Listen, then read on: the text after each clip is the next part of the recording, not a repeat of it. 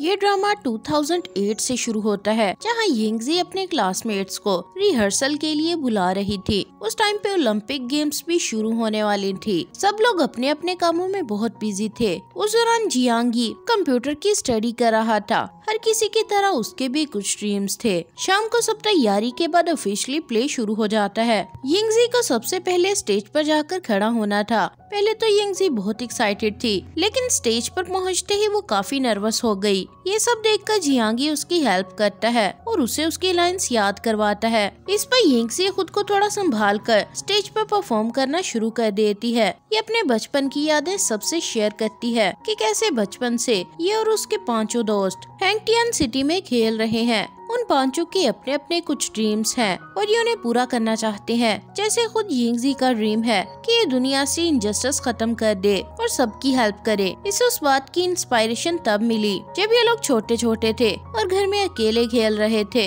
तभी बहुत तेज तूफ़ान आने लगा, जिससे ये सब लोग बहुत ज़्यादा डरने लगे और सोचने लगे कि शायद बाहर कोई मॉन्स्टर है जो उन्हें खा जाएगा और अगर ये लोग उससे बच गए तो ये लोग भूख से मर जाएँगे। उसी लम्हे यिंगसी हीरोइन बनकर आती है। और सबको अपने साथ रूम में लेकर चली जाती है। उन्हें बताती है कि हम भूख से नहीं मरेंगे, क्योंकि हमारे घर में राइस कुकर है, जिसमें बहुत सारे चावल पड़े हैं। ये सुनकर सब एक दूसरे का हाथ थामते हैं और कभी साथ न छोड़ने का इरादा कर लेते हैं, लेकिन वक्त बदल जाता है और सबकी तरह ये सब भी अपने अपने ख्वाबों को पूरा करने के लिए एक दूसरे से अलग हो गए थे। यिंगजी बड़ी होने के बाद एक मीडिया कंपनी में काम करने लगी थी। ये लड़की अपने काम के साथ बहुत लॉयल है और अपने काम और बचपन के इरादे के अकॉर्डिंग बुरे लोगों को उनके इंजाम तक पहुंचाना चाहती है। ये बहुत मेहनत से एक इन्वेस्टर को ट्रैप करती है, जो धोखे से लोगों से पैसे लूटता था। ये खुद एक डीलर बनकर उसके पास जाती है और बहुत चालाकी से उसकी सारी बातें रिकॉर्ड कर लेती है, जिसमें वो अपनी सारी काली करतूतों को मान रहा था। अब सबूत मिलने के बाद जिंगजी उस इन्वेस्टर मिस्टर हाउ को एक्सपोज करने की तैयारी करती है, लेकिन जैसे ही ये ऑफ़िस पहुँचती है तो इसे इसके बॉस खूब डांटते हैं। और कहते हैं कि ये सब ड्रामा बंद करो।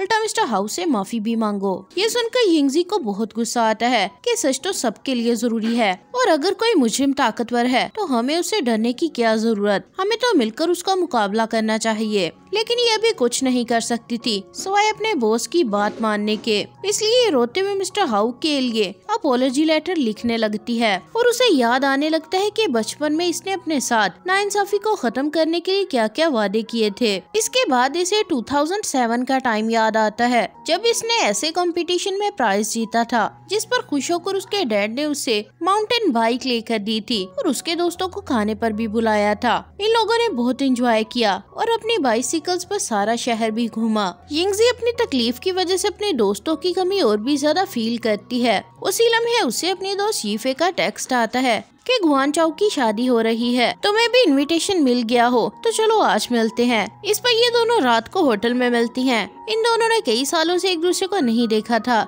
इसलिए दोनों काफ़ी इमोशनल हो जाती हैं। ये फेस से मिलने के बाद इससे कहती है कि प्लीज़ सबको इकट्ठा करो, ताकि सब हैंगटियान शहर में मिल सके। बचपन में सब कामों को यिंगजे ही लीड करती थी, इसलिए इस बार भी सब दोस्तों को इकट्ठा करने के टास्क को भी यही लीड करती है, और उम्मीद करती है कि इस बार भी ये कामयाब हो जाएगी। अब यिंगजे घर आती है और आकर मिंगयो को कॉल करती है, और उसे कहती है कि गुआनजाओ की शादी है, तुम ज़रूर आना। मिंगयो बहुत दुखी लगती है। और ये बहुत रूड और कॉल तरीके से यिंगजी से कहती है कि मैं बहुत बिज़ी हूँ, नहीं आ पाऊँगी। मिंग कॉल बंद कर देती है। और अपने रूट बॉस के साथ फिर से काम के बारे में बात करने लगती है। तभी यिंगसी फिर से इसे टेक्स्ट कर देती है और बहुत प्यार से शादी पर आने का कहती है। इसके बाद ये जियांगी को भी टेक्स्ट करती है। जियांगी कई सालों से इसके मैसेजेस रिसीव कर रहा था, लेकिन उसने कभी रिप्लाई नहीं किया था। इसके बाद ये युवान के पास आती है और उससे मियू को ढूँढने में हेल्प मांगती है। युवान उसकी मदद न करने के बहुत बहाने बनाता है, जिस पर यिंगजी को अकेले ही जाना पड़ता है। अगली सुबह ये मिंगयू की कंपनी आती है जहाँ कंपनी से कुछ एम्प्लॉयज़ को निकालने की तैयारी चल रही थी।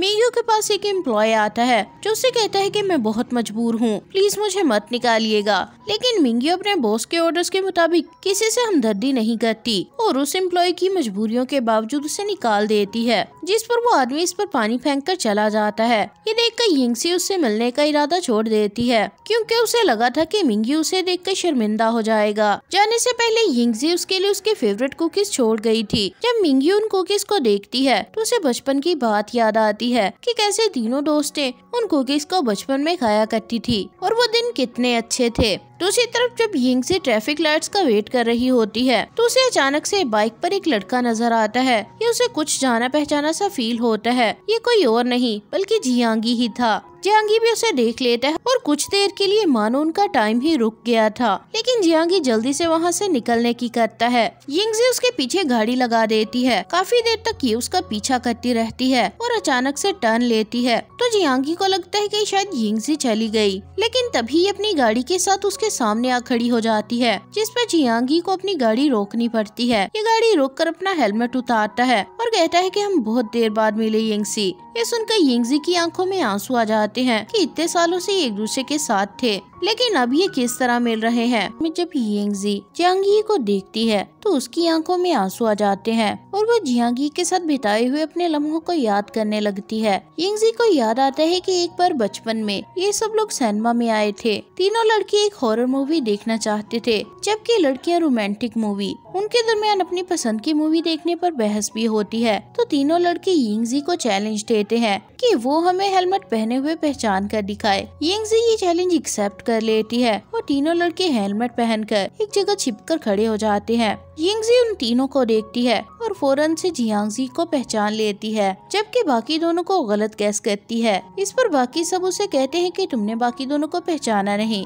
फिर तुमने जियांगी को इतनी जल्दी कैसे पहचान लिया? इस पर वो हंसकर कहती है कि उसकी गर्दन ही जिराफ जितनी लंबी है। कि कोई भी देखकर उसे पहचान ले। इसलिए मुझे उसे पहचानने में मुश्किल नहीं हुई। अब चूँकि यिंग चैलेंज हार गई थी तो सबको लड़कों की बात मानकर हॉरर मूवी देखना पड़ी। तीनों लड़कियों को फ़िल्म देखते हुए बहुत डर लगता है, जिस पर जियांग ही और बाकी दोनों को बहुत मज़ा आता है। अब जैसे तैसे करके मूवी खत्म होती है तो सब लोग उठकर सिनेमा से बाहर जाने लगते हैं। जबकि यिंग वहीं बैठी मूवी के क्रेडिट्स देखने लग जाती है। जियांगी उसे बैठा देखकर कहता है कि तुम उठ क्यों नहीं रही? मूवी खत्म हो गई है। इस पर वो कहती है कि मुझे बहुत बुरा लगता है। जब लोग मूवी देखकर फ़ौरन से चले जाते हैं और क्रेडिट्स कोई नहीं देखता। मूवी बनाते वक्त पीछे रहकर काम करने वाले को भी रिस्पेक्ट मिलने चाहिए। इसलिए मैं तो क्रेडिट्स देखकर ही आऊँगी। ये सुनकर जियांगी उसे छोड़कर बाकी सबके साथ ग्रैंडमा के रेस्टोरेंट में खाना खाने जाता है। ग्रैंडमा उन सबसे यिंगजी के बारे में पूछती है। तो ये लोग उनको भी सारी बात बता देते हैं कि वो अभी तक सैनमा से वापस क्यों नहीं आई। खाना खाने के बाद जियांगी को,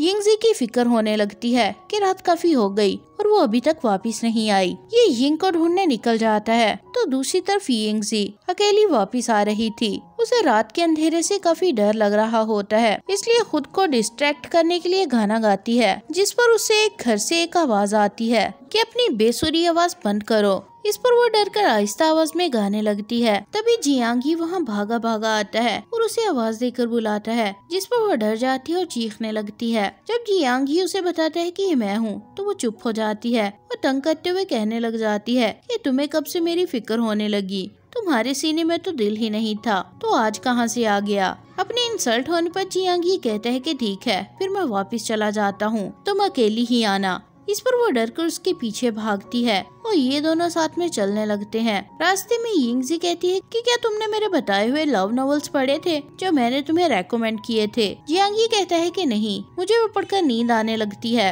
ये सुनकर यिंगजी कहती है कि तुम बहुत बुरे हो। जियांग कहता है कि अच्छा ऐसा है तो तुम अपना बताओ, कि क्या तुम मेरी बताई हुई वीडियो गेम्स खेलती हो? क्या तुमने कभी उनका एक लेवल भी पास किया? इस पर यिंग कहती है कि और नहीं तो क्या? मैं उस गेम के दस लेवल तक पहुँच गई हूँ। बस एक तुम ही हो, जो मेरी पसंद को सीरियस नहीं लेते। अब ये दोनों ऐसे ही लड़ते झगड़ते घर वापिस आते हैं। घर पहुँचने पर हमें पता चलता है कि जियांग के पेरेंट्स हमेशा बिज़नेस ट्रिप पर गए रहते थे, जिस पर या तो ये अकेला होता था, या फिर यिंग के घर रहता था। इसके अपने पेरेंट्स के साथ भी रिलेशन अच्छे नहीं थे। और ये हमेशा अपनी तकलीफ़ को अपने दिल में छुपाए रखता है। एक दिन यिंगजी के घर सबके साथ मिलकर लंच कर रहा था। यिंग इसे टमाटो का पीस खाने के लिए देती है, लेकिन वो उसे नहीं खाता। यिंग कहती है कि, तुम टमाटो क्यों नहीं खाते? आखिर तुम्हें उनसे प्रॉब्लम क्या है? इस पर यिंग कैडेट कहते हैं कि मैं जानता हूँ कि इसके पीछे क्या वजह है। दरअसल जब ये छोटा था इसके पेरेंट्स उसे एक अंकल के पास छोड़कर बिज़नेस ट्रिप पर गए। उसके अंकल को अपनी गर्लफ्रेंड से ही फुर्सत नहीं थी तो वो इसका ख्याल क्या रखता? घर में खाने पीने के लिए और कुछ नहीं था। सिवाय टमाटोस के दो बॉक्सेस के, सो जब भी इसे भूख लगती, इसे भूख मिटाने के लिए सिर्फ़ वो टमाटोस ही खाने पड़ते, जिस वजह से इसकी तबीयत खराब हो गई और इसे टमाटो से नफरत हो गई। उस कंडीशन को पीटीएसडी कहते हैं। ये एक ट्रॉमा की कंडीशन थी। ये सुनकर यिंगजी कहती है कि अगर ऐसा था तो तुम हमारे घर आके खाना खा लेते जंग कहता है कि मैं नहीं आ सकता था, क्योंकि तब मैं तुमसे नाराज़ था। यिंग कहती है कि क्यों मैंने क्या कहा था? मुझे तो कुछ भी याद नहीं कि ऐसा कुछ हुआ था। इस पर मिंगयू कहता है कि तब तुमने जियांग के बास्केटबॉल शूज़ के पेड़ पर वेल की ड्राइंग बना दी थी, जिस पर उसे बहुत गुस्सा आया था। ये सुनकर यिंगजी कहती है कि मुझे लगा था कि वेल बहुत क्यूट होती है। जियांग कहते हैं कि तुम्हें बिल्कुल गलत लगा था। ये सुनकर सब लोग हंसने लग जाते हैं। अब खाना खाने के बाद सब लोग गेम्स खेलते हैं और काफ़ी इंजॉय करते हैं। तभी जियांग के पेरेंट्स बिज़नेस ट्रिप से वापिस आ जाते हैं और उसे अपने साथ घर जाने के लिए कहते हैं। जियांग का उनके साथ जाने को बिल्कुल भी मन नहीं था, लेकिन ये अपने दिल पर पत्थर रखकर वहाँ से चला जाता है। अब प्रेजेंट टाइम में ये दोनों एक बेंच पर बैठे हुए थे। यिंग कहते कि हम बारह साल बाद मिल रहे हैं। तुम यूएस चले गए थे, जिसके बाद तुम्हारी कोई खबर नहीं मिली। मैंने तुम्हें कितने मैसेजेस किए, लेकिन तुमने कोई रिप्लाई नहीं किया। खैर, अब जब तुम वापस आए हुए हो तो गौशी की शादी ज़रूर अटेंड करना। ये कहकर वो रोने लग जाती है। और कहती है कि मुझे खुशी है कि तुम वापस आए। चलो मिंगयू के घर उसे मनाने चलते हैं। दूसरी तरफ़ मिंगयू अपने घर में खाना बना रही होती है। तभी उसके घर उसका एक कोलीग आता है, जो काफ़ी अच्छा और स्वीट लग रहा था। मिंगयू भी उसके साथ काफ़ी कंफर्टेबल और फ्रेंडली फील कर रही थी। ये दोनों एक साथ बैठकर खाना खाने लग जाते हैं। तभी जियांग यिंगजी वहाँ आते हैं। उनके आने पर मिंगयू का कोलीग वहाँ से चला जाता है। मिंगयू यिंगजी को देखकर फिर से रूड और कोल्ड बन जाती है। और उनके लिए कुछ खाने पीने के लिए लेने चली जाती है। जियांग भी मिंगयू का रूट बिहेव फील करता है और यिंग से पूछता है कि क्या तुम दोनों का झगड़ा हुआ? तुम दोनों पहले तो ऐसे बात नहीं करती थी। इस पर यिंग कहती है कि मैं तुम्हें बाद में सब बताऊँगी। अब जब मिंगयू उनके लिए पानी और सोडा लेकर वापस आती है तो यिंगजी उससे गौशी की शादी पर आने के लिए मनाती है। ये काफ़ी इंसिस्ट करती है, लेकिन मिंगयू उसकी सभी बातों का सिर्फ़ एक ही जवाब देती है। कि मैं बिज़ी हूँ। मुझे ऑफ़िस का बहुत काम है, इसलिए मैं शादी पर नहीं आ सकती। मिंग के इनकार पर जियांग भी कहता है कि दरअसल मैं भी शादी में नहीं आ सकता। मुझे भी बहुत सारे काम करने हैं। तुमने मुझे पहले कुछ बोलने का मौका ही नहीं दिया, इसलिए मैं तुम्हें कुछ नहीं बता पाया। ये सुनकर यिंग की आँखों में आँसू आ जाते हैं और वो कहती है कि हाँ सही बात है। काम ज़्यादा ज़रूरी है। तुम लोग अपना अपना काम करो। अब अगली सुबह हो जाती है। मिंग अपने ऑफ़िस में सब एम्प्लॉयज़ को कंपनी की रूल्स और रेगुलेशन समझा रही होती है। इनमें एक रूल ये भी होता है कि कोई भी एम्प्लॉय कंपनी के दूसरे एम्प्लॉय के साथ डेट नहीं कर सकता। अगर किसी ने भी ऐसा किया तो उसको जॉब से निकाल दिया जाएगा। अब सबको खुद फैसला करना था कि किसी को अपना करियर चाहिए या प्यार। मिंग यू बाकियों को तो ये बात समझा देती है। कि इस मामले में बहुत स्ट्रिक्ट ऑर्डर जारी हुए हैं। लेकिन बाद में खुद भी इस मामले में परेशान दिखाई देने लगती है, क्योंकि ये शायद खुद भी तो अपने कोलीग को ही लाइक करती थी। दूसरी तरफ़, जियांग किसी आदमी से वीडियो कॉल पर बात कर रहा होता है। वो आदमी कहता है कि, तुम फ़िक्र मत करो, मैं तुम्हें बहुत जल्द एक अच्छा सा लॉयर ढूंढ कर दे दूँगा। इस पर ये उस आदमी को थैंक्स बोलकर कॉल बंद कर देता है। तभी उसे यिंग का टेक्स्ट आता है कि, मैंने मिंगयू तुम्हें और जुआन को खाने पर इनवाइट किया है, तुम लोग ज़रूर आना। दूसरी तरफ़ कौशिक ग्रैंडमा के रेस्टोरेंट पर अकेला बैठा खाना खा रहा होता है। ग्रैंडमा इसे परेशान देखकर पूछती है कि क्या बात है? तुम बहुत खामोश हो। इस पर वो कहता है कि मैं अपने दोस्तों को वापस एक साथ देखना चाहता हूँ। बचपन से लेकर अब तक सिर्फ़ वही मेरे दोस्त हैं। लेकिन लगता है उन्होंने नए दोस्त बना लिए। इसलिए अब वो यहाँ नहीं आते। अब मेरी शादी है। मुझे तो इस बात की फ़िक्र है कि कहीं मुझे ग्रूम्समैन की कमी ना पड़ जाए। ये सुनकर ग्रैंडमा हंसने लग जाती है और उसे कहती है कि शर्त लगा लो, यिंगजी उन्हें ज़रूर वापस लेकर आएगी। ये सुनकर गौशी को भी उम्मीद मिल जाती है। दूसरी तरफ़ ये चारों यिंगजी के घर आ जाते हैं। यिंग सबकी पसंद नापसंद का ख्याल रखते हुए खाना बनाती है। यंग बहुत देर के बाद उसके हाथ का खाना खाता है। तो कहते हैं कि मुझे याद है कि बचपन में तुम्हें खाना बनाने का बहुत शौक था, लेकिन तुम्हें हर चीज़ खराब करने की आदत थी। इसलिए एक बार तुमने तकरीबन सारा किचन जला दिया था। ये सुनकर यिंग कहती है कि तुम्हें मेरी सिर्फ़ वही बातें क्यों याद रहती हैं, जिनमें मैंने कुछ गड़बड़ की हो? इस पर जियांग उसे तंग करने के लिए कहता है कि दरअसल लोगों के एम्बेरसिंग मोमेंट्स याद रखने के मामले में मेरी याददाश्त बहुत तेज है। ये सुनकर सभी हंसने लग जाते हैं और मिंग कहती है कि क्या तुम्हें याद है कि बचपन में एक बार तुम्हारी याददाश्त चली गई थी? जोन कहता है कि हाँ मुझे याद है। मैंने तो जिया के मज़ाक को सच भी मान लिया था। इस पर सब हंसने लग जाते हैं और उन्हें पुराना वक्त याद आने लगता है जब ये सब हुआ था। दरअसल जब ये लोग स्कूल में थे तो तब स्पोर्ट्स इवेंट आने वाला था। और इन दोनों ने दो डिफरेंट स्पोर्ट्स में पार्टिसिपेट किया था। जियांग ने रनिंग रेस के लिए साइन किया था, जबकि यिंग ने लॉन्ग जंप के लिए। ये दोनों एक दूसरे से शर्त लगाते हैं कि जो भी अपनी अपनी स्पोर्ट्स में फ़र्स्ट आएगा, वो दूसरे की शर्त मानेगा। जियांगी को हारने पर पाँच टमाटर खाने की सजा रखी गई थी, जबकि यिंग को हारने पर एक हफ़्ते के लिए जियांग का होमवर्क करना था। अब जैसे ही स्पोर्ट्स डे आता है पहले यिंग अपने लॉन्ग जंप पे पार्टिसिपेट करती है। ये बहुत तैयारी के साथ मैदान में उतरती है और वह जलवे के साथ भागना शुरू करती है। सब लोगों को उससे बहुत उम्मीद लगती है और वो उसे हीरोइन की तरफ़ भागते हुए भी देखते हैं। लेकिन जैसे ही ये जंप करती है तो स्टार्टिंग लाइन से सिर्फ़ थोड़ा सा ही दूर जंप कर पाती है, जो बहुत कम था, और एम्बेरसिंग भी। लेकिन यिंग ये सोचकर खुश हो जाती है कि वो अपनी गेम में फ़र्स्ट तो है ना, क्योंकि उसके अलावा किसी और ने तो पार्टिसिपेट ही नहीं किया था। लेकिन तभी उसे एहसास होता है कि वो जियांग से शर्त तो तभी हारेगी, जब जियांग अपनी रेस हारेगा। इसलिए ये मिंगी और फेफे रनिंग रेस में जाकर जियांग की बजाय गाउशी के लिए चेयर करने लगते हैं। जियांग भी काफ़ी अच्छा रन करता है, लेकिन गाउशी उससे आगे निकल जाता है और गेम जीत जाता है। इस पर ये तीनों काफ़ी खुश होती है की जियांग हार गया। जबकि दूसरी तरफ़ जियांग को इतनी तेज भागने के बाद चक्कर आने लगते हैं और ये बेहोश होकर गिर जाता है। सब लोग परेशान होते हैं और उसे हॉस्पिटल लेकर आते हैं। ट्रीटमेंट के बाद जब उसे होश आता है तो उसके पेरेंट्स बहुत खुश होते हैं और उसे बताते हैं कि वो उसके लिए कितने परेशान थे। उनकी बात सुनकर वो कहता है कि आप लोग कौन हैं? मैं आप लोगों को नहीं जानता। मुझे तो ये भी नहीं पता कि मैं कौन हूँ और यहाँ क्या कर रहा हूँ। ये सुनकर सब लोग डर जाते हैं और उसे बात याद दिलाने की कोशिश करते हैं। जब जियांग सबको पहचानने से इनकार कर देता है तो यिंग उसके पास आती है। और उसको पकड़कर ज़ोर ज़ोर से कहने लग जाती है कि क्या तुम सच में सब भूल गए? क्या तुम कौन हो? क्या तुम्हें सच में कुछ याद नहीं? जियांग उसे अग्रेसिव मूड में देखकर डर जाता है। जब जियांगी यादाश्त चले जाने का नाटक करता है तो सब लोग बहुत परेशान हो जाते हैं और सोचने लगते हैं कि आखिर अब कैसे इसकी यादाश्त को वापस लाया जाए। बाकी सबकी तरह यिंगजी को यकीन नहीं आता कि जियांगी की यादाश्त सच में चली गई। इसलिए ये अपने डाउट को कंफर्म करने का सोचती है और फैसला करती है कि सबके सामने जियांग के झूठ को एक्सपोज करके रहेगी। ये उठकर जियांगी के पास आती है, जो बहुत मज़े से लेटा गेम खेल रहा होता है, लेकिन उसके रूम में एंटर होते ही फिर से बीमार होने की एक्टिंग करने लगता है। यिंग इसके पास आती है और इससे कहने लगती है कि मैं तुम्हारी सबसे छोटी आंटी हूँ। मुझे तुम्हें बीमार देखकर बहुत तकलीफ़ हो रही है। मुझे फ़िक्र हो रही थी कि तुमने कुछ खाया भी नहीं है। इसलिए मैं तुम्हारे लिए तुम्हारा फेवरेट जूस लाई हूँ, ताकि तुम इसे पी सको और अच्छा फील करो। यिंग का प्लान था कि जियांग टमाटो जूस पीने से इनकार कर देगा, क्योंकि उसे तो इससे बहुत नफरत थी। और जब ये इनकार करेगा तो ये फ़ौरन इसका झूठ पकड़ लेगी कि आखिर तुम्हें कैसे याद आया कि तुम्हें टोमेटो जूस पसंद नहीं था?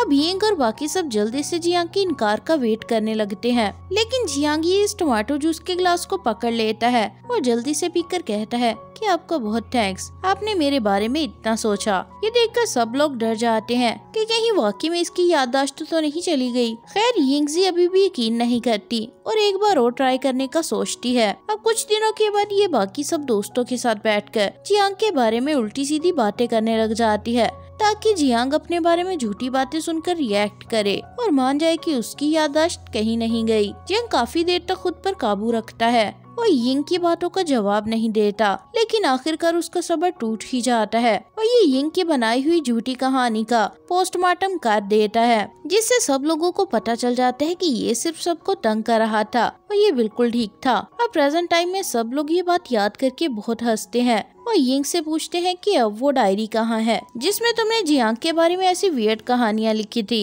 यिंग कहती है कि मुझे तो पता नहीं है कि अब वो कहाँ है, लेकिन मेरे पास एक चीज़ ज़रूर है, जो बहुत कीमती है, और जिसे मैंने संभाल कर रखा हुआ है। ये कहकर यिंग एक बॉक्स लेकर आती है, जिसमें बहुत सारे बर्थडे कार्ड्स थे। दरअसल ये बर्थडे कार्ड कार्ड्स यिंगजी को उसके फ्रेंड्स ने बचपन में दिए थे। तब उन लोगों ने ये कार्ड यिंग को तंग करने के लिए दिए थे, क्योंकि यिंग को अपने बर्थडे पर बहुत सारे गिफ्ट चाहिए थे। इसलिए सबने उसे गिफ्ट देने के बजाय सिर्फ़ एक एक कार्ड दे दिया, जिस पर लिखा हुआ था कि हम तुम्हारी एक विश पूरी करेंगे, जो भी तुम चाहोगी। यिंग उन कार्ड्स को दिखाकर कहती है कि इन कार्ड्स की विशेष अभी भी बची हुई है। गौशी की शादी एक हफ़्ते में है मैं तुम लोगों को फोर्स नहीं करूँगी। लेकिन तुम लोग जानते हो कि मेरी विश क्या है। ये सुनकर सब लोग चुप हो जाते हैं और समझ जाते हैं कि यिंग की विश यही है कि वो सबको गौशी की शादी पर इकट्ठा करे। अब अगली सुबह हो जाती है। सब लोग अपने अपने कामों में लग जाते हैं और इत्तेफाक से सबको बहुत ज़्यादा ज़रूरी काम पड़ जाते हैं, जिन्हें स्किप करना तकरीबन बहुत ही मुश्किल था। सब लोग पजल थे कि अब वो क्या करें। एक तरफ़ दोस्त की शादी थी तो दूसरी तरफ़ करियर, फैसला करना बहुत मुश्किल था। अब रात तक सोचने के बाद सब लोग फैसला कर लेते हैं और इनको एक एक करके मैसेजेस करना शुरू कर देते हैं कि हम बहुत बिज़ी हैं, माफ़ करना शादी पर नहीं आ सकते।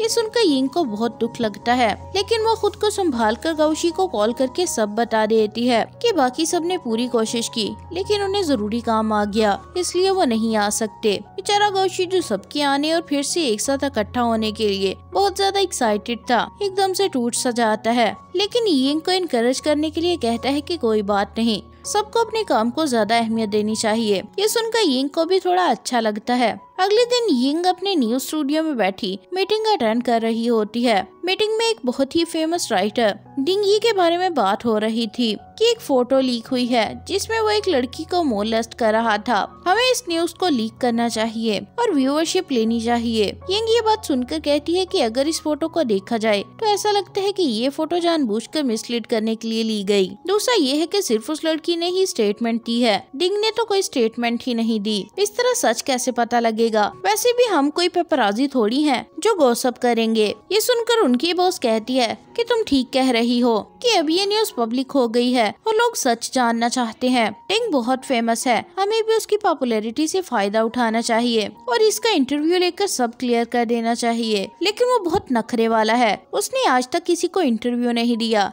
इसलिए उसे संभालना और इंटरव्यू के लिए बनाना बहुत मुश्किल होगा। ये सुनकर यंगजी डिंग को मैटर को डील करने की परमिशन मांगती है, लेकिन उसकी बोस उसकी बजाय उसकी को कोलीग ईरान को ये मैटर संभालने का कह देती है, जिस पर यिंग को काफ़ी बुरा लगता है, क्योंकि वो खुद भी डिंग को एडमायर करती थी और खुद से जानना चाहती थी कि आखिर सच क्या है। अब थोड़ी देर के बाद इसे अपना स्कूल टाइम याद आ जाता है। जब ये अपने क्लासमेट्स को अपनी फेवरेट आइडल का, उसकी बुक पर दिया हुआ ऑटोग्राफ दिखा रही होती है। सब लोग उसको काफ़ी लकी बोल रहे थे। यिंग को भी ये बहुत अच्छा लग रहा होता है कि तभी उसकी एक क्लासमेट उठकर कहती है कि इतना भी शॉफ ना करो। मेरे पास तो पूरा एल्बम है, जिस पर ऑटोग्राफ्स दिए गए। ये सुनकर सब स्टूडेंट्स उसकी तारीफे करने लगते हैं। और उसके आगे पीछे घूमने लगते हैं। तभी क्लास में चुपके से टीचर आ जाते हैं, जो सबकी बात सुन लेते हैं। ये उन्हें याद दिलाते हैं कि क्लास कोई भी ऐसी चीज़ लाना मना है, लेकिन फिर भी तुम लोगों ने रूल तोड़ा। इसलिए ये चीज़ें वो अपने पास रख लेंगे। ये सुनकर सबको बहुत बुरा लगता है और वो लोग टीचर से यिंगजी की बुक वापस लाने का प्लान बनाने लग जाते हैं।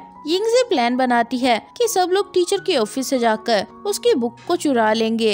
यिंग के लिए ये बहुत स्मार्ट आइडिया था, इसलिए ये सबको लेकर टीचर के ऑफ़िस पहुँच जाती है। लेकिन थोड़ी ही देर के बाद वहाँ सिक्योरिटी आ जाती है। जिस पर उन्हें बुक छोड़कर छुपना पड़ता है। यिंग और जियांग एक साथ छुप जाते हैं और बाकी सब एक साथ। अब गाउशी और जुआन गार्ड को डिसट्रैक्ट करने के लिए वहाँ से भाग जाते हैं, जिससे गार्ड उनके पीछे भाग पड़ता है और बाकी सबको फिर से बुक ढूँढने का मौका मिल जाता है। ये लोग काफ़ी देर तक ढूंढते रहते हैं, लेकिन उन्हें बुक नहीं मिलती। इस पर ये लोग सोचते हैं कि टीचर बुक को ज़रूर घर ले गए होंगे।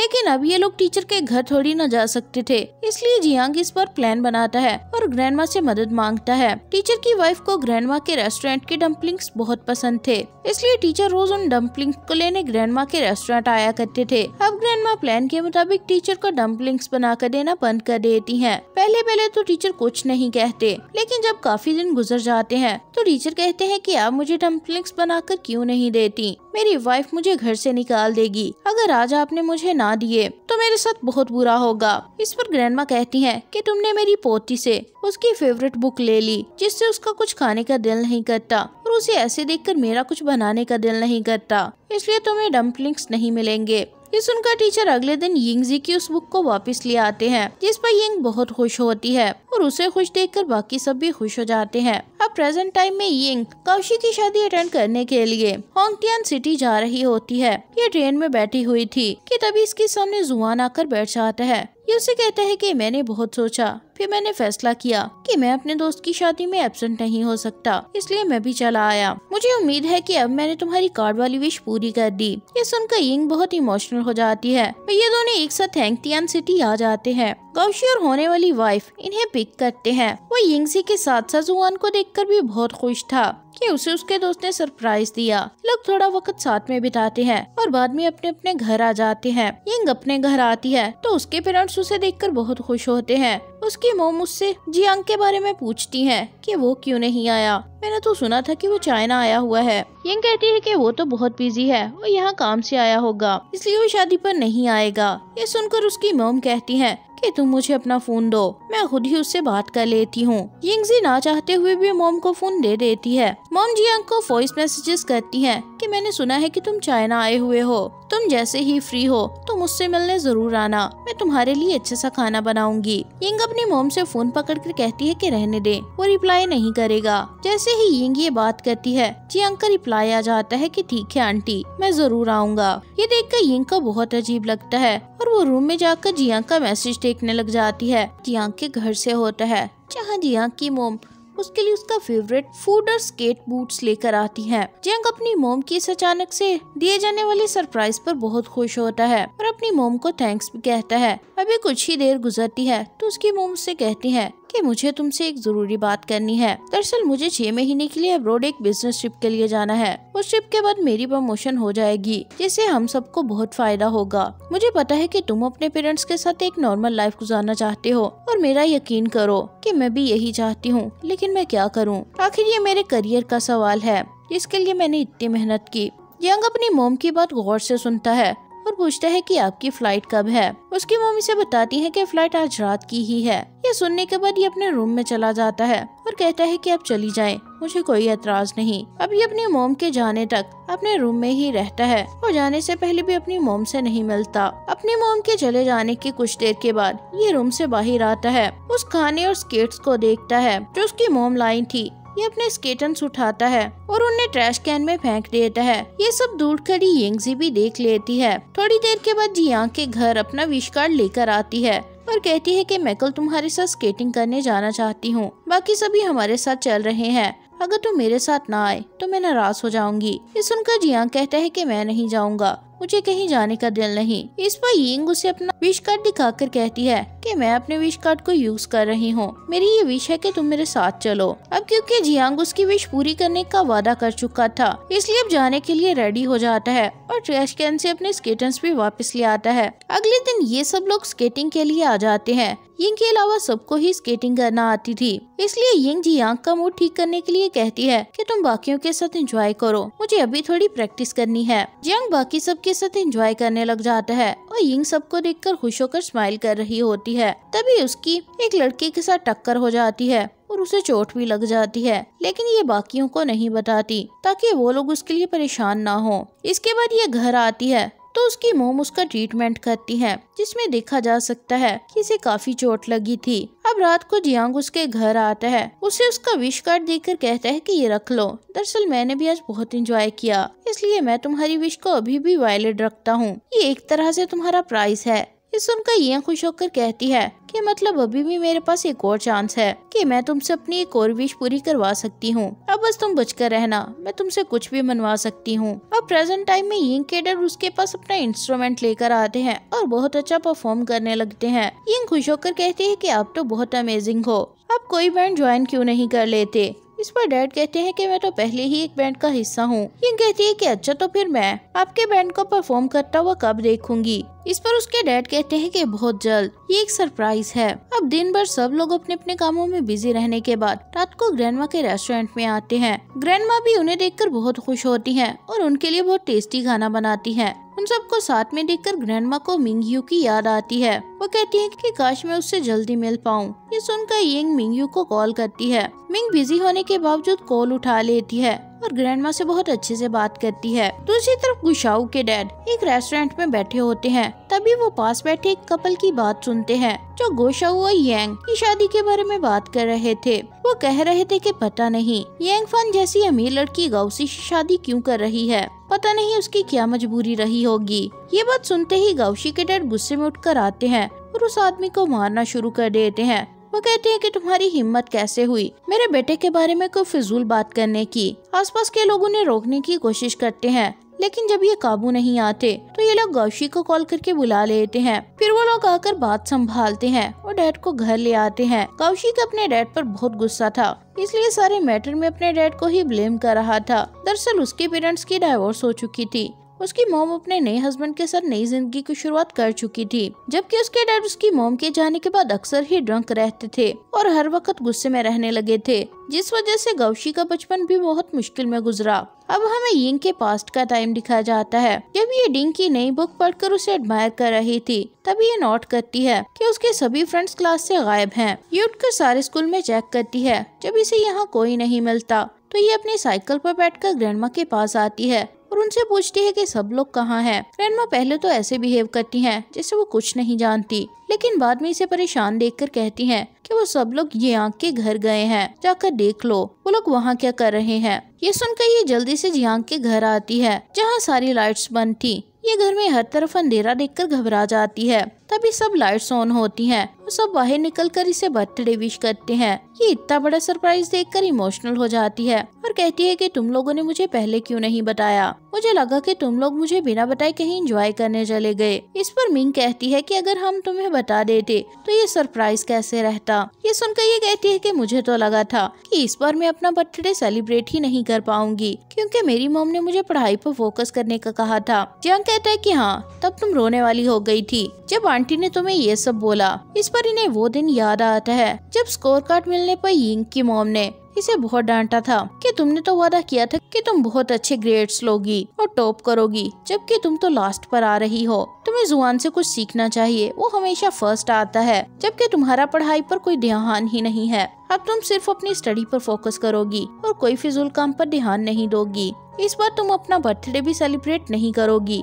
क्योंकि तुम उसकी तैयारियों में ही सारा टाइम वेस्ट कर दोगी। ये सुनकर यिंग को बहुत बुरा लगता है। ये अपनी मोम से बर्थडे सेलिब्रेट करने की जिद करने लग जाती है। लेकिन उसकी मोम अपना फैसला सुना चुकी थी। अभी लोग छुप कर उसका बर्थडे सेलिब्रेट करते हैं और उसे उसकी पसंद के गिफ्ट्स देने लग जाते हैं। इसे सबके गिफ्ट्स बहुत अच्छे लग रहे थे। जब जियांग की गिफ्ट देने की बारी आती है तो वो इसे एक बहुत बड़ा गिफ्ट बॉक्स देता है। यंग इतना बड़ा गिफ्ट बॉक्स देखकर एक्साइटेड हो जाती है कि ज़रूर इसे कुछ अच्छा मिलने वाला है। लेकिन जब ये बॉक्स खोलती है तो उसके अंदर ग्लोब था। यंग डिसअपॉइंट होकर कहती है कि भला इसका मैं क्या करूँगी? यंग कहता है कि तुम्हें फ्यूचर में पता लग जाएगा। यंग कहती है कि ठीक है, मैं इसे संभाल कर रखूँगी, ताकि देख सकूँ कि इसमें ऐसा क्या खास है। इसके बाद यीफे की गिफ्ट देने की बारी आती है। ये यिंग को बहुत प्यारी सी ड्रेस गिफ्ट करती है। यिंग जब ये ड्रेस पहनकर आती है तो बिल्कुल एक फेरी की तरह लगती है और सब लोग उसे देखते ही रह जाते हैं। अब प्रेजेंट टाइम में यिंग और मिंग यू के डैड बैंड प्रैक्टिस कर रहे होते हैं।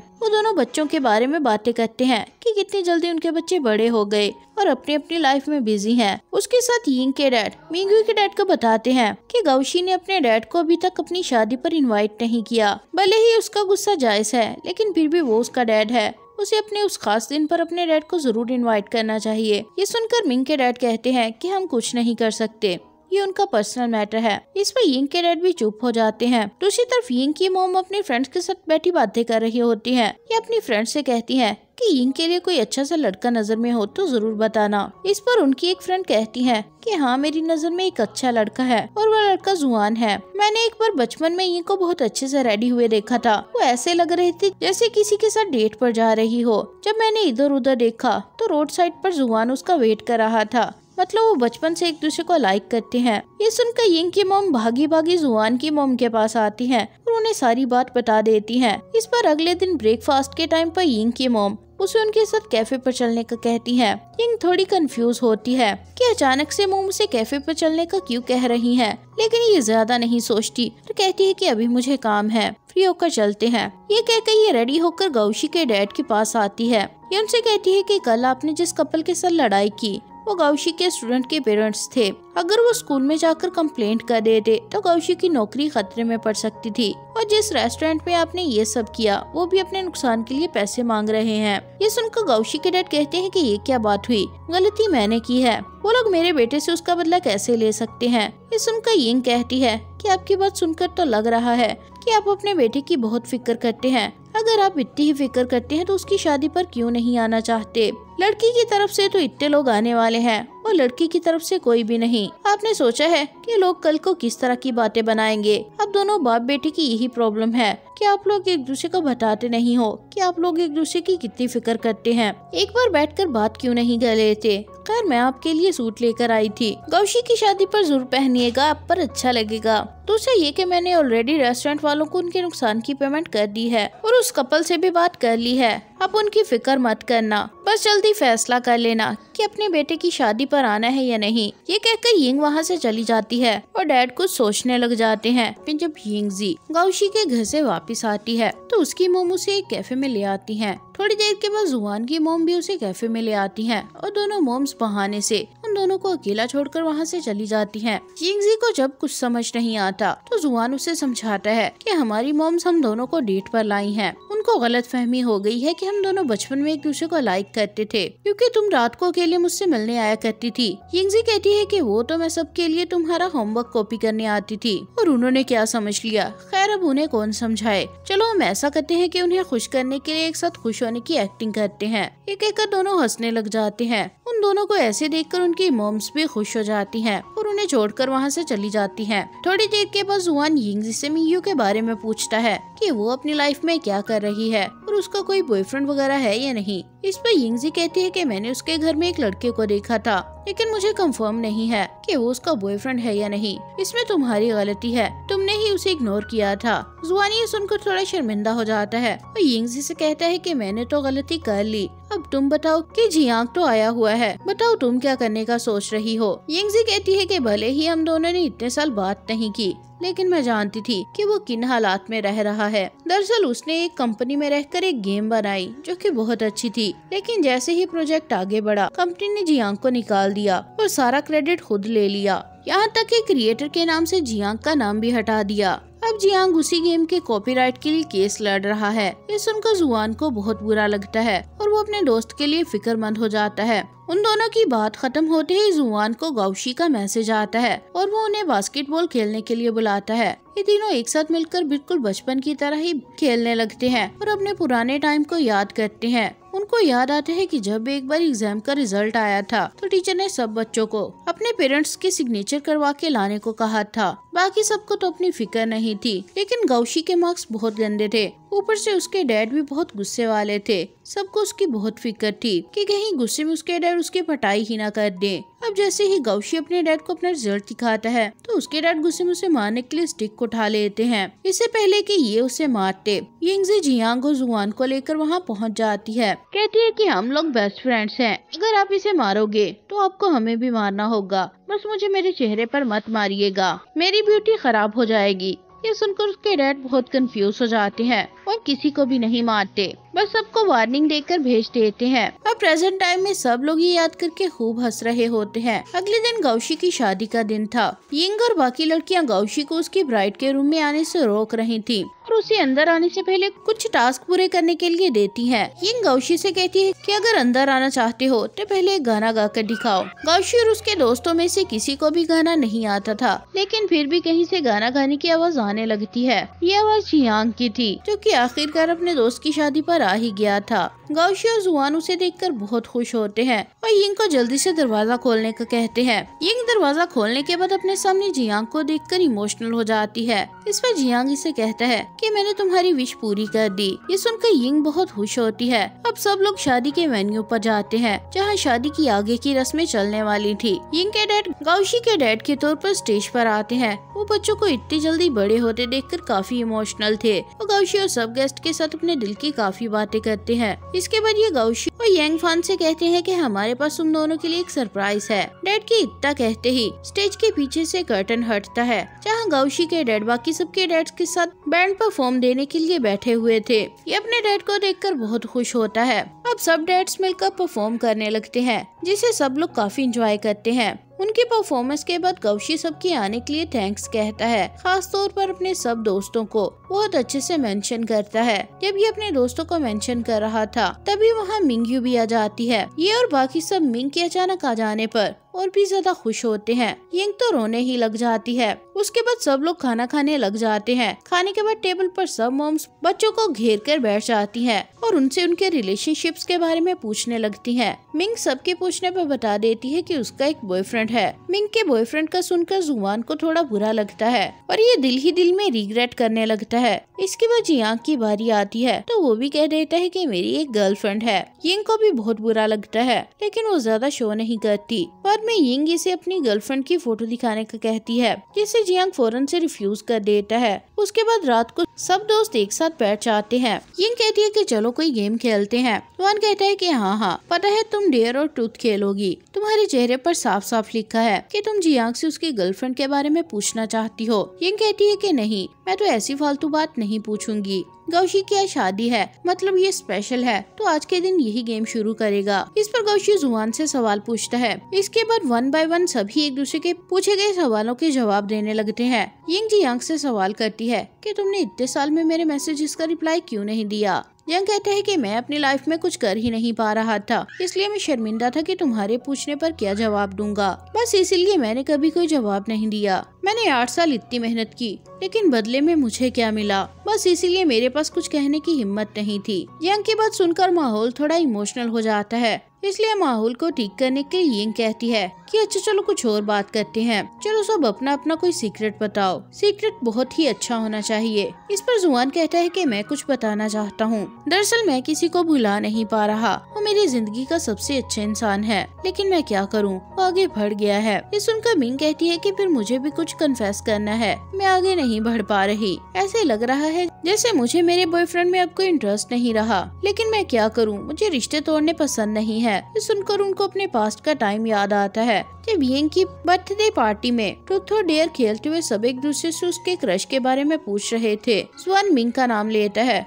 और कन्फेस करता है कि उसे मिंग पर क्रश है, जबकि मिंग कहती है कि उसे जियांग पर क्रश है। मिंग सीरियस थी, लेकिन यिंग के अलावा सबको लगा था कि वो मज़ाक कर रही है। मिंग के कन्फेशन के बाद जब यिंग की बारी आती है तो ये जुआन का नाम लेती है कि वो उसका क्रश है। ये सब याद करने के बाद प्रेजेंट टाइम में यिंग जियांग से कहती है कि पिछले बारह साल से मुझे तुम पर बहुत गुस्सा है। मेरा इरादा था कि जब तुम मेरे सामने आओगे तो मैं तुम्हें मार डालूँगी। लेकिन जैसे ही तुम मेरे सामने आए, मेरा सारा गुस्सा ठंडा हो गया। और मैंने तुम्हें एक लम्हे में ही माफ़ कर दिया। अब तुम बताओ कि तुम मुझे माफ़ करोगे या नहीं? जंग कहते हैं कि मैंने भी तुम्हें माफ़ कर दिया है। इस वक्त ये सब लोग हैंग ओवर थे, पर यांग ही थोड़ा सा सोबर था, इसलिए बाकी सबको कल की बातें याद नहीं थी। अगले दिन मिंग और यिंग वापस जाने की तैयारी करती हैं। सब लोग उन्हें स्टेशन तक छोड़ने आते हैं। जुआन और जियांग अभी गौशी के पास एंगटियन सिटी में ही कुछ दिन रुकने का फैसला करते हैं। अब यिंग और मिंग एक साथ ट्रेन में बैठ जाती हैं। मिंग बिल्कुल चुप बैठी थी। यिंग को ऐसे खामोश बैठना अच्छा नहीं लग रहा था, इसलिए खुद ही मिंग से बात शुरू कर देती है। और दोनों एक दूसरे से अपनी अपनी जॉब्स की बातें करने लगती हैं। इसके बाद यिंग उसे उनके बचपन की फ़ोटो दिखाती है। ये फ़ोटोज़ उन लड़कों के लिए बनाई थी, जिन्हें ये लाइक नहीं करती थी। उनका प्लान था कि अगर कोई उन्हें प्रपोज करेगा तो ये उनको ये वाली अजीब अजीब सी फ़ोटोज़ दिखाकर भगा देंगी। बाद में ये लोग अपनी अपनी फ़ोटोज़ भी बनाती हैं, ताकि बाद में अपनी पसंद के लड़कों को दिखा सके। इन फ़ोटोज़ को देखने के बाद मिंग उससे पूछती है कि तुम्हें जिया को दोबारा देखकर कैसा लगा? यंग कहती है कि कुछ खास नहीं, बस वैसा ही लगा जैसा बचपन में लगता था। वैसे इतने साल गुजर चुके और अब तो उसकी गर्लफ्रेंड भी है। मिंग कहती है कि अगर उसकी गर्लफ्रेंड ना होती तो फिर तुम क्या करती? ये सुनकर यंग चुप हो जाती है। दूसरी तरफ़ जुआन और जिया एक साथ हैंग आउट कर रहे थे। जुआन जियांग से कहते हैं कि अगर तुम्हें बुरा ना लगे तो क्या मैं तुम्हारी गर्लफ्रेंड को देख सकता हूँ? इस पर जियांग उसे अपनी गर्लफ्रेंड की फ़ोटो दिखा देता है, जो कि एक एक्ट्रेस की थी। यानी जियांग ने सिर्फ़ उन आंटियों से पीछे छुड़ाने के लिए गर्लफ्रेंड होने का झूठ बोला था। इस पर ये दोनों हंसने लग जाते हैं। इसके बाद जियांग, जुआन को बताता है कि मैंने यूके में अपनी गेम वाला केस गिव अप कर दिया। अब मैं यहाँ रहकर ही एक नई शुरुआत करूँगा। मुझे लगता है कि यही मेरे लिए ठीक फैसला है। ये सुनकर जुआन कहता है कि तुम जो भी करो, मैं हमेशा तुम्हारे साथ हूँ। अब रात को जुआन यिंग को कॉल करता है और उसे कहता है कि एक अच्छी खबर है। जियांग अब यही रहेगा। वो वापस नहीं जा रहा। उसने बताया है कि वो नई शुरुआत करना चाहता है। ये सुनकर यिंग को यकीन ही नहीं आता कि वो ये खबर सुन रही है। लेकिन ये फिर भी कह देती है कि अगर ये बात सच है तो हम सब उसको अच्छे से सपोर्ट करेंगे। इस पर जुआन इसे टीस करने के लिए कहता है कि तुम तो उसे देखते ही उसके छोटे छोटे टुकड़े करने वाली थी, लेकिन तुम्हें तो उस पर प्यार आ रहा था। लगता है उसके पीछे कोई खास वजह है। ये सुनकर यिंग जुआन को डांट कर काल बंद कर देती है और फ्यूचर के बारे में सोचकर खुश होने लग जाती है। यिंग से अगली सुबह डेली का काम करने के लिए ऑफ़िस आ जाती है, जहाँ ये रन अपने सीनियर को बता रही होती है कि मैंने डिंगी को बहुत से मैसेजेस किए, लेकिन वो तो मुझे रिप्लाई ही नहीं कर रहा। वैसे भी मुझे नहीं लगता कि डिंगी का टॉपिक इतना भी इम्पोर्टेंट है, जितना हम उसके पीछे अपना टाइम वेस्ट कर रहे हैं। इसके बोस इसकी बात से बहुत डिसएग्री करते हुए कहते हैं कि ये टॉपिक बहुत अहम है। दरअसल बात यह है कि डिंगी थोड़ा वियर्ड है। इल्ज़ाम उस पर लग रहा था लेकिन उसने खुद की सफ़ाई देने के लिए मीडिया से कांटेक्ट ही नहीं किया। उल्टा उसने मीडिया चैनल्स को कॉल करके विक्टिम लड़की की फ़ोटो हटाने का कहा, ताकि उस लड़की की रेपुटेशन खराब ना हो। इसलिए तुम कोशिश करो कि जल्दी से जल्दी उसे इंटरव्यू के लिए मनाओ, ताकि सब लोग उसकी तरफ़ की स्टोरी भी जान पाए। ये सुनकर ये रान यिंग जी के पास आती है और उसे सारी बात बताती है। ये उसे कहती है कि मुझे तो इस टॉपिक या डिंगी में कोई इंटरेस्ट नहीं। अगर तुम इस टॉपिक में इंटरेस्टेड हो तो जाओ बोस से बात करके उस प्रोजेक्ट को तुम संभाल लो। यिंगजी कहती है कि मैं तो पहले ही रिजेक्ट हो गई हूँ। भला आप पूछ कर खुद की इंसल्ट करवाने का क्या मतलब? इस पर ईरान कहती है कि फिर तुम ऐसा करो, तुम खुद ही ये टॉपिक ले लो। वैसे भी कोलीग्स आपस में प्रोजेक्ट एक्सचेंज कर लेते हैं। ये सुनकर यिंगजी खुश हो जाती है और प्रोजेक्ट पर काम शुरू कर देती है। दूसरी तरफ़ जियांग अपने रहने के लिए घर पसंद करता है। उसी दौरान उसे यिंगजी की कॉल आती है। ये उसे कहती है कि मैंने सुना है कि अब तुम यहीं रहने वाले हो और किसी गेमिंग कंपनी में काम करने वाले हो। मेरे बहुत से कनेक्शंस हैं। अगर तुम चाहो तो मैं तुम्हारे लिए किसी अच्छी सी कंपनी में जॉब का पता कर सकती हूँ। ये सुनकर जियांग इसे इतना सब करने के लिए थैंक्स बोलता है। अब रात को यिंग, डिंग के बारे में इंफॉर्मेशन इकट्ठी करने के लिए, उसकी लिखी हुई एक बुक खोलती है। ये यिंगजी की अपनी ही बुक थी, जिसमें जियांग ही ने साइन किए हुए थे। और लिखा हुआ था कि मेरे सिग्नेचर्स की वैल्यू फ्यूचर में बहुत ज़्यादा हो जाएगी। ये देख देखकर यिंग फ्लैशबैक में चली जाती है, जहाँ ये जियांगी के पास गेमिंग सेंटर में आती है। जियांग उस वक्त जियांगजू शहर में होने वाली नेशनल गेमिंग कंपटीशन की तैयारी कर रहा था। यंग उसके पास आती है और उससे कहने लगती है कि मैंने सुना है कि तुम जियांगजू जा रहे हो। क्या तुम मुझे भी अपने साथ ले जाओगे? वहाँ डिंग अपने फैंस की बुक्स पे ऑटोग्राफ देने आने वाला है। जियांग पहले तो फ़ौरन से इनकार कर देता है। लेकिन यिंग के इतना इंसिस्ट करने पर ये उसे अपने साथ लेकर जाने के लिए मान जाता है। अब ये दोनों जियांगजू पहुंचकर बहुत इंजॉय करते हैं। थोड़ी देर के बाद ये दोनों आइसक्रीम खाते हुए रेस्ट करते हैं। यिंग जियांग से पूछती है कि अगर तुम चैंपियनशिप जीत गए तो तुम्हें कितनी मनी मिलेगी? जियांग बताते हैं कि one thousand yuan Ying impress होकर कहती है ये तो बहुत सारे हैं। यंग कहते हैं कि अगर इतने पैसे तुम्हें मिलते तो तुम उन्हें कैसे खर्च करती? यंग अपने दोस्तों की ज़रूरत की चीज़ें किनवा कर कहती है कि मैं सबके लिए उनकी ज़रूरत की चीज़ें खरीदती। जुआन का नाम सुनकर जियांग कहता है कि क्या तुम्हें स्मार्ट लड़के बहुत अच्छे लगते हैं? यंग कहती है कि हाँ पसंद है लेकिन वो मेरे टाइप के नहीं है, क्योंकि मैं खुद भी स्मार्ट नहीं हूँ। मुझे तो वैसा ही लड़का पसंद है जो मेरी तरह पागल हो। ये सुनकर जियांग हंस पड़ता है और कहता है कि तुमने अपने बारे में नहीं बताया कि तुम अपने लिए क्या खरीदोगी। यंग कहती है कि मैं अपने लिए एक एम खरीदूँगी, ताकि जब चाहूँ अपनी फेवरेट सिंगर के गाने सुन सकूँ। इस बात के बाद ये दोनों अपने होटल रूम में आ जाते हैं। ये दोनों ही एक रूम शेयर करने वाले थे। यंग सोफा पर लेट जाती है और कहती है कि मैं छोटी सी तो हूँ इस पर पूरी आ जाऊँगी। तुम बेड पर आराम करो। यंग सोफा पर लेटती डिंग की बुक पढ़ने लग जाती है और साथ ही साथ उसकी बहुत तारीफें करती है। वो कहती है कि आई होप कि मुझे उसका ऑटोग्राफ मिल जाए। उसके ऑटोग्राफ की दस साल के बाद बहुत ज़्यादा वैल्यू बढ़ जाएगी। जियांग उसकी बातें सुनता सुनता सो जाता है। अब अगली सुबह जब उसकी आँख खुलती है तो वो यिंग को सोया हुआ देखता है। ये उसके पास आकर स्माइल करता है और उसे सोते हुए देखने लग जाता है। बाद में यिंग को दिखाया जाता है। जो डिंग का ऑटोग्राफ लेने आई थी, लेकिन उसे पता लगता है कि वो तो आया ही नहीं। इस पर वो दुखी होकर वहाँ से चली जाती है। ये एक बेंच पर बैठी होती है कि जियांग उसके पास आकर उसे एम गिफ्ट करता है और उसे बताता है कि वो चैंपियनशिप जीत गया। ये सुनकर यिंग बहुत खुश होती है और उसकी तारीफ़ करने लग जाती है। अब जब ये दोनों वापस हैंगटियन सिटी आते हैं तो यिंग कहती है कि मुझे तुम्हारा गिफ्ट बहुत अच्छा लगा। उसकी वजह से मैंने ये ट्रिप भी बहुत इंजॉय की। बस इस बात का दुख है कि मैं डिंग से नहीं मिल पाई। ये सुनकर जियांग कहता है कि भला डिंग में ऐसी क्या खास बात है? मुझे तो वो बिल्कुल भी अच्छा नहीं लगता। यिंग ये सुनकर गुस्से में कहती है कि तुम सिर्फ़ उससे जलते हो, क्योंकि वो मेरा आइडल है। यंग कहते हैं कि अब रहने भी दो, ज़्यादा ख्वाब मत देखो। अब थोड़ी लड़ाई करने के बाद यिंग की आँख लग जाती है। तब जियांग मौका देखकर यिंग की बुक पर अपना साइन कर देता है। और साथ में लिख देता है कि 10 साल के बाद इस साइन की बहुत वैल्यू होगी। अब प्रेजेंट टाइम में यिंग ये सब याद करके थोड़ी इमोशनल हो जाती है कि टाइम कितनी जल्दी बीत जाता है। अगले दिन यिंग डिंग को इंटरव्यू के लिए टाइम मांगने का मैसेज करती है। तभी उसका बोस उसके पास आकर कहता है कि मुझे ईरान ने सारी बात बता दी है कि अब डिंग के इंटरव्यू का प्रोजेक्ट तुम संभाल रही हो। मुझे उम्मीद है कि तुम कोई भी गलती नहीं करोगी। यंग कहती है कि जी, आप देखिएगा। कि मैं कैसे सबको हैरान कर दूँगी। अब अपने बोस के अप्रूवल के बाद डिंग और ज़्यादा मोटिवेट हो जाती है और ठान लेती है कि अब तो वो डिंग का इंटरव्यू लेकर ही रहेगी। बाद में ये जियांग के लिए कुछ कंपनीज़ से बात करती है और उन कंपनीज़ की फ़ाइल बनाकर जियांग को सेंड कर देती है और उसे रात को डिनर पर भी मिलने के लिए बुलाती है। ये दोनों रात को डिनर पर मिलते हैं। तो यिंग उससे पूछती है कि तुम्हें कोई कंपनी अच्छी लगी भी या नहीं? यंग कहता है कि हाँ अच्छी तो लगी है, लेकिन पता नहीं कि मैं वहाँ जॉब कर भी पाऊँगा या नहीं। यंग कहती है कि तुम ऐसे क्यों बोल रहे हो?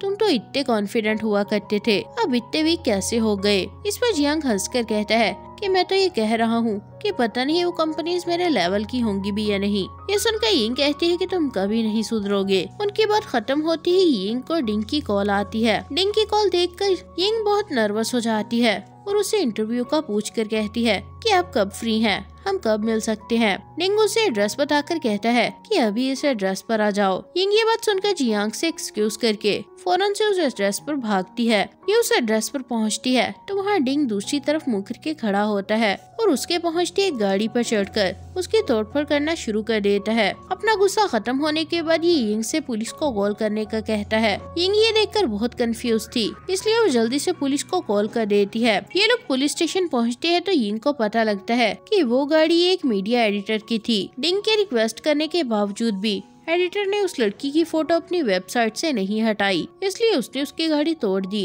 लेकिन अब दोनों में सेटलमेंट हो गई थी और दोनों एक दूसरे की बात मानने के लिए तैयार थे। सेटलमेंट के बाद डिंग और यिंग पुलिस स्टेशन से बाहर निकलते हैं। तो यिंग कहती है कि आपने मुझे इंटरव्यू के लिए बुलाया था, लेकिन आपने तो उल्टा गाड़ी तोड़ दी। डिंग ये कहता है कि मैंने तुम्हें इंटरव्यू के लिए कब बुलाया? मैंने तो बस तुमसे वहाँ आने के लिए कहा था। वैसे भी तुम तो मीडिया से हो जब जाकर हेडलाइन बना दो। कि मैंने एक एडिटर की गाड़ी तोड़ दी। यिंग कहती है कि मैं ऐसा क्यों करूँगी? मैं आपको बचपन से पढ़ रही हूँ। इसलिए मैं आपकी साइड की स्टोरी जानना चाहती हूँ। अब बताए कि क्या आप मुझे इंटरव्यू देंगे या नहीं? टिंग बिना किसी हेजिटेशन के ना बोलकर आगे बढ़ता है। तो वहाँ कुछ आदमी उससे लड़ने आ जाते हैं। ये लोग कहते हैं कि हम उस एडिटर के दोस्त हैं। तुमने जरा सी बात पर उसकी गाड़ी तोड़ दी। तुम खुद को समझते क्या हो? अब इंजाम भुगतने के लिए तैयार हो जाओ। ये सुनकर यिंग उन आदमियों को रोकने की कोशिश करने लगती है। तो डिंगो से रोककर कहता है कि तुम फ़िक्र मत करो, मैं खुद ही फाइट कर सकता हूँ। ये कहते ही वो तेज़ी से भागना शुरू कर देता है, जिस पर वो आदमी और यिंग भी उसके पीछे भागते हैं। डिंग सबको खूब भगाकर थका देता है।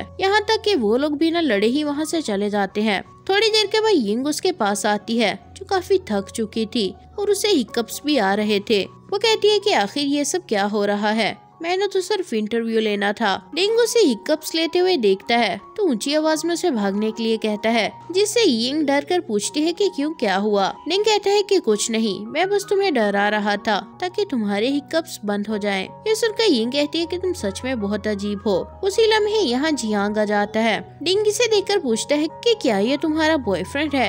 यिंग कहती है कि नहीं, ये तो मेरा बहुत अच्छा दोस्त है। ये कहकर ये उन दोनों को एक दूसरे से इंट्रोड्यूस करवाती है। यंग कहते हैं कि प्लीज़ आप इसे इंटरव्यू दे दो। ये आपकी बहुत बड़ी फ़ैन है। इसने आपकी पाँचों किताबें पढ़ी हैं। डिंग कहता है कि मैंने तो सिर्फ़ तीन किताबें लिखी। ये कहने के बाद डिंग कहता है कि मैं जा रहा हूँ। मेरा पीछा मत करना। यंग शर्मिंदा होकर उसे रोकने की कोशिश भी करती है। तो जियांग कहता है कि अगर तुमने उसे इंटरव्यू ना दिया तो तुम बहुत पछताओगे। इस पर यंग उसके मुख को बंद करके कहती है कि तुम मेरी मदद करने की बजाय मेरा काम खराब कर रहे हो। चलो अब जाओ यहाँ से। ये कहकर यिंग उसे वहाँ से ले जाती है। यंग अपनी हरकत पर थोड़ा सा तो शर्मिंदा था, इसलिए वो यिंग से कहता है कि मुझे माफ़ करना। मैंने तुम्हारी हेल्प करने की बजाय तुम्हारा काम बिगाड़ दिया। मैं तो बस तुम्हारी तारीफ़ करके डिंग को इंटरव्यू देने के लिए मनाने की कोशिश कर रहा था। इन कहती है कि चलो जो होना था हो गया। वैसे तुम बताओ कि तुम मुझे ढूंढते हुए यहाँ कैसे आ गए? यंग कहता है कि कुछ नहीं। बस जब मैंने तुम्हें खाना छोड़कर भागते हुए देखा तो समझ गया कि ज़रूर कोई अहम बात है। वरना तुम खाना छोड़कर कभी भी नहीं भाग सकती थी। ये सुनकर यंग हंस पड़ती है। और कहती है कि मुझे तंग करना बंद करो। अब ये दोनों फिर से चलते हुए घर जा रहे होते हैं। कि जियांग कहता है कि वैसे क्या तुम? अभी भी डिंग से दोस्ती करना चाहती हो। ये सुनकर यिंग कहती है कि क्या तुम्हें अभी भी मेरी इतनी पुरानी बात याद है? ये कहने के बाद उसे पुराना टाइम याद आता है। जब हैंग टियान सिटी वापस जाते हुए यांग ने यिंग की बुक पर अपने साइन करके लिख दिया था कि ये साइन दस साल बाद बहुत कीमती हो जाएँगे।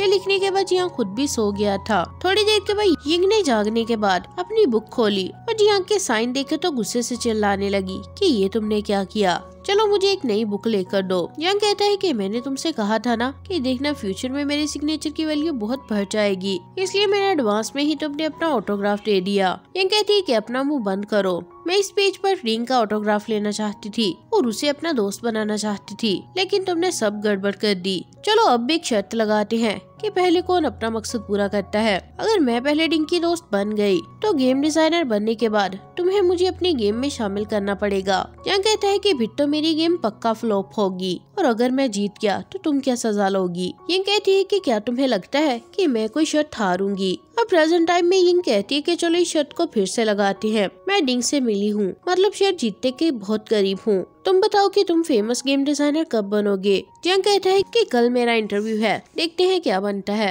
ये सुनकर यिंग इसे गुड लक विश करती है और दोनों अपने अपने घर चले जाते हैं। यिंग घर आकर यीफे को मैसेज करती है और उसे शादी की फ़ोटोज़ भी भेजती है। यिंग कहती है कि हम सबने बहुत इंजॉय किया। बस तुम्हारी ही कमी थी। अगली बार जब हम मिलेंगे तो पिछली बार की तरह फिर से कोई अच्छा सा ड्रामा देखना शुरू कर देंगे, जैसे बचपन में देखा करते थे। अगले दिन जियांग इंटरव्यू के लिए एक बहुत अच्छी कंपनी में आता है। वहाँ के लोग जियांग से काफ़ी इम्प्रेस थे और उसे जॉब पर रख लेते हैं। जियांग भी उनके आगे एक शर्त रखता है। कि वो उनके काम के साथ साथ अपनी खुद की भी एक गेम बनाना चाहता है, जिसे वो लोग एक्सेप्ट कर लेते हैं और जियांग के नए करियर की शुरुआत हो जाती है। दूसरी तरफ़ मिंग अपने ऑफ़िस में होती है कि उसके पास उसकी नई एम्प्लॉय आती है। वो काफ़ी खुश थी कि मिंग ने उसे जॉब पर रख लिया। इसलिए वो इसके लिए चॉकलेट्स भी लेकर आती है। इधर जियांग इंटरव्यू खत्म होने के बाद वापिस आने लगता है तो उसके पास उसकी सीनियर आ जाती है और उससे पूछती है कि क्या तुम भूल गए कि मैं कौन हूँ? या कहते हैं कि मुझे तो याद है, तुम चू हो।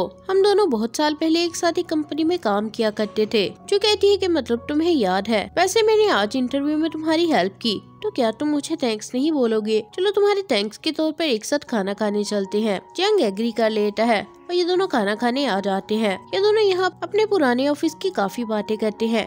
और फ्यूचर के प्लान्स को भी डिस्कस करते हैं। बाद में जूस से पूछती है कि क्या तुम्हारी कोई गर्लफ्रेंड है? इससे पहले कि जियांग जवाब देता। उसे यिंग की कॉल आ जाती है। ये उसे पूछती है कि तुम्हारा इंटरव्यू कैसा रहा? जियांग जब उसे बताता है कि उसे जो मिल गई तो यिंग बहुत ज़्यादा खुश हो जाती है और कहती है कि चलो घर में तुम्हारी कामयाबी को सेलिब्रेट करेंगे। मैं बाकी सबको भी इनवाइट कर लेती हूँ। चू जियांग और यिंग की बातें सुनकर कहती है कि मैं तुम्हारा जवाब समझ गई कि तुम्हारी गर्लफ्रेंड है या नहीं। इधर यिंग कॉल बंद करके अपने बॉस को बताती है कि वो डिंग से मिली थी। उसने अगर इंटरव्यू दिया नहीं है तो फ़िलहाल इनकार भी नहीं किया। कुछ वक्त के बाद वो डिंग को इंटरव्यू देने के लिए मना ही लेगी। सुनकर उसका बोस कहता है कि तुम्हें जो करना है जल्दी करना, क्योंकि उस इंटरव्यू और तुम्हारी परफॉर्मेंस के बाद ही डिसाइड होगा कि तुम आगे हमारे साथ काम करोगी या नहीं। ये सुनकर यिंग कहती है कि हाँ समझ गई, मुझे क्या करना है। अब यिंग रात के टाइम डिंग का पीछा करती करती बुक स्टोर आ जाती है। उसे देखकर कहते हैं कि मुझे इंटरव्यू नहीं देना। पता तुम मेरे पीछे अपना टाइम क्यों वेस्ट कर रही हो?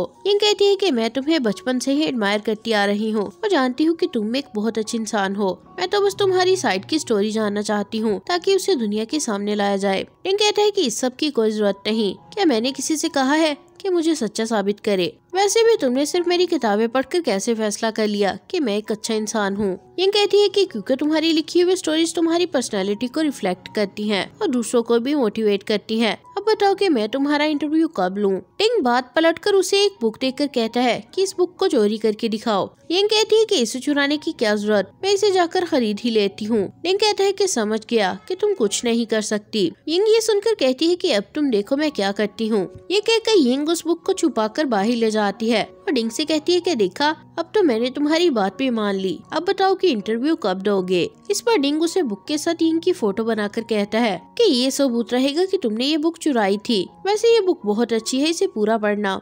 ये कहकर वो वहाँ से चला जाता है और यिंग आकर उस बुक को खरीद लेती है और अपने गलत काम को ठीक कर लेती है। दूसरी तरफ़ मिंग अपने ऑफ़िस में बैठी काम कर रही होती है कि वही नई एम्प्लॉय टोंग उसके पास आकर बैठ जाती है और उसे फास्ट फ़ूड खाता हुआ देखकर कहती है कि ये आपके लिए हेल्दी नहीं है। मैं अगली बार आपके लिए कैंटीन से अच्छा सा खाना लेकर आऊँगी। बताएँ आपको क्या पसंद है? मिंग थोड़ा इरिटेट होकर कहती है कि तुम्हें जॉब पर तुम्हारे काम से जाना जाएगा, न कि मेरे आगे पीछे घूमने से। इसलिए सिर्फ़ अपने काम पर ध्यान दिया करो, जिसके लिए तुम्हें यहाँ जॉब पर रखा गया है। ये सुनकर टोंग को थोड़ा बुरा लगता है, और वो उससे कहती कि यहाँ जॉब मिलने से पहले मुझे तीन कंपनियाँ रिजेक्ट कर चुकी थी। फिर जब मैं आपके पास आई तो आपने मेरी काबिलियत की बहुत तारीफ़ की, और मुझे जॉब पर रख लिया। मैं तो बस आपकी काइंडनेस की वजह से आपसे अच्छा बिहेव कर रही थी। ये सुनकर मिंग को भी बुरा लगता है कि उसने टोंग को बिला वजह ही डांट दिया। इसलिए ये उसे खुश करने के लिए कह देती है कि अगली बार जब मैं फ्री होंगी तो हम कैंटीन से एक साथ खाना खाएँगे। ये सुनकर टोंग भी खुश हो जाती है। अब रात को जुमान और जियांग यिंग के घर जियांग की जॉब की सेलिब्रेशन करने के लिए आए होते हैं। ये लोग बस मिंग के आने का वेट कर रहे थे। लेकिन वो टेक्स्ट करके कह देती है कि मैं बहुत बिज़ी हूँ, इसलिए नहीं आ पाऊँगी। ये जानकर उन्हें दुख लगता है कि मिंग ने आने से इनकार कर दिया। लेकिन ये खुद को सैड नहीं दिखाना चाहते थे, इसलिए खुद ही सेलिब्रेशन शुरू कर देते हैं। तभी उनके घर पावर कट हो जाता है। इस तरह अचानक से पावर कट देख कर यिंग को पहले का टाइम याद आने लगता है, जब तीनों लड़कियों के फेवरेट ड्रामा का लास्ट एपिसोड एयर होने वाला था। तीनों स्कूल से जल्दी घर भाग आती हैं, ताकि जल्दी से ड्रामा देख सके। लेकिन घर में तीनों लड़के पहले से ही बैठे वीडियो गेम खेल रहे थे। तीनों लड़कियाँ उनसे टीवी उनके हवाले करने का कहती हैं, जिसको मानने से तीनों लड़के साफ़ साफ़ इनकार कर देते हैं। यंग उन्हें धमकाने के लिए टीवी का प्लग निकालने की धमकी देती है। इससे पहले की यंग प्लग निकालती पावर खुद ही कट हो जाता है, जिस पर ये सब लोग परेशान हो जाते हैं कि टीवी किसी के पास भी नहीं रहा। तीनों गर्ल्स को जो भी हो जाए, अपने फेवरेट ड्रामा की एंडिंग देखनी थी। इसलिए ये लोग शहर से बाहर किसी रेस्टोरेंट में जाकर ड्रामा देखने का फैसला करती हैं।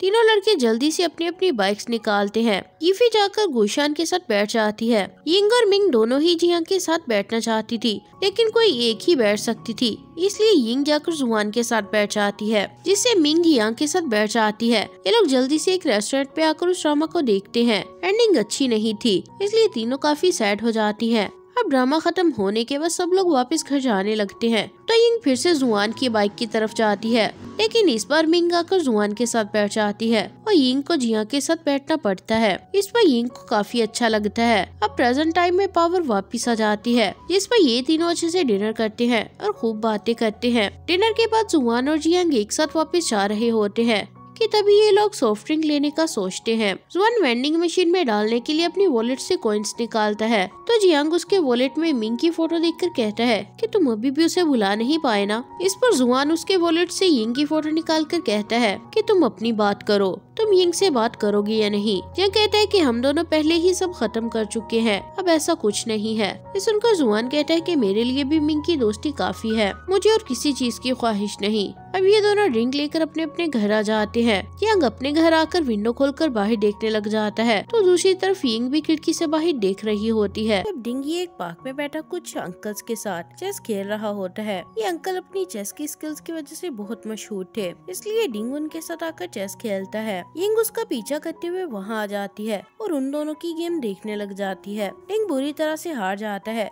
लेकिन खुशी खुशी अपनी हार एडमिट करके वहाँ से उठ जाता है। यंग भी उसके पीछे आकर उससे कहती है कि, अंकल तो चेस के मामले में बहुत स्किलफुल हैं। भला तुम्हें उनको चैलेंज करने से क्या मिला? तुम्हें तो उसके बारे में कुछ मालूम भी नहीं है। हर किसी में अपनी अपनी क्वालिटीज होती हैं। तुम्हें बस अपने आप पर ध्यान देना चाहिए। ये सब सुनकर डिंग कहता है कि, तुम्हें मुझसे क्या लेना देना वैसे भी मैं तुम्हें बता चुका हूँ। कि मुझे इंटरव्यू नहीं देना है। इसलिए मेरे पीछे आना बंद कर दो। यिंग कहती है कि मैं तुम्हारा इंटरव्यू सिर्फ़ तुम्हारे लिए ही नहीं लेना चाहती। इसमें मेरा भी एक फ़ायदा है। वो ये कि मैं तुम्हें और ज़्यादा अच्छे से जानना चाहती हूँ। यिंग कहता है कि तुम्हें मुझे जानने की क्या ज़रूरत? यिंग कहती है कि तुम ऐसे कैसे बोल सकते हो? तुम्हारी किताबों ने पता नहीं कितने लोगों को हिम्मत दी और ज़िंदगी की मुश्किलों से लड़ना सिखाया। एक बार जब मैं भी हिम्मत हार गई थी तो तुम्हारे लेटर ने मुझे फिर से लड़ने की हिम्मत दी। ये कहकर यिंग उसे उसका लिखा हुआ एक लेटर निकाल कर दिखाती है। अब यिंग को याद आता है कि जब वो स्कूल में थी, एक बार उसके बहुत बुरे मार्क्स आए थे।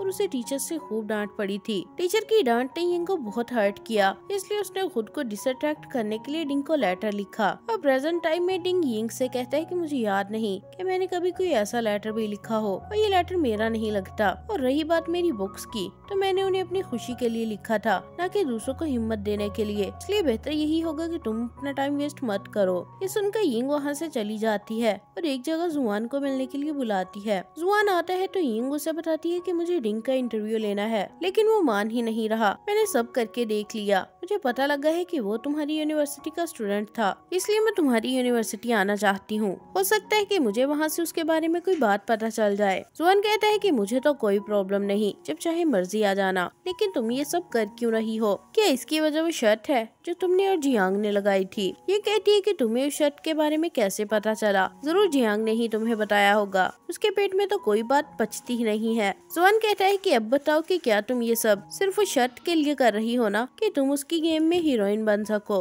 ये कहते है कि मैं ऐसा कुछ नहीं करना चाहती। वैसे भी अब उसकी एक गर्लफ्रेंड भी है। इस पर जुआन हंस कर कहता है कि चलो मैं तुम्हें एक सीक्रेट बताता हूँ। ये कहती है कि कौन सा सीक्रेट तुम जल्दी बताओ क्या बात है? वन उसे तंग करने के लिए कोई बात ही नहीं करता। तो यंग उसकी खामोशी से चिढ़कर कहती है कि तुम बड़े बुरे हो। या तो तुम मुझे कहते ही ना कि कोई सीक्रेट है। और अगर अब बता दिया है तो जल्दी से बता दो कि क्या बात है। इस पर जुआन कहता है कि अच्छा ठीक है, मैं बताता हूँ। दरअसल शादी वाले दिन हमारी मॉम्स बाकी सबकी भी शादी करवाने के लिए इतनी एक्साइटेड थी कि जियांग को खुद को बचाने के लिए झूठ बोलना पड़ा कि उसकी एक गर्लफ्रेंड है। ये सुनकर ये खुश होकर कहती है कि उसने अच्छा किया, जो खुद को बचा लिया, वरना वो भी हमारी तरह किसी ब्लाइंड डेट पर पहुँचा होता। ये बात जानने के बाद अब तो मैं इस शर्त को जीतने के लिए और भी बेचैन हूँ। इधर दूसरी तरफ़ काम खत्म करके जियांग मिंगयू से मिलने आता है। ये दोनों रेस्टोरेंट में होते हैं। जियांग मिंग से कहते हैं कि, तुम ही खाना ऑर्डर कर दो। मैं सब कुछ खा लूँगा। ये सुनकर मिंग कहती है कि तुम कितने बदल गए हो। बचपन में तो तुम सबसे पहले मेन्यू पकड़ते थे और ऑर्डर करते थे। अब तुम मुझे ऑर्डर करने का बोल रहे हो। जंग कहते हैं, शायद ऐसा करता हूँ मुझे तो कुछ भी सही से याद नहीं है। मिंग कहती है कि, लेकिन मुझे तो सब याद है। यिंग पिकी ईटर थी। उसे बहुत कम खाना पसंद आता था। इसलिए तुम खुद से उसकी पसंद का खाना ऑर्डर कर देते थे। सुनकर जिया कहते हैं कि, दरअसल मुझे तुमसे इसी बारे में कुछ पूछना था। कल जब हम सब यिंग के घर डिनर पर आए थे तो तुम क्यों नहीं आई थी? क्या पिछले कुछ सालों में तुम दोनों के दरमियान कुछ हुआ, जिसके बारे में किसी दूसरे को नहीं पता? मैं कहती है कि हम तो बचपन से ही ऐसे थे। तुमने पहले कभी गौर नहीं किया होगा। ये सब सुनकर जिया कहता है कि मुझे सच में नहीं पता कि तुम दोनों के दरमियान क्या हुआ। लेकिन मैं तुम्हें और यिंग को बहुत अच्छे से जानता हूँ। तुम दोनों पहले ऐसी बिल्कुल भी नहीं थी। शादी पर भी यिंग हम सबको साथ में देखकर बस इतना ही चाह रही थी कि हम सब पहले जैसे दोस्त बन जाएँ। ये सब सुनकर मिंग गुस्से में कहती है कि हमें क्यों पहले की तरह दोस्त बनना है। तुम्हें क्या लगता है? हर चीज़ को बर्दाश्त करना आसान होता है कि जब चाह दिल से लगा लिया और जब चाहे भुला दिया। कई बार कुछ बातें ऐसी भी हो जाती हैं जिनके बाद पहले की तरह रहना नामुमकिन हो जाता है। ये कहने के बाद मिंग उसे बताती है कि जब जियांग यूके में था तो बाकी सभी स्टडीज़ के लिए दूसरे शहरों में चले गए थे। एक बार सब लोग एक ही साथ अपनी अपनी यूनिवर्सिटी से वापस आ गए। मिंग उस टाइम पर एक लड़के को डेट कर रही थी। मिंग की मोम उसके रिलेशनशिप के बारे में सुनकर कहती है कि मुझे बहुत खुशी है कि तुम्हारा कोई बॉयफ्रेंड भी है, लेकिन मैं सिर्फ़ एक बात के लिए परेशान हूँ कि पता नहीं तुमने अपने लिए अच्छा लड़का पसंद किया भी है या नहीं। मैं तो बस तुमसे इतना ही कहूँगी कि तुम अपने लिए बस एक अच्छा सा लड़का पसंद करना, क्योंकि वही तुम्हारा फ्यूचर होगा। मिंग अपनी मोम की बात समझ जाती है। इधर यिंग के पेरेंट्स भी उसे वापस देखकर बहुत खुश थे। वो यिंग से कहते हैं कि मिंग और जुआन भी वापस आए हुए हैं। क्यों ना तुम सबको इनवाइट करो। और सब एक साथ डिनर करें। इस तरह सबको बहुत अच्छा लगेगा और पुरानी यादें भी ताज़ा हो जाएँगी। यिंग कहती है कि हाँ मैं सबको इनवाइट कर लूँगी। अब अगले दिन यिंग जुआन और अपनी मोम के साथ मार्केट को सामान लेने जाती है। तभी उसकी नज़र मिंगी और उसके बॉयफ्रेंड पर पड़ती है। यिंग उसके बॉयफ्रेंड को देखती है तो उसे याद आता है कि अभी कल ही उसने इस लड़के को किसी दूसरी लड़की के साथ देखा था और लड़की इसे चीटर बोल रही थी और इसे झगड़ा भी कर रही थी। ये देख कर यिंग को बुलाती है और उसे अकेले में ले जाकर सारी बात बताती है। मिंग का यिंग की बात सुनकर बहुत गुस्सा आता है और वो कहने लगती है कि जब मैं पढ़ने के लिए दूसरे शहर जाने वाली थी तो मैंने खुद से प्रॉमिस किया था कि मैं पास्ट को पीछे छोड़ जाऊँगी और मैंने वैसा ही किया। न सिर्फ़ मैं, बल्कि मेरे साथ बाकी सब भी आगे बढ़ गए अपनी अपनी ज़िंदगी की नई शुरुआत कर ली। लेकिन तुम हो कि अभी भी पास्ट में अटकी हुई हो। मैं तुमसे इतनी देर बाद मिली हूँ। और तुम सबसे पहली बात यही कर रही हो कि मेरा बॉयफ्रेंड लॉयल नहीं है। क्या तुम्हें नहीं लगता कि ये सुनकर मेरा कॉन्फिडेंस लूज होगा? ये सब सुनकर यिंग को बहुत दुख लगता है और वो रोती हुई वहाँ से चली जाती है। इसके बाद मिंग उसी वक्त अपने बॉयफ्रेंड से ब्रेकअप कर लेती है और वो भी रोते हुए वहाँ से चली जाती है। अब प्रेजेंट में मिंग जियांग से ये सब कहकर बोलती है कि तब से लेकर आज तक मेरा और यिंग का रिश्ता ठीक नहीं हुआ। लेकिन उसका मतलब ये नहीं कि हम दोनों का प्यार खत्म हो गया। बस मैं अब अपनी ज़िंदगी अपनी मर्ज़ी से जीना चाहती हूँ। इस पर जियांग बस उसकी बात से एग्री कर जाता है। अगले दिन यंग जुआन की यूनिवर्सिटी आती है। जुआन का दोस्त उसे पिक करता है और उसे जुआन के सेमिनार ले जाता है, जहाँ जुआन को उसके मेंटोर से खूब डांट पड़ रही होती है। यंग उसके मेंटोर की बातें बहुत गौर से सुनती है। उन्होंने समझने की कोशिश भी करती है। सेमिनार खत्म होते ही यिंग जुआन और तियान की साथ कैफेटेरिया आ जाती है। जुआन कॉफ़ी लेने जाता है। तो तियान यिंग से कहता है कि जुआन अपने दिल में बहुत अरसे से कुछ छुपा रहा था, लेकिन उसका रूममेट होने के नाते मुझे पता चल गया कि ज़रूर किसी लड़की का मामला है। अब आपको देखने के बाद यकीन हो गया कि हाँ लड़की का ही मामला था और वो लड़की आप हो। उसने आपके लिए एक ब्रेसलेट लिया हुआ है, जिसे वो हर रोज देखता है और उसे साफ़ भी करता है। और अब मुझे अंदाज़ा हो गया कि वो इस यूनिवर्सिटी में भी आपकी वजह से ही आया था। क्योंकि उसके इतने अच्छे मार्क्स की वजह से तो उसे किसी भी अच्छी यूनिवर्सिटी में एडमिशन मिल जाना था। फिर वो बोला, इस यूनिवर्सिटी में क्यों आया? ये सब सुनकर यिंग कुछ सोचने लग जाती है। अब जैसे ही जुआन कॉफ़ी लेकर आता है टिया ने अपनी कॉफ़ी लेकर वहाँ से चला जाता है। यंग जुआन से कहती है कि, तुमने तो मिंग के लिए एक ब्रेसलेट लेकर रखा हुआ था और तुमने अपनी पसंद न होने के बावजूद इसी यूनिवर्सिटी में एडमिशन लिया ताकि मिंग के पास रह सको। अगर तुमने इतना सब कुछ किया ही है। तो एक बार उसे अपने दिल की बात तुम क्यों नहीं बता देते? अगर कल को उसकी शादी हो गई तो तुम्हें क्या पछतावा नहीं होगा कि तुमने अपने दिल की बात उसे नहीं बताई? तुम अभी बचपन की तरह हो। तुम्हारे चेहरे में साफ़ नज़र आता है कि तुम्हारे दिल में क्या है। ये सुन जुवान उसकी तरफ़ देख कर स्माइल करता है और उन दोनों को बचपन का टाइम याद आने लगता है। जब जियांग मिंग, जुआन और यिंग स्कूल के बाद एक साथ बैठे खाना खा रहे थे। यिंग जियांग और मिंग यू को एक साथ देखकर थोड़ी अपसेट थी। इसलिए वो खाना खत्म होने के बाद जियांग से कहती है कि मुझे अभी घर नहीं जाना। तुम लोग चले जाओ। ये सब सुनकर बाकी सब वहाँ से जाने लगते हैं। तो यिंग जुआन को पकड़कर अपने पास बिठा लेती है और बाकी सबको जाने का बोल देती है। जुआन यिंग का रवैया देख कर डर जाता है और उसे दूर होकर बैठ जाता है। यिंग कहती है की तुम इतनी दूर जाकर क्यों बैठ गए हो? जुआन डरते हुए कहता है की दरअसल मैं किसी और को पसंद करता हूँ, इसलिए तुम मेरा पीछा छोड़ दो। ये सुनकर यिंग कहती है कि तुम्हें किस पागल ने कहा कि मैं तुम्हें पसंद करती हूँ? तुम्हें इतना कॉन्फिडेंस दिया किसने? जुआन कहता है कि अच्छा अगर तुम मुझे लाइक नहीं करती तो और किसे करती हो? इस पर यिंग के मुँह से जियांग का नाम निकल जाता है। दोनों जुआन और यिंगजी अपने बचपन की याद करके हंसने लगते हैं। जब जुआन को गलत फहमी हो गई थी कि यिंग उसे लाइक करती है? अब यिंग कहती है कि बचपन में हम सब कितने सादा थे, किसी चीज़ की परवाह नहीं थी। लेकिन अब देखो छोटी छोटी बात की परवाह करते हैं। इसलिए मैं तुमसे कहूँगी कि मिंगयू से अपने दिल की बात कह दो,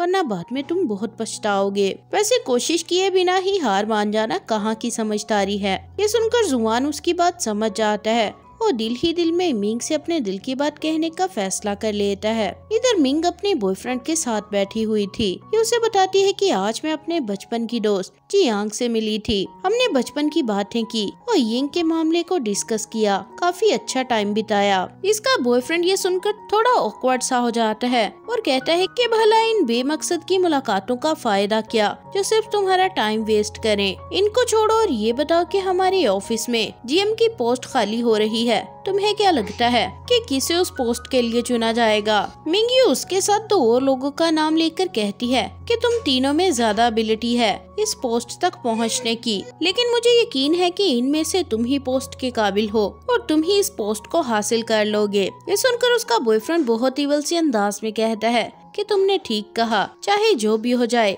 मैं ही जीतूँगा। चाहे उसके लिए मुझे कुछ भी क्यों ना करना पड़े। ये कहकर वो चला जाता है और मिंगी उसके अजीब बर्ताव पर थोड़ी हैरान हो जाती है। दूसरी तरफ़ जियांग, यिंग को कॉल करता है और उससे पूछता है कि क्या तुम मेरे साथ इस बार न्यू ईयर काउंटडाउन देखने चलोगी या नहीं? यिंग कहती है कि मैं भी तुम्हें कॉल करके यही पूछने वाली थी। तुम्हें याद है कि एक बार स्कूल टाइम में हम सबने साथ मिलकर काउंटडाउन देखा था और गिफ्ट एक्सचेंज किए थे। मैं दिल से चाहती हूँ कि हम एक बार फिर से उसी तरह करें। जंग कहता है कि हाँ मैं भी बिल्कुल ऐसा ही चाहता हूँ। अगले दिन यिंग शहर में मौजूद अपने तीनों दोस्तों को न्यू ईयर साथ में सेलिब्रेट करने के लिए इनवाइट कर देती है। मिंग उसे फ़ौरन से कह देती है कि मुझे काम है, तुम लोग इंजॉय करना। यिंग को ये सुनकर थोड़ा बुरा लगता है, लेकिन वो मिंग से जिद नहीं करती। इधर मिंग अपने बॉयफ्रेंड से कहती है कि आज न्यू ईयर है, चलो उसी रेस्टोरेंट में चलते हैं, जहाँ हमारी पहली डेट थी। इस पर उसका बॉयफ्रेंड कहता है कि मुझे एक ज़रूरी काम से बाहर जाना है, तुम घर रहकर मेरा वेट करना। ये सुनकर मिंगयू यिंगजी को फिर से टेक्स्ट कर देती है कि मेरा प्लान बदल गया। अब मैं आ जाऊँगी। ये सुनकर यिंग के चेहरे पर स्माइल आ जाती है।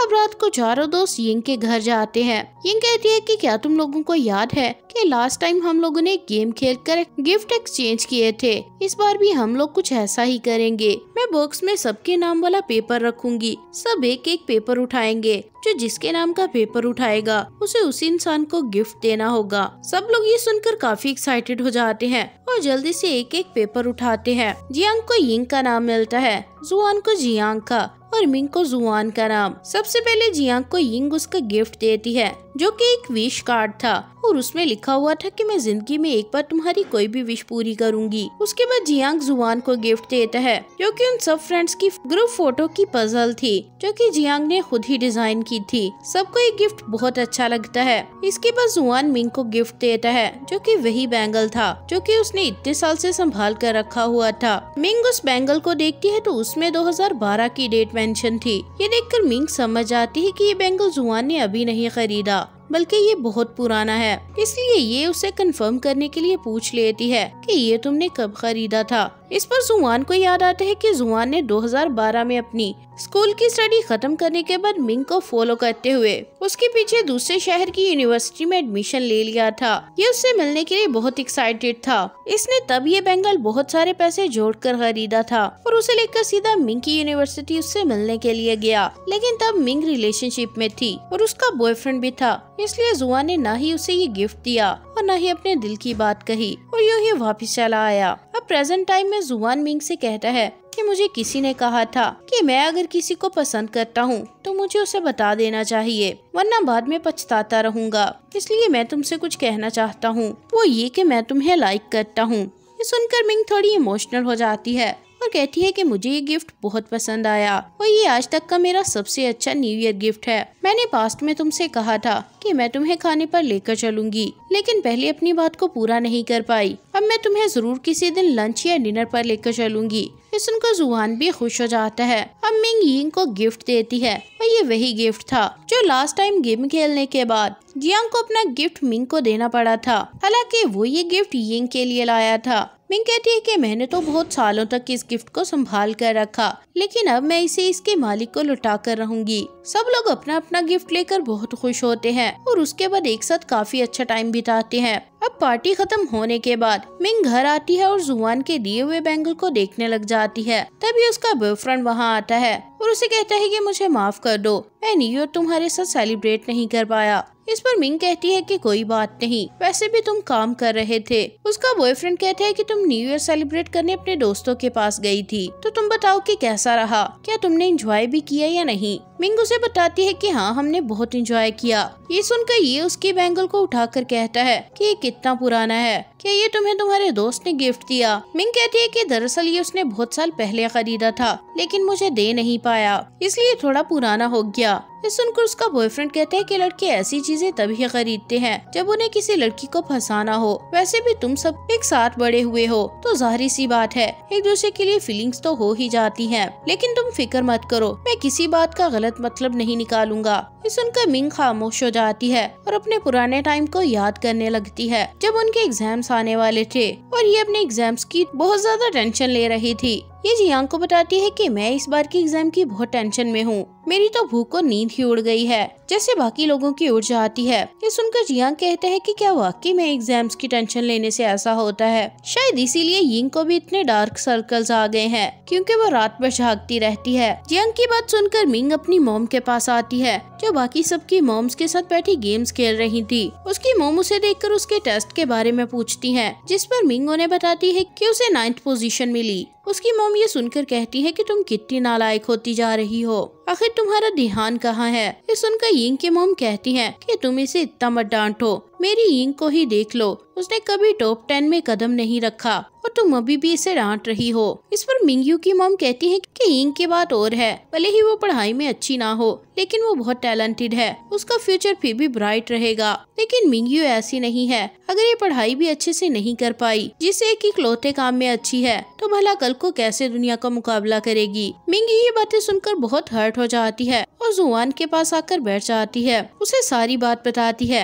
इस पर जुआन उससे कहते हैं कि तुम बिल्कुल भी आम लड़की नहीं हो, बस फ़िलहाल अपने टैलेंट को पहचानो। जब पहचान लो तो सबसे औसम बन जाओगी। जुआन के वर्ड्स मिंगयू की काफ़ी हेल्प करते हैं और उसका मूड भी ठीक हो जाता है। और प्रेजेंट टाइम में मिंग उस बैंगल को पहन लेती है और उसे देखकर स्माइल भी करती है। दूसरी तरफ़ चियांग और यिंग एक साथ पार्क में वॉक कर रहे होते हैं। यिंग उसे बताती है कि मैं अभी तक डिंगी का इंटरव्यू नहीं ले पाई, और वैसे भी अब वो वो वाला डिंग नहीं रहा। अब वो काफ़ी बदल गया है। जंग कहते हैं कि तुम्हें कैसे पता कि वो बदल गया? तुम कौन सा उससे पहले कभी मिली थी? तुमने तो बस उसकी पर्सनैलिटी इमेजिन की थी। ये सुनकर यिंग कहती है कि नहीं, मुझे पता है कि वो बहुत अच्छा इंसान था। उसने एक बार मुझे लेटर भी लिखा था। जब मैं बहुत डाउन फील कर रही थी, ये सुनकर जियांग को याद आता है कि दरअसल वो लेटर जियांग ने ही डिंग के नाम से उसे लिखा था, क्योंकि जियांग को यकीन था कि डिंग यिंग को उसके लेटर का जवाब नहीं देगा, इसलिए उसने खुद ही उस लेटर लिख दिया। और यिंग को बहुत ज़्यादा खुश कर दिया। लेकिन जियांग अभी भी यिंग को ये सच नहीं बताता और उसे ऐसे ही खुश रहने देता है। अब ये लोग अपने अपने घर जाने लगते हैं। तो जाने से पहले जियांग कहता है कि मैं तुम्हें न्यू ईयर विश करना तो भूल ही गया। वो उसे हैप्पी न्यू ईयर बोलता है। ये सुनकर यिंग भी उसे विश करती है। इस तरह ये कुछ देर एक दूसरे को देखते हैं। और फिर अपने अपने घर की तरफ़ चल पड़ते हैं। टिंगी से होता है, जो एक लाइब्रेरी में किसी आदमी के साथ खड़ा था। ये आदमी उसे एक रीडर क्लब बनाने का कहता है और उसे कहता है कि मुझे मालूम है कि तुम्हें ज़्यादा भीड़ और अनजान लोग पसंद नहीं, इसलिए मैं इस क्लब में सिर्फ़ तुम्हारे सबसे बड़े फ़ैन और कुछ जानने वाले लोगों को ही रखूँगा। ये सुनकर डिंगी उसे क्लब बनाने की इजाज़त दे देता है और कहता है कि मीडिया को भी वहाँ इनवाइट मत करना। वो आदमी इस बात से एग्री करके वहाँ से चला जाता है। अब डिंग यहाँ अकेला रह गया था तो बुक्स को देखने लग जाता है। ये शेल्फ पे पड़ी एक बुक को देखता है तो उसे येंगजी की याद आने लगती है। ये काफ़ी देर तक यिंग के बारे में सोचता है और फिर स्माइल करने लग जाता है। कुछ पल के बाद ये पीछे मुड़कर देखता है तो वहाँ यिंग खड़ी उसकी तरफ़ देखकर स्माइल कर रही थी। ये भी उसकी तरफ़ देखकर स्माइल करता है। और दोनों एक साथ आकर बैठ जाते हैं। यिंग उसके पास आकर कहती है कि इस बार मैं तुम्हें इंटरव्यू देने के लिए मनाने नहीं आई, बल्कि तुम्हारी दोस्त बनने आई हूँ। ये कहने के बाद ये दोनों एक रेस्टोरेंट में आ जाते हैं। यिंग कहती है कि मुझे ये रेस्टोरेंट बहुत पसंद है, इतना कि मैं इसके बारे में किसी को बताती भी नहीं, लेकिन तुम स्पेशल हो, इसलिए मैं तुम्हें बता रही हूँ कि यहाँ की फ़िश ट्राई करो, वो बहुत अच्छी है। वैसे भी तुमने तो सुना ही होगा कि हर किसी का एक दोस्त ऐसा ज़रूर होता है जिसने उसे कुछ अच्छा इंट्रोड्यूस करवाया हो। हो सकता है मैं तुम्हारी वही दोस्त हूँ। ये सुनकर डिंगी कहता है कि ठीक है, अब मैं तुम्हारी बताई डिश ट्राई ही नहीं करूँगा। यिंग थोड़ा तंग आकर कहती है कि तुम्हारा दोस्त बनना बहुत मुश्किल है। डिंग कहता है कि इसीलिए मुझे दोस्त बनाना बिल्कुल पसंद नहीं, क्योंकि दोस्त बनने के लिए एक जैसा होना ज़रूरी है। यिंग कहती है कि तुम्हारा ये ख्याल गलत है, क्योंकि दोस्त बनने के लिए ज़रूरी नहीं कि आप एक जैसे हों। ज़रूरी ये है कि आप एक साथ टाइम कैसे स्पेंड करते हैं। टिंग ये बात सुनकर चुप हो जाता है और खाना ऑर्डर करने के लिए मेन्यू देखता है। तभी उस रेस्टोरेंट में एक पर्सन कुछ सामान लेने आता है। यिंग उसे देखती है तो फ़ौरन से उसके पीछे जाती है। लेकिन वो आदमी पहले से ही वहाँ से चला गया था। ये आदमी यीफे के डैड थे। उन्हें देख कर यिंग को याद आता है कि कैसे पास्ट में यीफे के डैड जोबलेस हो गए थे और उन पर बहुत ज़्यादा कर्ज भी था। एक बार तो कर्ज लेने वाले आदमियों ने यीफे के डैड को आकर मारा भी था। तब यिंग के डैड ने आकर उनकी लड़ाई रुकवाई। यीफे के डैड के हिस्से के पैसे देकर उनका कर्ज उतारा। ये सब याद आने के बाद यिंग जियांग को मिलने के लिए बुलाती है और बताती है कि मैंने आज यीफे के डैड मिस्टर लैनबिन को देखा। मैं चाहती हूँ कि तुम उनको ढूँढने में मेरी हेल्प करो, ताकि हम यीफे से उन्हें मिलवा सके। जंग कहता है की ये शहर तो बहुत बड़ा है। ऊपर से हमारे पास उनकी कोई फ़ोटो भी नहीं, इसलिए ढूंढना तो काफ़ी मुश्किल होगा। मुझे भी उनका चेहरा अच्छे से याद नहीं है। आखिरी बार मैंने उन्हें टेंथ ग्रेड में देखा था। ये कहने के बाद उन्हें वो टाइम याद आता है, जब मिस्टर लेनबिन यीफे और अपनी वाइफ को छोड़कर चले गए थे। दरअसल यीफे के डैड को गैम्बलिंग की आदत थी। वो सारा पैसा उसी काम में उड़ा देते थे। यीफे की मोम पार्लर चलाकर घर का गुजारा किया करती थी। के डैड ने मिस्टर लैनबिन को उन सब कामों से हटाने की बहुत कोशिश भी की थी और उन्हें अपनी फैक्ट्री में ड्राइवर रख लिया था, ताकि वो ये काम करें। और गैम्बलिंग से दूर रहे। यीफे अपने डैड की जॉब से काफ़ी खुश थी और उसे उम्मीद थी कि अब आहिस्ता आहिस्ता उनके घर में सब ठीक हो जाएगा। यीफे मिंग के साथ बाज़ार आती है। उसे अपने डैड के ग्लव्स लेने थे ताकि सर्दी में ड्राइविंग करते हुए उन्हें ठंड ना लगे। यीफे को एक ग्लव्स का पेयर बहुत अच्छा लगता है, लेकिन उसकी कीमत तो बहुत ज़्यादा थी। यीफे की मदद करने के लिए मिंग भी खुद से उसे पैसे देती है, लेकिन अभी भी पैसे बहुत कम थे। इसलिए ये लोग ग्लव्स लिए बिना ही वहाँ से जाने लगती हैं। तो वहाँ यिंग आ जाती है। ये अपने से पैसे देती है और तीनों पैसे मिलाकर वो ग्लव्स खरीद लेती हैं। दूसरी तरफ़ यिंग कैडेट मिस्टर लैनबिन के साथ गाड़ी में बैठे घर आ रहे होते हैं। यिंग कैडेट के पास बहुत सारी कैश थी, जो की उन्हें अपने एम्प्लॉयज़ को सैलरी में देनी थी। ये रास्ते में जुआन की शॉप पर रुकते हैं। यिंग कैडेट शॉप में जाकर कुछ ड्रिंक्स लेते हैं। उन्हें देखकर जुआन की मोम कहती है कि मुझे आपसे कुछ बात करनी है। दरअसल लैनबिन ने मेरी शॉप से काफ़ी उधार लिया है, जिससे बहुत सारे पैसे बनते हैं। मैं जानती हूँ कि उनके हालात ठीक नहीं। लेकिन मुझे भी काम चलाना है। मैं भी अकेली अपने बेटे को पाल रही हूँ। ये सुनकर यिंग के डैड कहते हैं, क्या फ़िक्र ना करो। उसका जितना भी कर्ज है मैं रात तक चुका दूँगा। बस आप किसी से बात मत करना खास तौर पर यीफे से। वो बेचारी अभी बच्ची है। इस तरह की बातें उसे परेशान करेंगी। ये कहकर ये वापस अपनी गाड़ी की तरफ़ आते हैं। तो वहाँ मिस्टर लैनबिन और कैश दोनों ही नहीं थे। यानी लैनबिन पैसे चुरा कर भाग गए। दूसरी तरफ़ तीनों लड़कियाँ बैठी काम कर रही होती हैं। यिंग यीफे के हाथ में ग्लव्स देखकर कहती है कि मेरे डैड हमेशा कहा करते थे कि बेटियाँ अपने बाप को हमेशा सुकून देती हैं और तुम्हें देखकर यकीन हो गया कि वो बिल्कुल सच कहते थे। ये सुनकर यीफे कहती है कि ये ग्लव्स तो हम तीनों ने मिलकर खरीदे। यानी हम तीनों बेटियों ने मिलकर उन्हें सुकून दिया। ये अभी अपनी बात पर ही होती है कि यिंगजी के परेशानी में वहाँ भागे भागे आते हैं। वो यीफे से पूछते हैं कि क्या उसे अपने डैड के बारे में कुछ पता है कि वो कहाँ है? यीफे और बाकी ये सब सुनकर बहुत परेशान हो जाती हैं और सब लोग मिलकर उसके डैड को ढूँढने लग जाते हैं। रात को यिंग को कुछ क्लू मिलता है कि डैड कहाँ है, इसलिए ये सबको उस जगह बुलाती है। सब लोग वहाँ जल्दी से पहुँचते हैं उस वक्त बारिश बहुत तेज हो रही थी और मौसम भी बहुत ज़्यादा खराब था। सब लोगों की कोशिश थी कि उन्हें जल्दी से मिस्टर लैन मिल मिल जाए। आखिरकार उन्हें यिंगजी की बताई हुई जगह पर मिस्टर लैन मिल जाते हैं, जो अपना सामान पैक करके गाड़ी में रख रहे थे। यीफी अपने डैड को देखकर जल्दी से उनके पीछे भागती है और उन्हें रोकने की कोशिश करती है,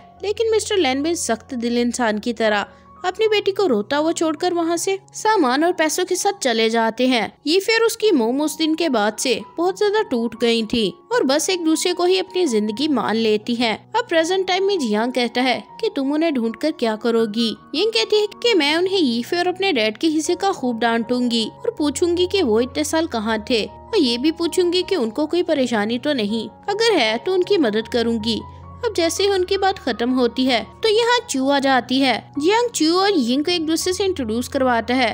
दोनों बहुत अच्छे से एक दूसरे से मिलती हैं। फिर यिंग वहाँ से चली जाती है और घर आकर यीफे को सारी बात टेक्स्ट करती है। यीफे उससे कहती है कि, तुम्हारा थैंक्स कि तुमने मेरे लिए इतना कुछ किया, लेकिन तुम्हें मेरे डैड को ढूँढने में ज़्यादा मेहनत करने की ज़रूरत नहीं है। जब वो गए थे तो शुरू शुरू में मुझे बहुत तकलीफ़ हुई थी, लेकिन अब मैं सब भूल गई हूँ।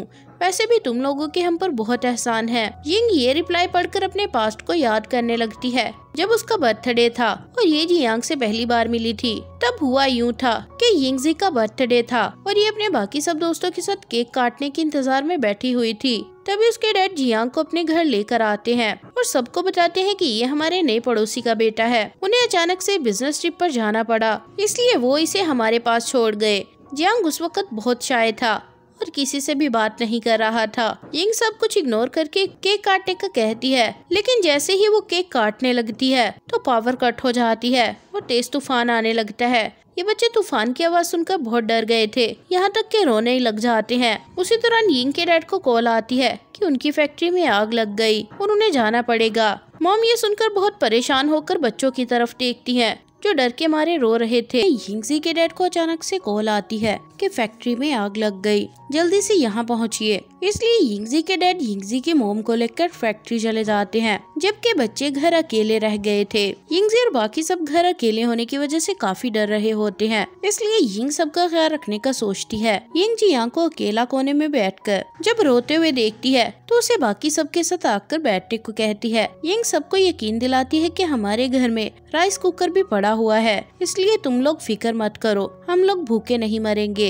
इसके बाद यिंग सबको बर्थडे सॉन्ग गाने का कहती है। ये सोच करके शायद इससे सबका डर खत्म हो जाए। अब प्रेजेंट टाइम में जियांग यीफे के डैड की पोर्ट्रेट बनाकर लेकर आता है, जिसे देखकर यिंग खुश हो जाती है और उसे सारे शहर में लगा देती है। पोस्टर्स को शहर में लगाते हुए यिंग जियांग को बताती है कि मैं डिंगी को अपना दोस्त बनाने में भी कामयाब होने वाली हूँ। वो बहुत जल्दी मेरा दोस्त बन जाएगा। अब अगले दिन यिंग डिंग को एक पार्क में मिलने बुलाती है। उस पार्क में एक ओल्ड लेडी डिंग को ब्लाइंड डेट के लिए इनवाइट करती है, जिस पर यिंग की तो हँसी छूट जाती है। इसके बाद डिंग लाउड स्पीकर पकड़ता है और लव पॉइंट्स पढ़ने लग जाता है। पार्क की पब्लिक को इसकी पॉइंट्स बहुत अच्छी लगती हैं। डिंग बाकी की पॉइंट्स पढ़ने के लिए यिंग को बुलाता है। यिंग पहले तो शर्मा जाती है, लेकिन फिर उसे याद आता है कि एक बार उसने इसी तरह स्कूल में भी स्पीच दी थी, जिसके बाद उसे कॉन्फिडेंस मिलता है और वो पॉइंट्स पढ़ने लग जाती है, जिस पर डिंग के साथ बाकी सभी उसे बहुत इम्प्रेस हो जाते हैं। इसके बाद डिंग और यिंग साथ में वॉक कर रहे होते हैं तो उसे रोड साइड पर प्लांट्स की शॉप नज़र आती है। उसे देखकर उसे वो टाइम याद आता है, जब बचपन में ये सब मिलकर पौधे उगा रहे थे।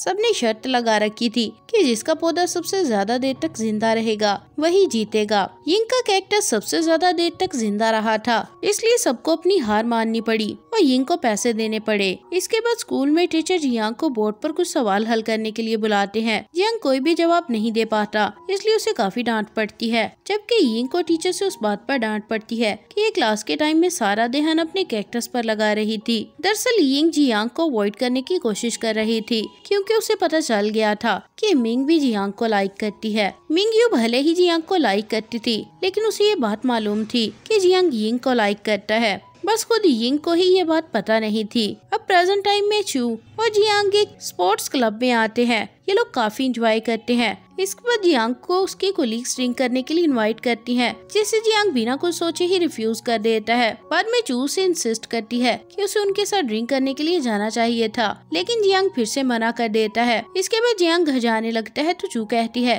कि मुझे भी तुम्हारे घर जाना है। दरअसल मुझे तुमसे तुम्हारे काम के मटेरियल की कॉपी चाहिए। सुनकर जियांग उसे अपने साथ ले जाता है। घर पहुंचकर चू उसके साथ काम करने के रिलेटेड काफ़ी बातें करती है और उसे बाकी लोगों के साथ घुलने मिलने का भी कहती है। चू बातें किए जाती है, जबकि जियांग यिंग के भेजे कैक्टस की फ़ोटो देखकर स्माइल ही किए जा रहा था। और चू की बातों को इग्नोर कर रहा था। इसके बाद जियांग टाइम देखता है तो रात काफ़ी हो चुकी होती है। ये चू से अब घर जाने का कहता है, लेकिन चू न जाने का बहाना बनाते हुए कहती है कि मुझे भूख लगी है। ये सुनकर जियांग उसके लिए किचन से कुछ लेने के लिए जाता है। तभी उसे यिंग का मैसेज आता है कि क्या तुम उस कैक्टस को भूल गए हो या तुम सो गए हो? जियांग उस कैक्टस की फ़ोटो का मतलब नहीं बताता। तो यिंग उसे वीडियो कॉल कर देती है। ये देखकर चू जल्दी से आकर यिंग को हाय बोलती है और उसे बताती है कि आज मैं जियांग के घर पर हूँ। यिंग को ये देखकर अच्छा नहीं लगता। इसलिए वो जल्दी से काल बंद कर देती है और याद करने लगती है कि जब उसे मालूम हुआ था कि जियांग मिंग को लाइक नहीं करता तो उसने कई बार जियांग से अपनी फीलिंग्स के बारे में कन्फेस करने की कोशिश की।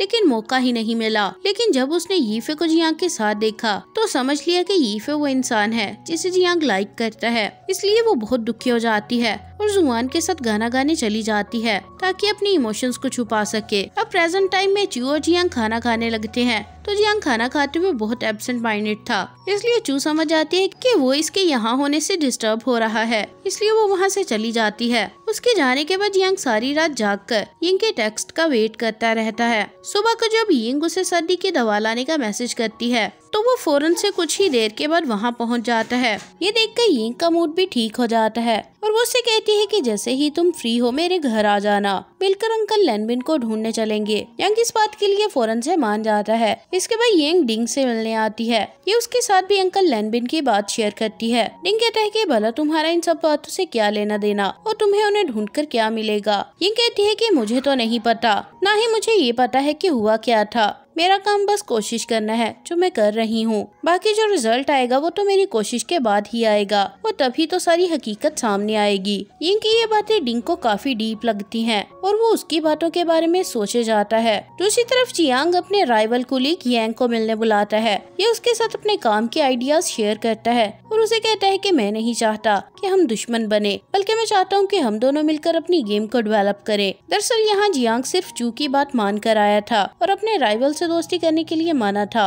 वरना जियांग खुद से ऐसा कभी ना करता। दूसरी तरफ़ यिंग के पास उसके बॉस आते हैं और कहते हैं कि डिंग के इंटरव्यू का क्या बना, वो माना या नहीं? यिंग कहती है कि उसने ज़ुबान से नहीं कहा है, लेकिन उसकी हरकतों से नज़र आ रहा है कि वो इंटरव्यू के लिए मान जाएगा। बॉस कहते हैं कि मुझे खुशी होगी अगर वो मान गया, क्योंकि अगर वो ना माना तो तुम्हारी नौकरी भी जा सकती है। यिंगजी बहुत उम्मीद के साथ कहती है कि देखिए वो मान जाएगा। ये सुनकर बॉस भी उसे इनकरेज करते हैं। बॉस के जाने के बाद उसे बाहर से अपनी कोलीग ईरान की कॉल पर बात करते हुए वाजे आती हैं, जो कि अपने घर के मामलों पर काफ़ी परेशान लग रही थी लेकिन उसे ऑफ़िस का काम भी टाइम से पूरा करना था इसलिए वो बहुत परेशान हो रही थी कि पहले घर का मामला देखिए या ऑफ़िस का। यिंगजी उसे परेशानी में देखकर कहती है कि आप सुकून से घर जाइए मैं आपका काम संभाल लूँगी। ये सुनकर ईरान को तसल्ली हो जाती है और वो अपने घर चली जाती है। अब यिंगजी ईरान के हिस्से एक आदमी का इंटरव्यू लेने जाती है। वो आदमी काफ़ी टफ था इसलिए यिंगजी को भी उसका इंटरव्यू लेने में मुश्किल हो रही थी। दूसरी तरफ़ मिंग अपने बॉयफ्रेंड काई के साथ होती है। ये याद आने पर उसे बताती है कि हमारी नई एम्प्लॉय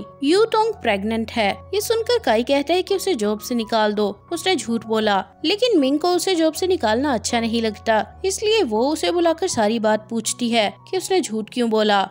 यूटोंग उसकी बात सुनकर उसे सब सच बता देती है कि मेरा हस्बैंड मुझे छोड़कर चला गया था। मुझे इस जॉब की सख्त ज़रूरत थी। वरना मैं गुजारा कैसे करूँगी? कोई भी मुझे इस वजह से जॉब पर नहीं रख रहा था। इसलिए इस बार मैंने अपनी इस सच को छुपाना ही था। यू तुम कहती है कि मुझे माफ़ कर दे, वरना मेरी ज़िंदगी बहुत मुश्किल हो जाएगी। मिंग यू उसकी सारी बात सुनती है। लेकिन उसे कोई उम्मीद नहीं देती दूसरी तरफ़ यिंग फ्री टाइम में अंकल लेनमेन को ढूँढने निकल जाती है। उसे एक बार्बर शॉप में एक लड़की मिलती है, जो उसे कहती है कि उसने और उसकी मोम ने मिस्टर लेनबिन को कहीं देखा है, लेकिन अच्छे से याद नहीं। यंग उसे थैंक्स बोलती है और शुक्रिया के तौर पर अपना और जियांग का एक हेयर स्टाइल बनवा लेती है। ये हेयर स्टाइल पुराने जमाने का था। इसलिए दोनों मज़ाक में एक दूसरे की फनी पिक्चर्स भी लेते हैं और एक दूसरे को रिकॉर्ड भी करते हैं दूसरी तरफ़ मिंग यू टोंग की मदद के लिए मान जाती है और उसे कुछ लूज कपड़े भी खरीद कर दे देती है, ताकि कम से कम एक महीने तक किसी को पता ना चले और ये तब तक जॉब कर ले। यू टोंग मिंग की इस हेल्प पर उसकी काफ़ी ग्रेटफुल होती है।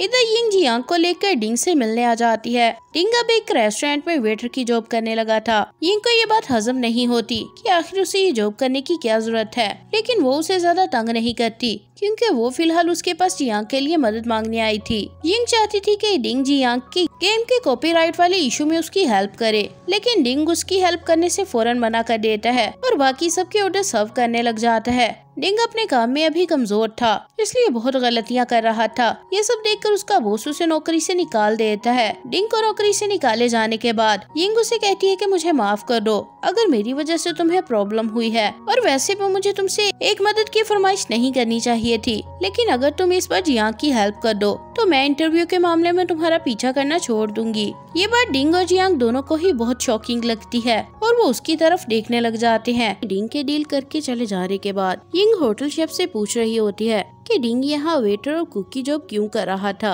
शेफ से पता चलता है कि वो यहाँ फ़िश बनाना सीखना चाहता था। उसका कोई जानने वाला था जिसे ये फ़िश पसंद थी। इसीलिए वो ये बनाना सीख रहा था। शेफ से बात करके वो मैनेजर से जाकर बात करती है कि डिंग मेरी वजह से डिस्ट्रैक्ट हुआ। गलती हमारी थी, इसलिए डिंग को दोबारा जॉब पर रख कर प्लीज़ दूसरा मौका दे दे। मैनेजर पहले तो मना करके जाने लगता है, लेकिन वे यंग मीडिया में होने का फ़ायदा उठाते हुए उसे बताती है कि मैंने इस होटल और मैनेजर का रिव्यू पहले भी किया था और मैं आगे भी कर सकती हूँ। ये बातें सुनकर मैनेजर का मूड बदल जाता है और वो डिंग को दूसरा मौका देने पर तैयार हो जाता है। बाद में यिंग को उसकी कंपनी में एडिटर इन चीफ से डांट पड़ती है कि तुम अभी तक डिंग को इंटरव्यू के लिए मना क्यों नहीं पाई? वो यिंग को डांटते डांटते जॉब छोड़ देने का भी बोल देती है। तब एक टीम लीडर आकर यिंग की साइड लेती है। और बताती है कि यिंग ने बहुत सारे प्रोजेक्ट्स में मेहनत की है। वो यिंग की project files editor in chief को दिखाती है, जिस वजह से यिंग को डांट पड़ना बंद हो जाती है। तब वो टीम लीडर यिंग को दूसरे प्रोजेक्ट पर काम करने के लिए इनवाइट भी कर लेती है।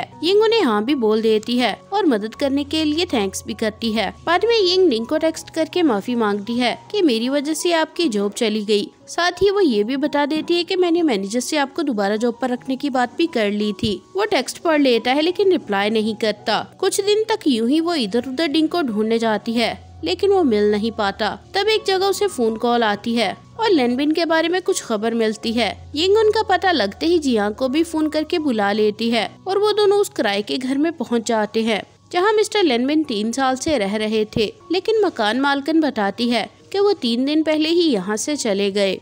वो टाइम पे किराया दे देते थे और हमेशा कैश पेमेंट करते थे। मुझे उन्होंने कुछ नहीं बताया कि वो अचानक घर छोड़कर कहाँ जा रहे हैं। यिंग सामान देख रही थी कि तभी एक बॉक्स देखकर उसे पुराना टाइम याद आता है कि ये यीफे के फेवरेट चिप्स हैं। उसे याद आता है कि बचपन में वो और जियांग सबके लिए सामान खरीद रहे थे, जिसमें यीफे के लिए ये चिप्स भी शामिल थे।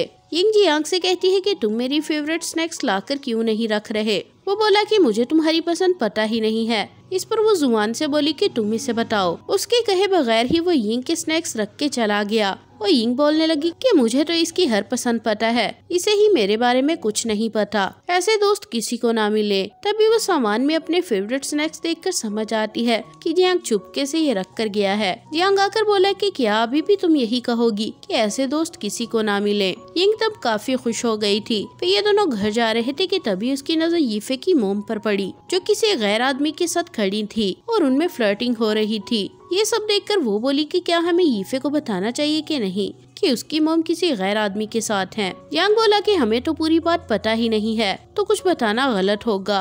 ये सुनकर यिंग सोचने लगी कि अब क्या किया जाए और उन्हें देखने लगती है। अगले दिन यीफे डांस रूम में प्रैक्टिस कर रही होती है और यिंग भी पास बैठी हुई थी। तभी वहाँ यीफे की मोम आ जाती है और यीफे से मिलने के बाद उसके डांस देखने वहाँ बैठ गई थी। मोम उसका डांस देख रही थी और यिंग को कल वाली बात याद आ रही थी। और उसे समझ नहीं आ रहा था कि वो उनके अफेयर वाली बात करे या नहीं। मोम यीफे का डांस देखकर रोने लग जाती हैं। वो अपनी मोम से रोने की वजह पूछती है तो वो बताती है कि मुझे खुशी के आँसू आए हैं। मैं चाहती हूँ कि तुम बहुत आगे जाओ। तुम्हारा हाल मेरे और तुम्हारे डैड जैसा कभी ना हो।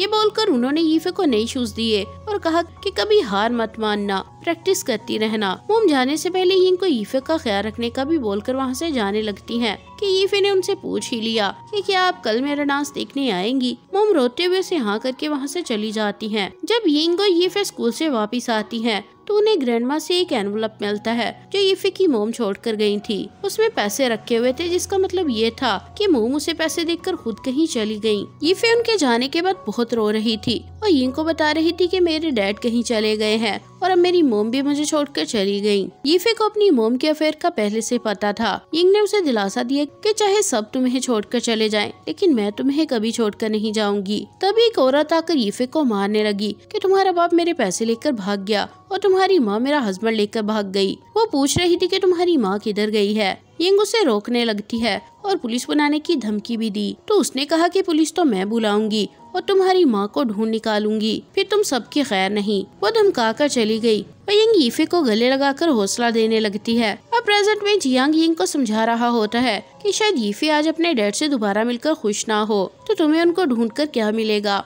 यिंग बोलती है कि अपने डैड को ढूंढना यीफे की इकलौती विश है। मैं यीफे की खातिर उन्हें ढूंढ कर ज़रूर लाऊँगी। बाद में यिंग को यीफे का ईमेल आता है, जिसमें उसने अपने सभी दोस्तों का पूछा था और अपने बारे में बताया कि वो डांस करने में बहुत बिज़ी रहती है। उसने ये भी लिखा था कि मैं जानती हूँ कि तुम मेरे डैड को ढूंढ रही होगी, लेकिन ये इतना भी ज़रूरी नहीं है। अगर उन्हें मुझसे मिलना होता तो वो पहले ही मिलने आ जाते। तुम्हें हमारे लिए इतनी कोशिश करने की ज़रूरत नहीं। आखिर में यीफे ने लिखा हुआ था कि मैं सब दोस्तों को मिस करती हूँ। ये पढ़कर यिंग बोली कि मुझे भी तुम्हारी याद आती है। दूसरी तरफ़ मिंगियो अपनी कोलीग टोंग को देखकर लंच पे चलने का पूछती है, लेकिन वो बड़े कोल्ड अंदाज में मना करके चली जाती है, जिस पर इसे बहुत हैरानी होती है। वो टोंग से बाहर जाकर पूछती है कि तुम्हें क्या हुआ?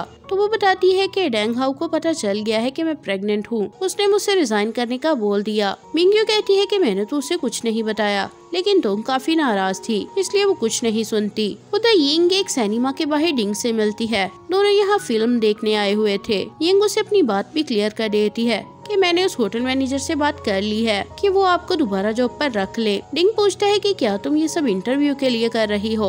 वो बोलती है कि नहीं, मैंने सिर्फ़ आपसे माफ़ी मांगने के लिए ये सब किया। अब यंग उसे फ़िल्म देखने की बात करती है तो वो इनकार नहीं करता, क्योंकि वो भी फ़िल्म देखने ही आया हुआ था। अंदर बाद में जब ये लोग फ़िल्म देखने में बिज़ी थे तभी जिया काफ़ी देर तक किंग को कॉल करता रहता है। लेकिन फ़िल्म देखने में बिज़ी होने की वजह से वो फ़ोन नहीं उठाती। मिंग अपने घर में बैठी परेशान हो रही होती है कि उसने कुछ किया भी नहीं। फिर भी टोंग उसे गलत समझ रही है और उसे जॉब छोड़नी पड़ेगी। इधर फ़िल्म देखकर बाहर आने के बाद यिंग डिंग से जियांग की कॉपीराइट वाली बात कर लेती है। वो पूछता है कि क्या वो लड़का तुम्हारे लिए इम्पोर्टेंट है? तो वो बताती है कि हाँ वो मेरे लिए सबसे इम्पोर्टेंट है। इस पर डिंग कहता है कि ठीक है, फिर तुम उसे मिलने बुला लेना, लेकिन मेरी एक शर्त है कि उसके साथ तुम्हें भी आना होगा। इस पर वो उसे थैंक्स बोलती है और वो चला जाता है। बाद में मिंग काई से पूछती है कि क्या कंपनी में टोंग के प्रेग्नेंट होने वाली बात तुमने बताई थी? वो कहता है कि हाँ मैंने सच बता दिया। मैंने तुम्हारे फ़ायदे के लिए ही कंपनी में खबर दी, वरना अगर उन्हें खुद पता चलता तो ज़िम्मेदारी तुम पर आ जाती। वो गुस्से में कहती है कि तुम झूठ बोल रहे हो, कि तुमने ये मेरी खातिर किया। तुम खुद अपनी प्रमोशन करवाने के लिए मेरा यूज़ कर रहे हो। मिंग गुस्से में आकर उसे काफ़ी बातें सुना देती है, और वो सब सुनकर काई वहाँ से चला जाता है। यिंग घर आकर जिया को फ़ोन करती है तो वो उसे यीफे के डैड को ढूँढने की बात करता है। तब वो उससे माफ़ी मांग लेती है कि उसे उससे यीफे के डैड को ढूंढते हुए जियांग से झगड़ा किया था। वो ये सुनकर कहता है कि मुझे ये रिकॉर्ड कर लेना चाहिए था। मैं चौबीस सालों से तुम्हें जानता हूँ। कभी तुम्हें माफ़ी मांगते नहीं देखा। इस पर वो हंसती और बताती है कि यीफे ने ईमेल करके मुझे कहा है कि मैं उसके डैड को ढूंढना बंद कर दूँ। शायद अब वो सब भुलाना चाहती है। यांग भी कह देता है कि अब हम बड़े हो चुके हैं। अब यिंग उसे डिंग से कॉपीराइट की बात करने के लिए मीटिंग की डेट फिक्स करने का भी बोल देती है। तब उसे जुआन की भी कॉल आ जाती है, जो अपनी यूनिवर्सिटी छोड़कर बैग लिए रास्ते पर था। वो यिंग को नहीं बताता कि उसके फ्रेंड ने उसका थीसिस चुराया है, जिस वजह से वो यूनिवर्सिटी ही छोड़ आया। वो बात करके फ़ोन काट देता है। इधर फिर यिंग डिंग के दिए हुए कोट के अंदर से निकले हुए वॉलेट को देखती है। जिसमें डिंग की विश लिस्ट थी, उस लिस्ट को पढ़कर डिंग को डिंग की विशेष पता चल जाती हैं। अगले दिन मिंग टोंग को बताती है कि मैंने कंपनी को तुम्हारी प्रेगनेंसी की खबर नहीं दी। वैसे भी कंपनी को इस बात पर तुम्हें निकालने का कोई हक नहीं है। तुम लीगल एक्शन भी ले सकती हो। टोंग बोलती है कि मैं अभी तक आपको समझ नहीं पाई। आपने सही कहा कि कंपनी मुझे इस बात पर निकाल नहीं सकती। लेकिन मुझे खुद ही यहाँ से जाने पर मजबूर करने के अलग से सो तरीके हैं। मैं तो हर पल टेंशन में गुजारूँगी। ये बोलकर वो चली जाती है। उधर गेंग कॉपीराइट की बात करने डिंग यिंग और जियांग और चू मीटिंग कर रहे होते हैं। डिंग बोलता है कि आप लोग कॉपीराइट की सारी बात मेरी एजेंट से कीजिएगा और कॉपीराइट बेचने के लिए मेरी शर्त है कि मिस यिंग मेरी एजेंट बनकर डील करेंगी। यिंग उसे इनकार करती है, लेकिन डिंग बोलता है कि ये सब शुरू तुमने ही किया था। क्या तुम मुझे इन लोगों के साथ अकेला छोड़ दोगी? जियांग उन्हें देखकर अनकंफर्टेबल हो जाता है। फिर वो डिंग से उसके नोवेल का आइडिया बताते हुए पूछता है कि आप इसमें क्या बताना चाहते थे? डिंग आगे से बोल देता है कि मुझे नहीं पता। यिंग आपको बताएगी। इस पर यिंग आगे से नोवेल का कॉन्सेप्ट बताती है कि एक करेक्टर एक दुनिया से दूसरी दुनिया में चला गया ताकि अपनी मुश्किलों से भाग सके। लेकिन यहाँ उसे समझ आया कि सब दुनियाएँ आपस में जुड़ी हुई हैं, इसलिए भागने का कोई फ़ायदा नहीं और कोई गलती सारा खेल बिगाड़ सकती है। ये सुनकर डिंग बोलता है कि एक रीडर को मुझसे भी ज़्यादा मेरे नोवेल का मतलब पता है। ये मेरे लिए बहुत खुशकिस्मती की बात है। ये सब सुनकर जियांग जेलस हो रहा था। अब डिंग उनसे कहता है की अगर आप लोगों को आगे भी बात करनी है तो मेरी एजेंट से कर लेना। ये बोलकर वो वहाँ से चला जाता है। और यिंग भी बताती है कि मैं उससे बात करने जा रही हूँ। ये बोलकर वो भी उसके पीछे चली जाती है। इस पर जियांग का मुँह उतर जाता है। डिंग, यिंग को लेकर एक अम्यूजमेंट पार्क में आ जाता है, जब वो रोलर कोस्टर पर बैठने को बोलता है तो वो मना कर देती है। और बता देती है कि मैं और कुछ भी कर सकती हूँ, लेकिन इस पर नहीं बैठ सकती। यहाँ दिखाया जाता है कि स्कूल टाइम में ये सब दोस्त रोलर कोस्टर पर बैठने आए थे, लेकिन यिंग तब भी डर कर वहाँ से जाने की कोशिश में थी। तब ईफे भी वहाँ पहुँच गई। तो सब उसका मूड ठीक करने के लिए पूछने लगे कि तुम किस झूले पर बैठोगी? यंग उसे दूसरे झूले का पूछने लगी, लेकिन उसने भी रोलर कोस्टर का नाम ले लिया। बाकी सब उधर बैठने चले गए और यिंग अकेली रहने वाली थी, इसलिए जियांग उसके साथ ही रुक गया। बाकी सब रोलर कोस्टर एंजॉय करने लगे और यिंग और जियांग दूसरे झूले पर बैठ गए थे। यिंग ने उससे पूछा कि तुम उनके साथ क्यों नहीं गए? तो वो बोला कि मुझे आइस का प्रॉब्लम है। डॉक्टर ने ख्याल रखने को कहा है। उसका बहाना सुनकर यिंग समझ गई थी कि ये झूठ बोल रहा है और यिंग के अकेले रह जाने की वजह से उसके साथ रुका है। यिंग अपनी ये बात डिंग को भी बताती है कि जियांग मेरा दोस्त है, इसलिए वो मेरे साथ रुक गया। डिंग अब उसे अपने साथ बैठे को बोल रहा था। हालाँकि वो काफ़ी डर रही थी, लेकिन फिर भी वो उसके कहने पर उसके साथ बैठ जाती है। वो रोलर कोस्टर पर बैठकर काफ़ी डरती है, लेकिन जब वो चलता है तो उसका डर कम हो जाता है। और झूले से उतरने के बाद डिंग की हालत खराब हो जाती है। ये देखकर यिंग उससे पूछती है कि आप खुद डर रहे थे?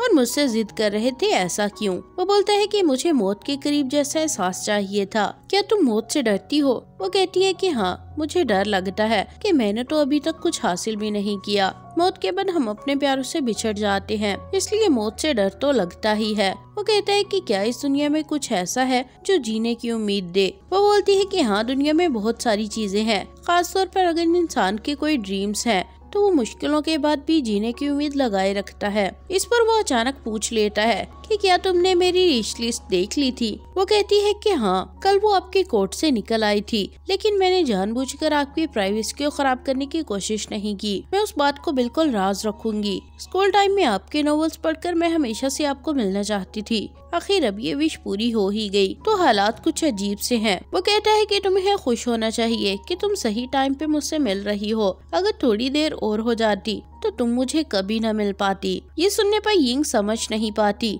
लेकिन फिर उसे बोल देती है कि क्यों ना? मैं आपकी विश लिस्ट को पूरा करने में आपकी हेल्प करूँ। मुझे भी अच्छा लगेगा कि मैं आपकी विशेष को पूरा करने में आपका साथ दे रही हूँ। वो इस पर कहता है कि अपना वादा पूरा करना। यिंग उसे कहती है कि ज़रूर पूरा करूँगी। ये बोलकर वो उसे दूसरी राइड दिलाने ले जाती है। रात को जुमान को उसकी मोम फ़ोन करके पूछती है कि मुझे तुम्हारे फ्रेंड को फ़ोन करके पता चला है कि तुम डोम से कहीं चले गए हो। मुझे बताओ कि तुम वहाँ से क्यों गए? इस पर वो बहाना बना देता है कि जियांग ने बड़ा घर रेंट पर लिया हुआ है। मैं उसके घर पर हूँ। ये सुनकर मोम को तसल्ली हो जाती है और उन्होंने फ़ोन रख दिया था। लेकिन असल बात तो ये थी कि जुआन अपने फ्रेंड ही की वजह से डोम छोड़ आया था। अब अगले दिन काई मिंगी से आकर पूछता है कि, तुम मेरा फ़ोन क्यों नहीं उठा रही थी? वो बोलती है कि काम के टाइम मुझसे कोई दूसरी बात मत किया करो। वो बोलता है कि अच्छा चलो मुझसे टोंग वाले मामले में गलती हो गई, मानता हूँ, इसलिए अब मुझे माफ़ कर दो। वो पूछती है कि क्या तुम्हें सच में अपने किए का अफसोस है, या तुम मुझे मनाना चाहते हो?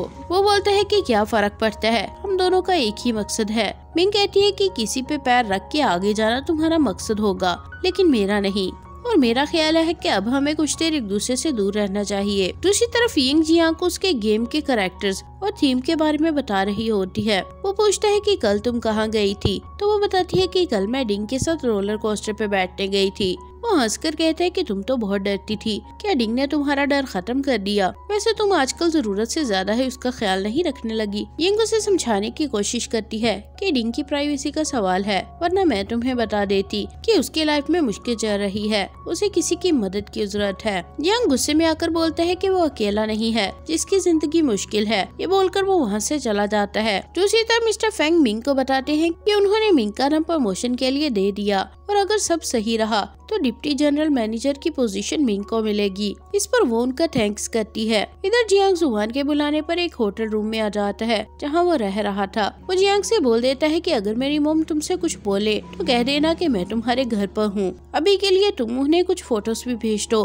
ताकि वो बेफिक्र हो जाए। जियांग कहता है की ठीक है, मैं वो सब कर दूँगा, लेकिन एक छोटे से कमरे में थीसिस पर काम करने में मुश्किल नहीं होती। वो कहता है कि ये कमरा डोम जितना कंफर्टेबल तो नहीं, लेकिन यहाँ शोर नहीं आता। ये बोलने की देर थी कि छत से शोर आने लग जाता है। ये सब देख देखकर जियांग उठकर कहता है कि अपना सामान बांधो और मेरे घर चलो। वो बोलता है कि मैं तुम पर बोझ नहीं बनना चाहता। जियांग कहता है कि मैं भी तुम्हारा होमवर्क कॉपी करके बहुत बार तुम पर बोझ बना हूँ। मुझे कोई दिक्कत नहीं होगी। बस तुम्हें एक बात राज रखनी है। अब जुआन उसके साथ उसकी बिल्डिंग के पास आता है। तो कहता है कि इसी जगह तो यिंग भी रहती है। क्या तुम दोनों साथ में रहती हो? यंग उसे चुप कराता है और फिर अपने घर ले आता है। वहाँ उसे दिखाता है कि इस घर की खिड़की के सामने यिंग की खिड़की नज़र आती है, लेकिन यिंग को ये बात पता नहीं है। जंग उसे कहता है कि तुम्हें यही बात छुपा के रखनी है, कि मैं उसके सामने वाली बिल्डिंग में रहता हूँ। तो यिंग अपने घर में बैठी कब से जिया को मनाने के लिए मैसेजेस कर रही थी, लेकिन उसका कोई रिप्लाई नहीं आ रहा था। जिस पर यिंग गुस्से में कहती है कि तुम मुझे इग्नोर कर रहे हो ना,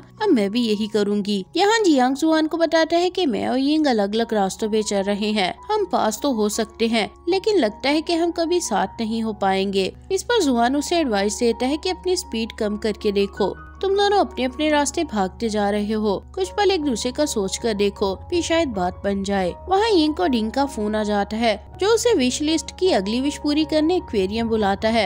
यिंग हैरान होकर बोलती है कि अब तो काफ़ी रात हो गई है। टिंग बोलता है कि, कि इतनी जल्दी अपने वादे से मुकर गई। तभी इंग बोलती है कि ठीक है मैं अभी आ जाती हूँ। उधर जुआन अपनी मोम को वीडियो कॉल करके खुद और जिया की बात करवा देता है। मोम उन्हें खुश होकर अपना ख्याल रखने का बोल देती है। अब काल बंद होने के बाद जुआन बोलता है की मैं सोफे पे सो जाया करूँगा और तुम्हारे घर का आधा रेंट भी दूँगा। जंग कहता है कि मैं तो रात जाकर काम करता हूँ, तुम बेड पर सो जाना। और तुम तो अभी स्टूडेंट हो रेंट देने की भी फ़िक्र मत करो। जब तुम पैसे कमाने लगो तो लुटा देना। इधर यंग डिंग के साथ एक्वेरियम में फ़िश देखने को आई होती है। डिंग कुछ देर घूम कर बैठ जाता है। और पूछता है कि क्या तुम्हें लगता है कि फ़िश इस छोटे से एक्वेरियम को अपना घर मानने लगी होंगी? ये कहते हैं कि शायद कुछ मछलियाँ तो पैदा ही यहाँ होती हैं। तो हो सकता है कि उन्हें एक्वेरियम ही अपना घर लगता हो। वो कहता है कि मैं ऐसा नहीं मानता। मुझे लगता है कि मछलियों को ज़रूर मालूम होगा कि उनका असली घर समंदर है। ये सुनकर वो कहती है कि शायद वाकई मछलियाँ वापस समंदर जाना चाहती हो।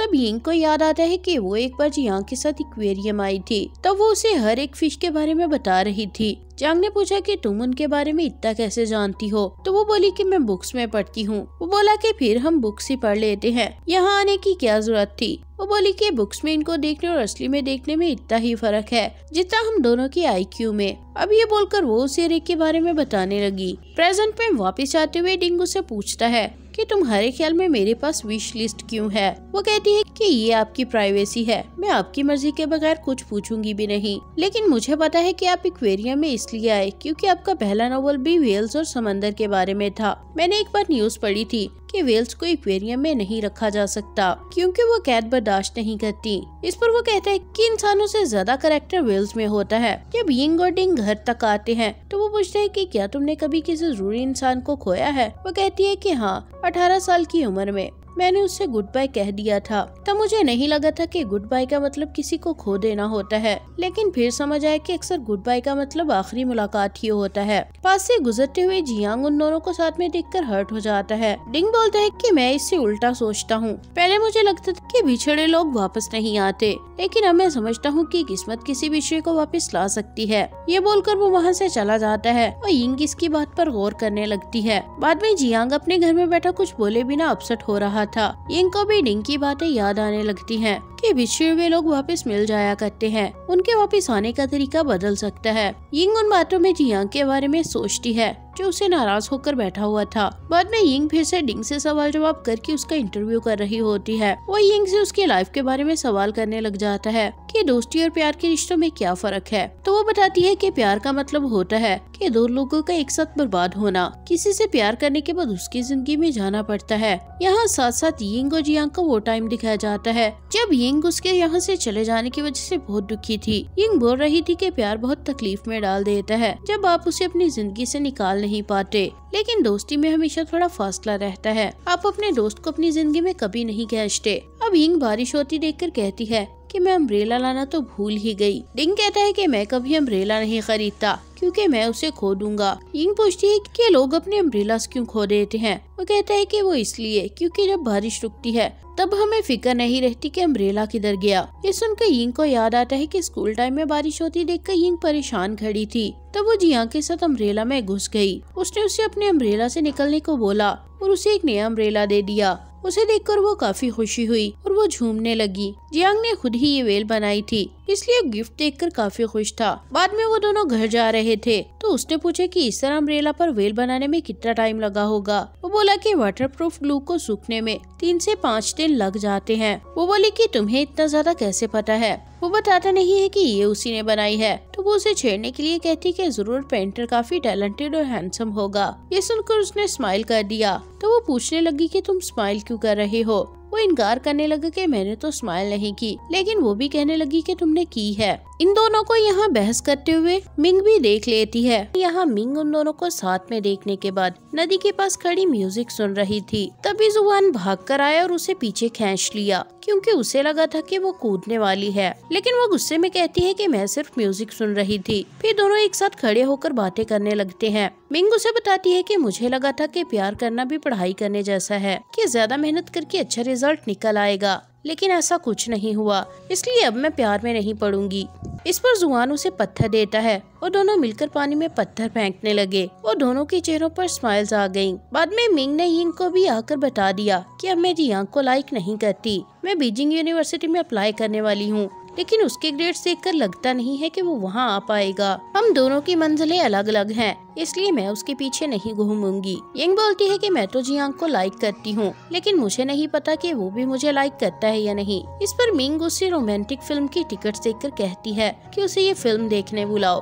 अगर वो ये फ़िल्म देखने आ गया तो समझ जाना कि वो तुम्हें लाइक करता है। उसका जवाब ही तुम्हें उसकी फीलिंग्स का बताएगा। बाद में वो घर आकर मेकअप करती है। और जियांग का दिया वो अम्ब्रेला उठा के वो सैनमा आ जाती है। जियांग आकर जब उसका मेकअप देखता है तो डर के मारे उसे धक्का मार देता है। वो पूछता है कि तुम्हें क्या हुआ? वो बोलती है कि ये आजकल का फ़ैशन है, तुम्हें समझ नहीं आएगा। अब ये बताओ कि तुम मेरे साथ रोमांटिक फ़िल्म देखने क्यों आए हो? तुम्हें तो ऐसी फ़िल्में पसंद ही नहीं है। वो बोलता है कि मेरे पास करने को और कुछ नहीं था। इसी बात के दौरान ही वहाँ जुआन आ जाता है, क्योंकि जियांग उसे भी साथ ले आया था। वो यिंग का मेकअप देखकर हंसने लग जाता है और काफ़ी मज़ाक भी उड़ाता है। ये तीनों अंदर आकर बैठते हैं। तो जुआन उन दोनों के बीच में बैठा हुआ था। वो उन दोनों से पूछ रहा था कि मेरे साथ सीट बदल लो, लेकिन वो दोनों ही इनकार कर देते हैं। फिर वो फ़िल्म देखने लगते हैं। तभी जियांग को एक इमरजेंसी कॉल आती है, और वो इस बारे में यिंग को नहीं बताता। जुआन को टॉयलेट का बहाना बनाकर उसे अपने साथ वहाँ से ले जाता है। यंग अकेली वहाँ रह जाती है, मगर फिर जब वो घर वापस आती है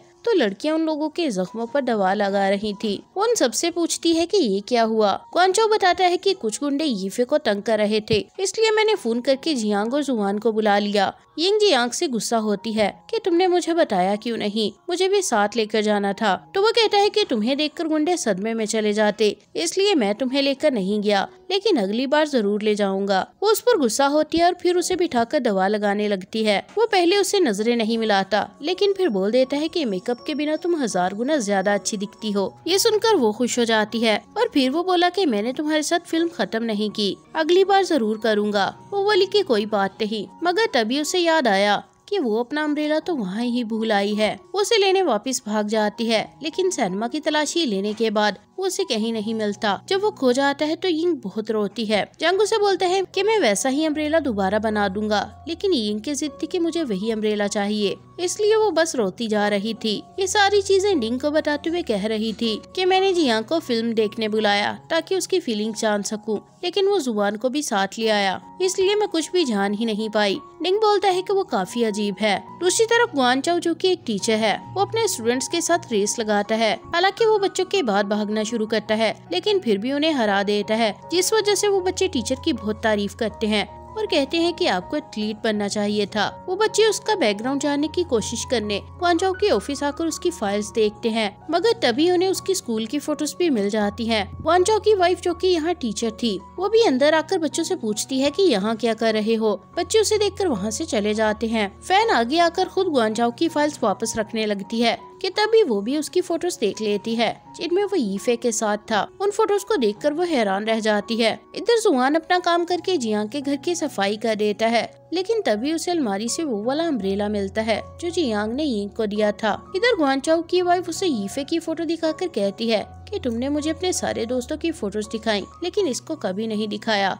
बल्कि इसे स्कूल ऑफ़िस में रखा, ताकि मैं इसे ना देख पाऊँ। मुझे तुम्हारी आँखों में देखकर पता चल रहा है कि तुम्हारे दिल में इसके लिए कोई जगह है। तुमने मुझसे शादी कर ली, लेकिन तुम इसे भूल नहीं पाए। गुआनचो इन बातों का कोई जवाब नहीं दे पाता। तो फ़ैन अपनी रिंग उतार कर कहती है कि जब तुम सोच लो तो मुझे जवाब दे देना। उठकर उसका हाथ पकड़ता है, लेकिन वो हाथ छुड़वा कर चली जाती है। उधर जब जियांग घर आता है तो जुआन उसे बताता है कि मैंने सारे घर की सफ़ाई कर दी है। तुम्हारे फ्रिज और अलमारी से भी कचरा निकाल कर फेंक दिया। जियांग ये सुनते ही उठकर अलमारी चेक करता है कि कहीं उस अम्ब्रेला को तो नहीं फेंक दिया। जुआन कहता है कि फ़िक्र मत करो। उसे नहीं फेंका है। अब जुआन उसे पूछता है कि यिंग इस अम्ब्रेला को हर जगह ढूंढती रही। ये तुम्हारे पास क्या कर रहा है? इस पर जियांग बोलता है कि मेरे पहले सवाल का जवाब दो कि अगर तुम्हें अपने फेवरेट आइडल का फ्रेंड बनने का मौका मिले तो क्या तुम उसे अपने बचपन के दोस्त से ज़्यादा अहमियत दोगे? जुआन कहता है कि आइडल का फ्रेंड बनना तो काफ़ी खुशी की बात है, लेकिन ज़्यादा अहम बचपन का दोस्त ही होता है। जियांग ये सुनकर कहता है कि अच्छी बात है कि तुम्हें बचपन का दोस्त ज़्यादा अहम लगता है। जुआन फ़ौरन ही समझ कर कहता है कि तुम यिंग की बात कर रहे हो ना, क्योंकि वही डिंग की फ्रेंड बन गई है। अगर ऐसी बात है तो ये गलत फहमी दिल से निकाल दो। तुम दोनों के बीच कोई नहीं आ सकता। हम सब बहुत देर तक अलग हो गए थे, लेकिन अब हम सब पहले की तरह साथ हैं। अब तुम्हें किसी गलत फहमी को अपने और उसके बीच नहीं आने देना चाहिए। यंग उसकी बात समझ आता है और फिर यंग से मिलने चला जाता है। यंग उसे पूछती है कि क्या वो अम्ब्रेला जो तुमने मुझे दिया था, उस पर वेल तुम ही ने बनाई थी? तो वो कहता है कि हाँ वो मैंने ही बनाई थी। अब जियांग इससे एक सवाल पूछने लगता है। तो उसके पूछने से पहले ही वो बोल देती है कि निंग को मैं पहले भी लाइक करती थी और अब भी करती हूँ। लेकिन हमारे बीच दोस्ती के अलावा और कोई रिश्ता नहीं। इस पर जियांग की गलत फहमी दूर हो जाती है। तभी यिंग उसे बताती है कि ग्रैंडमा ने मुझे बुलाया। क्या तुम मेरे साथ चलोगे? तो वो कहता है कि अगर तुम्हारे साथ कोई और नहीं जा रहा तो फिर मैं चलने को तैयार हूँ। वो हंसकर कहती है कि कोई और नहीं जा रहा। दोनों ही इस बात पर हंसने लग जाते हैं। बाद में दोनों बस में बैठे होते हैं। वो उसके पास एक अम्ब्रेला देखकर पूछता है कि बारिश तो नहीं होने वाली, फिर इसे क्यों लाई हो? वो कहती है कि इसे पास रखकर मुझे सेफ़ फील होता है। वो कहता है कि शायद तुम्हें उस अम्ब्रेला के खोने का बहुत दुख होगा। वैसे तुमने मुझे तब दोबारा वेल वाला अम्ब्रेला क्यों नहीं लाने दिया? वो कहती है कि मुझे लगता है कि मैंने इतनी कीमती चीज़ खो दी। तो मुझे नई चीज़ लेने का कोई हक नहीं है, बल्कि मुझे अब सिर्फ़ पछताना चाहिए। मैंने उसे बहुत बार ढूंढा, लेकिन कभी मिल नहीं पाया। ये सुनकर जियांग को याद आता है कि बारिश के दिनों में वो भी उस अम्ब्रेला को ढूँढने इधर उधर जाया करता था। तब एक दिन उसे कुछ लड़कियों के पास वो वेल वाला अम्ब्रेला मिल गया तो उसने उनसे रिक्वेस्ट करके वो वापस ले लिया था। जियांग के पास तब से ही वो अम्ब्रेला था, लेकिन उसने उसे अपने पास ही रख लिया। अब बस का सफ़र काटने के लिए दोनों ईयरफोन्स लगा लेते हैं और यूँ सफ़र कट जाता है। अब ये दोनों ग्रैंडमा से मिलने आते हैं। जो काफ़ी खुश होकर उन्हें वेलकम करती हैं और फिर उन्हें उनके फेवरेट ड्रिंक्स देती हैं। यिंग उनसे बुलाने की वजह पूछती है, क्योंकि ज़रूर कोई बात होगी? वो कहती है कि, तुम लोग इतने साल बाद भी वैसे ही हो। लगता है तुम दोनों का रिश्ता बहुत मज़बूत है। यिंग कहते हैं कि, दोस्ती के अलावा और कोई रिश्ता नहीं। चियांग भी सफ़ाई देता है। तभी ग्रैंडमा उन्हें गुआनचा और उसकी वाइफ के झगड़े के बारे में बताती है। तो यिंग बोलती है की, मैं समझ गई की उनका झगड़ा यीफे की वजह ऐसी हुआ था। जंग हैरान होकर पूछता है की, तुम्हें कैसे पता? तो वो कहती है की, अगर सारी दुनिया तुम्हारी जितनी ना समझ होती तो कब की खत्म हो जाती। बाद में ये दोनों गुआनचाओ के घर जा रहे होते हैं। यिंग उससे पूछती है कि अगर किसी कपल में लड़ाई हो जाए तो उनकी सुलह कैसे कराते हैं? वो बोलता है कि हमें उनके बीच में नहीं पड़ना चाहिए। उन्हें अपना मामला खुद ही सुलझाने दो।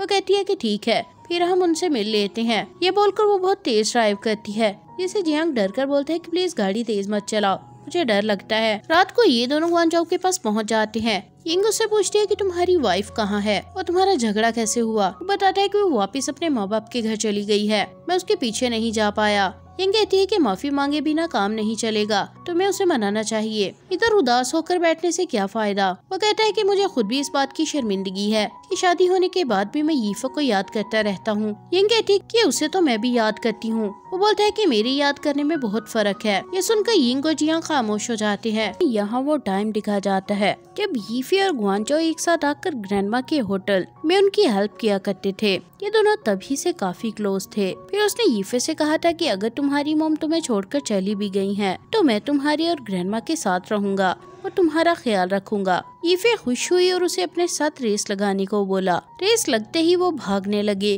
और गुआनचाओ बाद में भागने के बावजूद भी जीत गया। अब रेस खत्म होने पर यीफे ने गुआनचाओ को बता दिया था कि वो उसे लाइक करती थी। उसके ये बताने के बाद जब वो चली गई तो वो भी बहुत खुश हो गया, क्योंकि वो भी तो उसे लाइक करता था। अब प्रेजेंट में जियांग ड्रिंक करने के बाद यिंग के कंधे पर सर रख के हिले जा रहा था। उसे बोल रहा था कि हिलना बंद करो, वरना मैं उल्टी कर दूँगा। इस पर वो खुद हिलकर पूछती है कि अब ठीक है? तो वो कहता है कि हाँ अब ठीक है। यिंग कहती है कि तुम्हें मुझ पे इतना वज़न डालते हुए शर्म नहीं आती। तो वो कहता है कि मुझे तुम्हें कुछ बताना है। बचपन में ट्रूथ और डेयर खेलते हुए, मैंने एक बार झूठ बोला था। वो पूछती है कि तुमने क्या झूठ बोला? तो वो उसे पास बुलाकर बोलता है कि मुझे फ्राइड एग वाले नूडल्स खाने हैं। ये सुनकर वो कुछ बोल नहीं पाती और उसे अपने साथ घर ले आती है। वो अपने पेरेंट्स को बताती है कि जियांग का आईडी कार्ड मुझे मिल नहीं रहा था, इसलिए उसे होटल नहीं छोड़ सकती थी। उसके पेरेंट्स उसके लिए ब्लैंकेट लेने चले जाते हैं और यिंग उसके जूते उतारने लगती है। तो वो बोलता है कि मेरे जूते मत उतारो, मैं किसी के घर जाके जूते नहीं उतारता। यिंग भी जूते उतारने की कोशिश करती है और वो उसे रोकते रोकते ज़ोर से चिल्लाता है कि ये मेरे कपड़े उतारना चाहती है और ये कहकर अपनी शर्ट खेच देता है। तभी यिंग के पेरेंट्स आकर ये सब देख लेते हैं। यिंग उन्हें बताती है कि मैंने ऐसा वैसा कुछ नहीं किया। मैं सिर्फ़ इसके जूते उतार रही थी। मोम बोलती है कि अब तुम लोग बच्चे नहीं रहे। समझदारी से पेश आया करो। अब यिंग उन्हें जवाब नहीं दे पाती और जियांग को कमरे में छोड़ आती है। वहाँ भी वो जिद करे जाता है कि मुझे नूडल्स ला कर दो। वो शोर मचाया जा रहा था। इसलिए वो उसे चुप करा के कहती है कि अच्छा ठीक है, मैं जाके नूडल्स बना कर लाती हूँ। ये कहकर वो नूडल्स बनाने चली जाती है। और यहाँ फिर पहले वाला टाइम भी दिखाया जाता है, जब यिंग उसके लिए नूडल्स बना रही थी और उसमें भी एग्स डाले थे। फिर जब वो बहुत शौक से नूडल्स खाने लगा तो वो उसे मना रही थी कि हम दोनों एक ही शहर की यूनिवर्सिटी में जाएँगे, ताकि हम रोज एक दूसरे से मिल सके। चांग ने कहा था कि मैं यूनिवर्सिटी नहीं जा पाऊँगा। मेरे ग्रेड्स तो इतने खराब हैं। ऊपर से बड़े बड़े शहरों की ट्रैफ़िक और शोर शराबा मुझसे बर्दाश्त नहीं होगा। यिंग ने पूछा था कि क्या तुम्हें हम दोनों के अलग हो जाने पे कोई फ़र्क नहीं पड़ेगा? तो वो मज़ाक में बोला कि अच्छा ही है ना, फिर तुम मेरा लैपटॉप यूज़ नहीं कर पाओगी। अब प्रेजेंट में जियांग यिंग के बनाए हुए फ्राइड नूडल्स खा रहा होता है।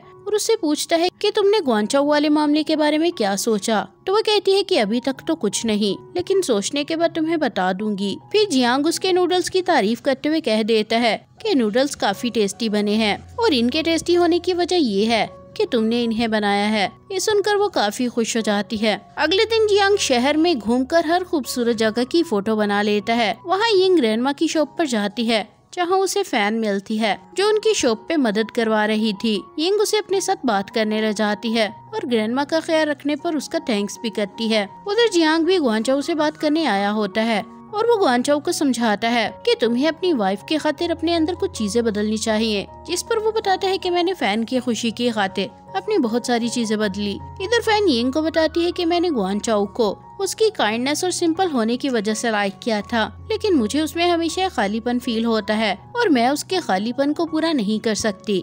यंग कहती है कि भले ही तुम उसके खालीपन को पूरा नहीं कर सकती, लेकिन तुम ही हो जो उसकी ज़िंदगी की बाकी सारी कमियों को पूरा कर रही थी। अगर वो तुम्हारे साथ कोई बुरा सलूक करेगा तो हम उसे देख लेंगे। फ़ैन कहती है कि ऐसा तो कुछ नहीं है, लेकिन मैं उसे समझ नहीं पा रही कि वो आखिर सोचता क्या है। यहाँ जियांग ग्वानचाओ को समझाता है कि तुम बचपन से ही ऐसे हो, किसी को अपनी सफ़ाई नहीं देते। अगर तुम उससे बात करते तो बात इतनी ना बिगड़ती। वहाँ यिंग भी फ़ैन को यही बता रही थी कि गुआनचाओ की हमेशा से आदत है कि वो अपने दिल की बात बताने या माफ़ी मांगने में बहुत कच्चा है। उसे ये सब करना नहीं आता। पर मैं तुम्हें उसकी एक बात बता देती हूँ। जब मुझे उस पर बहुत गुस्सा आया था और मेरा दिल चाहा कि मैं उसकी जान ले लूँ। यहाँ वो स्कूल टाइम की बात बताती है, जब वो सब दोस्तों से बोल रही थी कि मेरी वीडियो गेम में काफ़ी प्लेयर्स मुझसे आगे निकल गए हैं। मेरी गेम वाली सब्ज़ियाँ कोई रोज चोरी कर लेता है और मैं चाहती हूँ कि तुम लोग भी दूसरे प्लेयर्स की सब्ज़ी चुरा कर मेरी हेल्प करो। उसकी बात पर सभी दोस्तों ने इनकार कर दिया। लेकिन तब गुआंचो उसके साथ लग गया। उसने उसे सब्ज़ियाँ चुराने को बोला। तो उसने कहा कि ठीक है, मैं कोई सब्ज़ी चुरा लूँगा। बाद में एक गोभी उठा ले आया और बोला कि तुमने मुझे सब्ज़ी चुराने को बोला था। मैं फार्म से ताज़ा गोभी लेकर आया हूँ। ये सबसे बड़ी वाली है। और मैंने चोरी करने के बाद पैसे भी वहाँ छोड़ दिए थे। क्या मैंने तुम्हारा काम कर दिया? वो गुस्से में आकर कहती है कि तुम्हारा बहुत शुक्रिया। और वहाँ से चली गई और गांचो कंफ्यूज हो गया कि ये खुश क्यों नहीं हुई।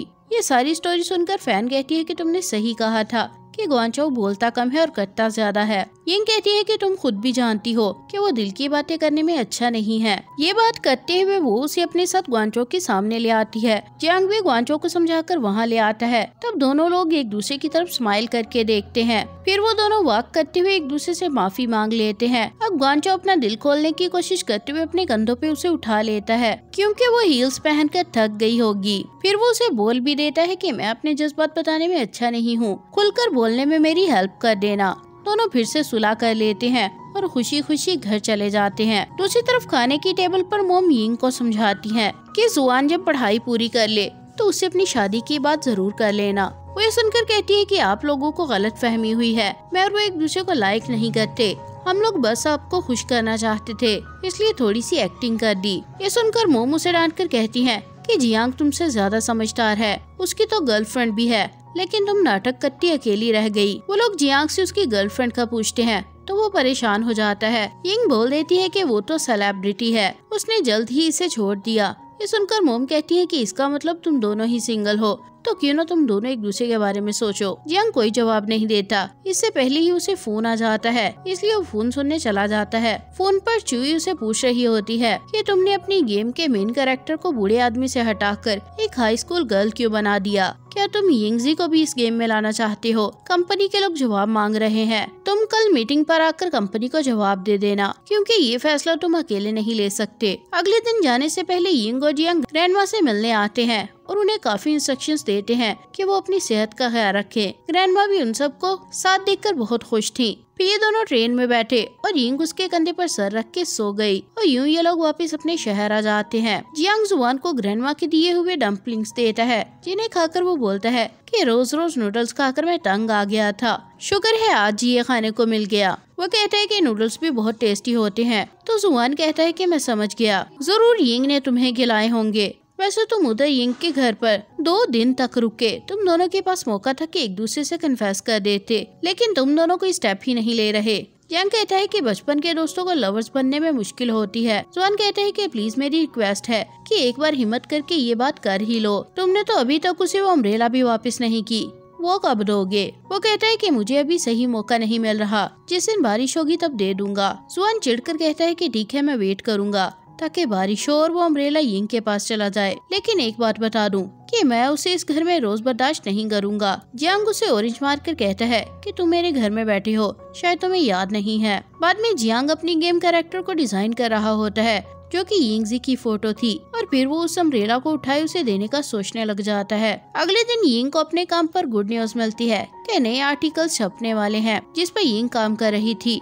और हो सकता है कि उसके बाद उसे प्रमोशन भी मिल जाए। दूसरी तरफ़ जियांग को कंपनी से डांट पड़ती है कि वो एक हाई स्कूल गर्ल को गेम में क्यों डाल रहा है। वो लोग जियांग को गेम अपनी मर्ज़ी से बनाने पर मजबूर करते हैं, जबकि जियांग कह रहा था कि गेम को मैंने बनाया है। इसलिए मर्ज़ी मेरी है कि मैं उसे जैसा मर्ज़ी बनाऊँ। अगर आप लोगों ने मुझे इसी तरह मजबूर करना है तो मैं रिजाइन कर दूँगा। यांग गुस्सा होकर वहाँ से चला जाता है और फिर चुई यिंग को फ़ोन करके हेल्प मांगती है, ताकि वो जियांग को बनाए कि वो गेम बनाने के मामले पर कंपनी से अच्छी तरह बात करे। यिंग कहती है कि ठीक है, मैं उसे मना लूँगी। वो जियांग से बात करने उसके ऑफ़िस पहुँच जाती है और जब वो आगे आकर देखती है तो चुई जियांग की गाल पर किस कर रही थी। और बोल रही थी कि मैं तुम्हें लाइक करती हूँ। इन दोनों को इस तरह देखकर यिंग हैरान रह जाती है कि चुई जियांग को अपने आइडियाज़ के बारे में बताने के बाद उसे मना रही थी कि एक हफ़्ते तक हम इस गेम के करेक्टर्स के बारे में और ज़्यादा बातचीत करेंगे। ज़रूर कोई हल निकल आएगा।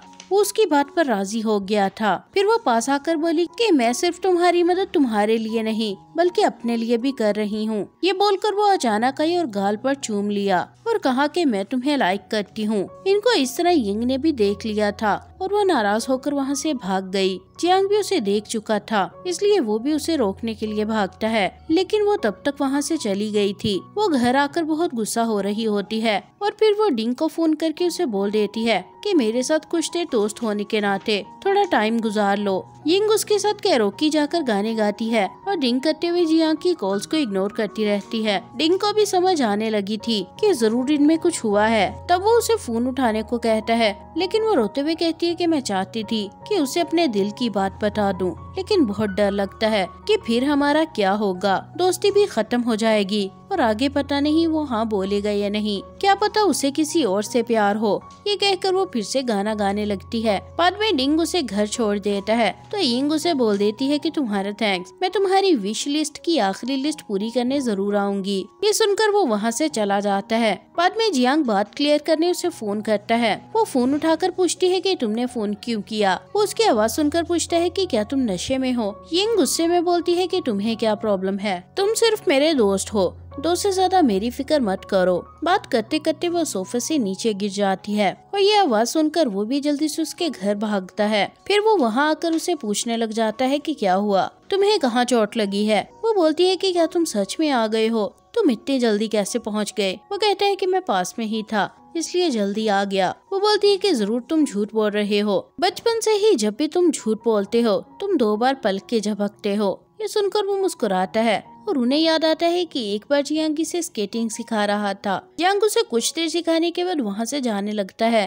तो वो उसे बोलती है कि अभी मुझे और प्रैक्टिस करनी है। अभी मेरे पास ही रुको। वहाँ मैं अकेले में गिर जाऊँगी। उसने उसकी बात नहीं मानी और वहाँ से चला गया। बाद में जियांग को यिंग ने फ़ोन करके बताया। कि मैं गिर गई हूँ। मुझे लग रहा है कि मेरी टांग टूट गई। प्लीज़ आकर मेरी हेल्प करो। जंग उसे कहता है कि अपनी टांग वापस जोड़ लो। वो रोते हुए उसे बोलती है कि मेरा यकीन करो, मैं सच बोल रही हूँ। लेकिन जियांग उसकी बात को झूठ समझकर फ़ोन काट देता है। यिंग वही रोती रह जाती है। बाद में यिंग की टांग पर प्लास्टर लग जाता है और उसकी फ्रेंड्स उसका ख्याल रख रही होती हैं। जब जियांग आकर यिंग को वाकई में चोट लगे हुए देखता है तो काफ़ी परेशान होकर पूछता है कि तुम्हें क्या हुआ? यिंग कहती है कि तुम्हें क्या फ़र्क पड़ता है? तुम्हें मेरी कोई परवाह थोड़ी है? वो बोलता है कि मुझे तो लगा था कि तुम झूठ बोल रही हो, वरना मैं ऐसा कभी ना करता। मिंग कहती है कि उसने गिरने के बाद सबसे पहले तुम्हें कॉल की, लेकिन तुम नहीं गए। अब सफ़ाई देने की बजाय माफ़ी मांगो। इस बात पर वो शर्मिंदा हो जाता है। तब यीफे उससे कहती है कि हम सब लोग यिंग का ख्याल रखेंगे,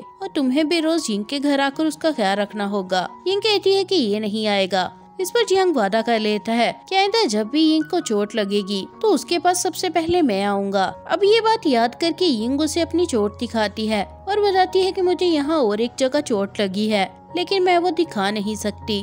वो बोलता है कि नहीं, मुझे देखने दो। वो गुस्से में आकर उसे धक्का मारती है और मारते हुए कहती है कि बदमाश कहीं के, तुम सबके साथ ऐसा ही करते हो क्या? तुम चुई के साथ भी यही सब करते होगे ना? यिंग उसे मारते हुए उसके बाल भी खींचती है और कहती है कि अब तुम बच के दिखाओ। बाद में जियांग गुजरे हुए बालों के साथ बैठा हुआ होता है और वो होश में आने के बाद माफ़ी मांगती है। फिर वो कहती है कि मेरे ख्याल से अब हमें एक दूसरे से दूर ही रहना चाहिए। मैं जान गई हूँ कि तुम और चुई एक दूसरे को लाइक करते हो। तुम दोनों की जोड़ी अच्छी है। इसलिए मैं तुम्हारे बीच नहीं आना चाहती। जंग कहते हैं कि ये एक गलत वहमी है। मैं तो उसे बिल्कुल भी लाइक नहीं करता। उसने मुझे अचानक से गाल पर किस किया और मैं भी चौंक गया था। तुम्हारे एंगल से लगा होगा कि हम दोनों ने किस किया। उसने मुझे प्रपोज भी किया था, लेकिन आज मैंने उसे जवाब दे दिया था कि हम दोनों दोस्त और पार्टनर्स बन सकते हैं, लेकिन उससे ज़्यादा कुछ नहीं, जिस पर उसने भी जवाब दिया कि मैंने अपने जज्बात का इजहार कर दिया और तुमने अपने दिल की बात बता दी। बात यही खत्म होती है।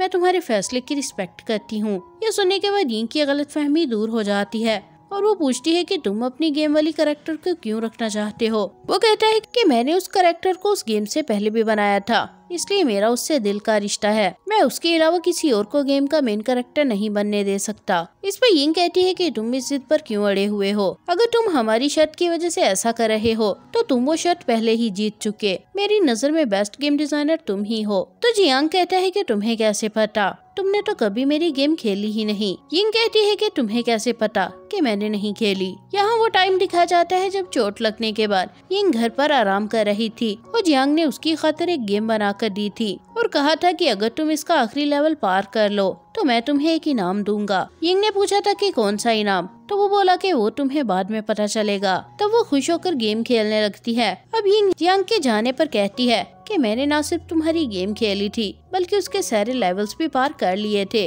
और इनाम भी देख लिया। घर वापस आकर जियांग जुआन को बता देता है कि यिंग को चोट लग गई थी। मैंने जाकर उसके साथ गलत फहमी भी दूर कर ली। जुआन उसकी बात सुनने के बाद जाने लगता है। और फिर कहते हैं कि एक बात बता दूँ कि कल बारिश का दिन है। बारिश के दिन तुम्हें यिंग को उसका अम्ब्रेला वापस करना है। ये सुनकर वो भी फैसला कर लेता है कि कल अपनी बात कर देगा। अगली रात जुआन एक होटल में बैठा हुआ था और यिंग को मैसेजेस करके वहाँ डिनर पे बुला लेता है। यिंग अपने काम से फ्री होके जिया के पास जाने लगती है कि तभी अचानक डिंग आकर उसका ज़बरदस्ती हाथ पकड़ कर ले जाने लगता है, ताकि आखिरी विश पूरी करने में वो उसका साथ दे। यिंग उसे बताती भी है कि मुझे एक और जगह जाना है। वहाँ जाना बहुत ज़रूरी है, लेकिन वो उसकी बात नहीं सुनता। वो घड़ी में बिठाकर ले जाता है। उसने एक पहाड़ी पर कैंप लगाया हुआ था। यंग के फ़ोन पर सिग्नल्स भी नहीं आ रहे थे, इसलिए वो काफ़ी परेशान हो रही होती है। वो डिंग से पूछते हैं कि आपकी आखिरी विश क्या है? बारिश में कैंप लगाना या पहाड़ पे बार भी क्यों करना? उसे पास बिठाता है और बताता है कि मैं इस जगह बैठकर बारिश के बाद सूरज को निकलते हुए देखना चाहता हूँ। इंग हैरान होकर कहती है कि क्या हमें सुबह तक इधर बैठना पड़ेगा?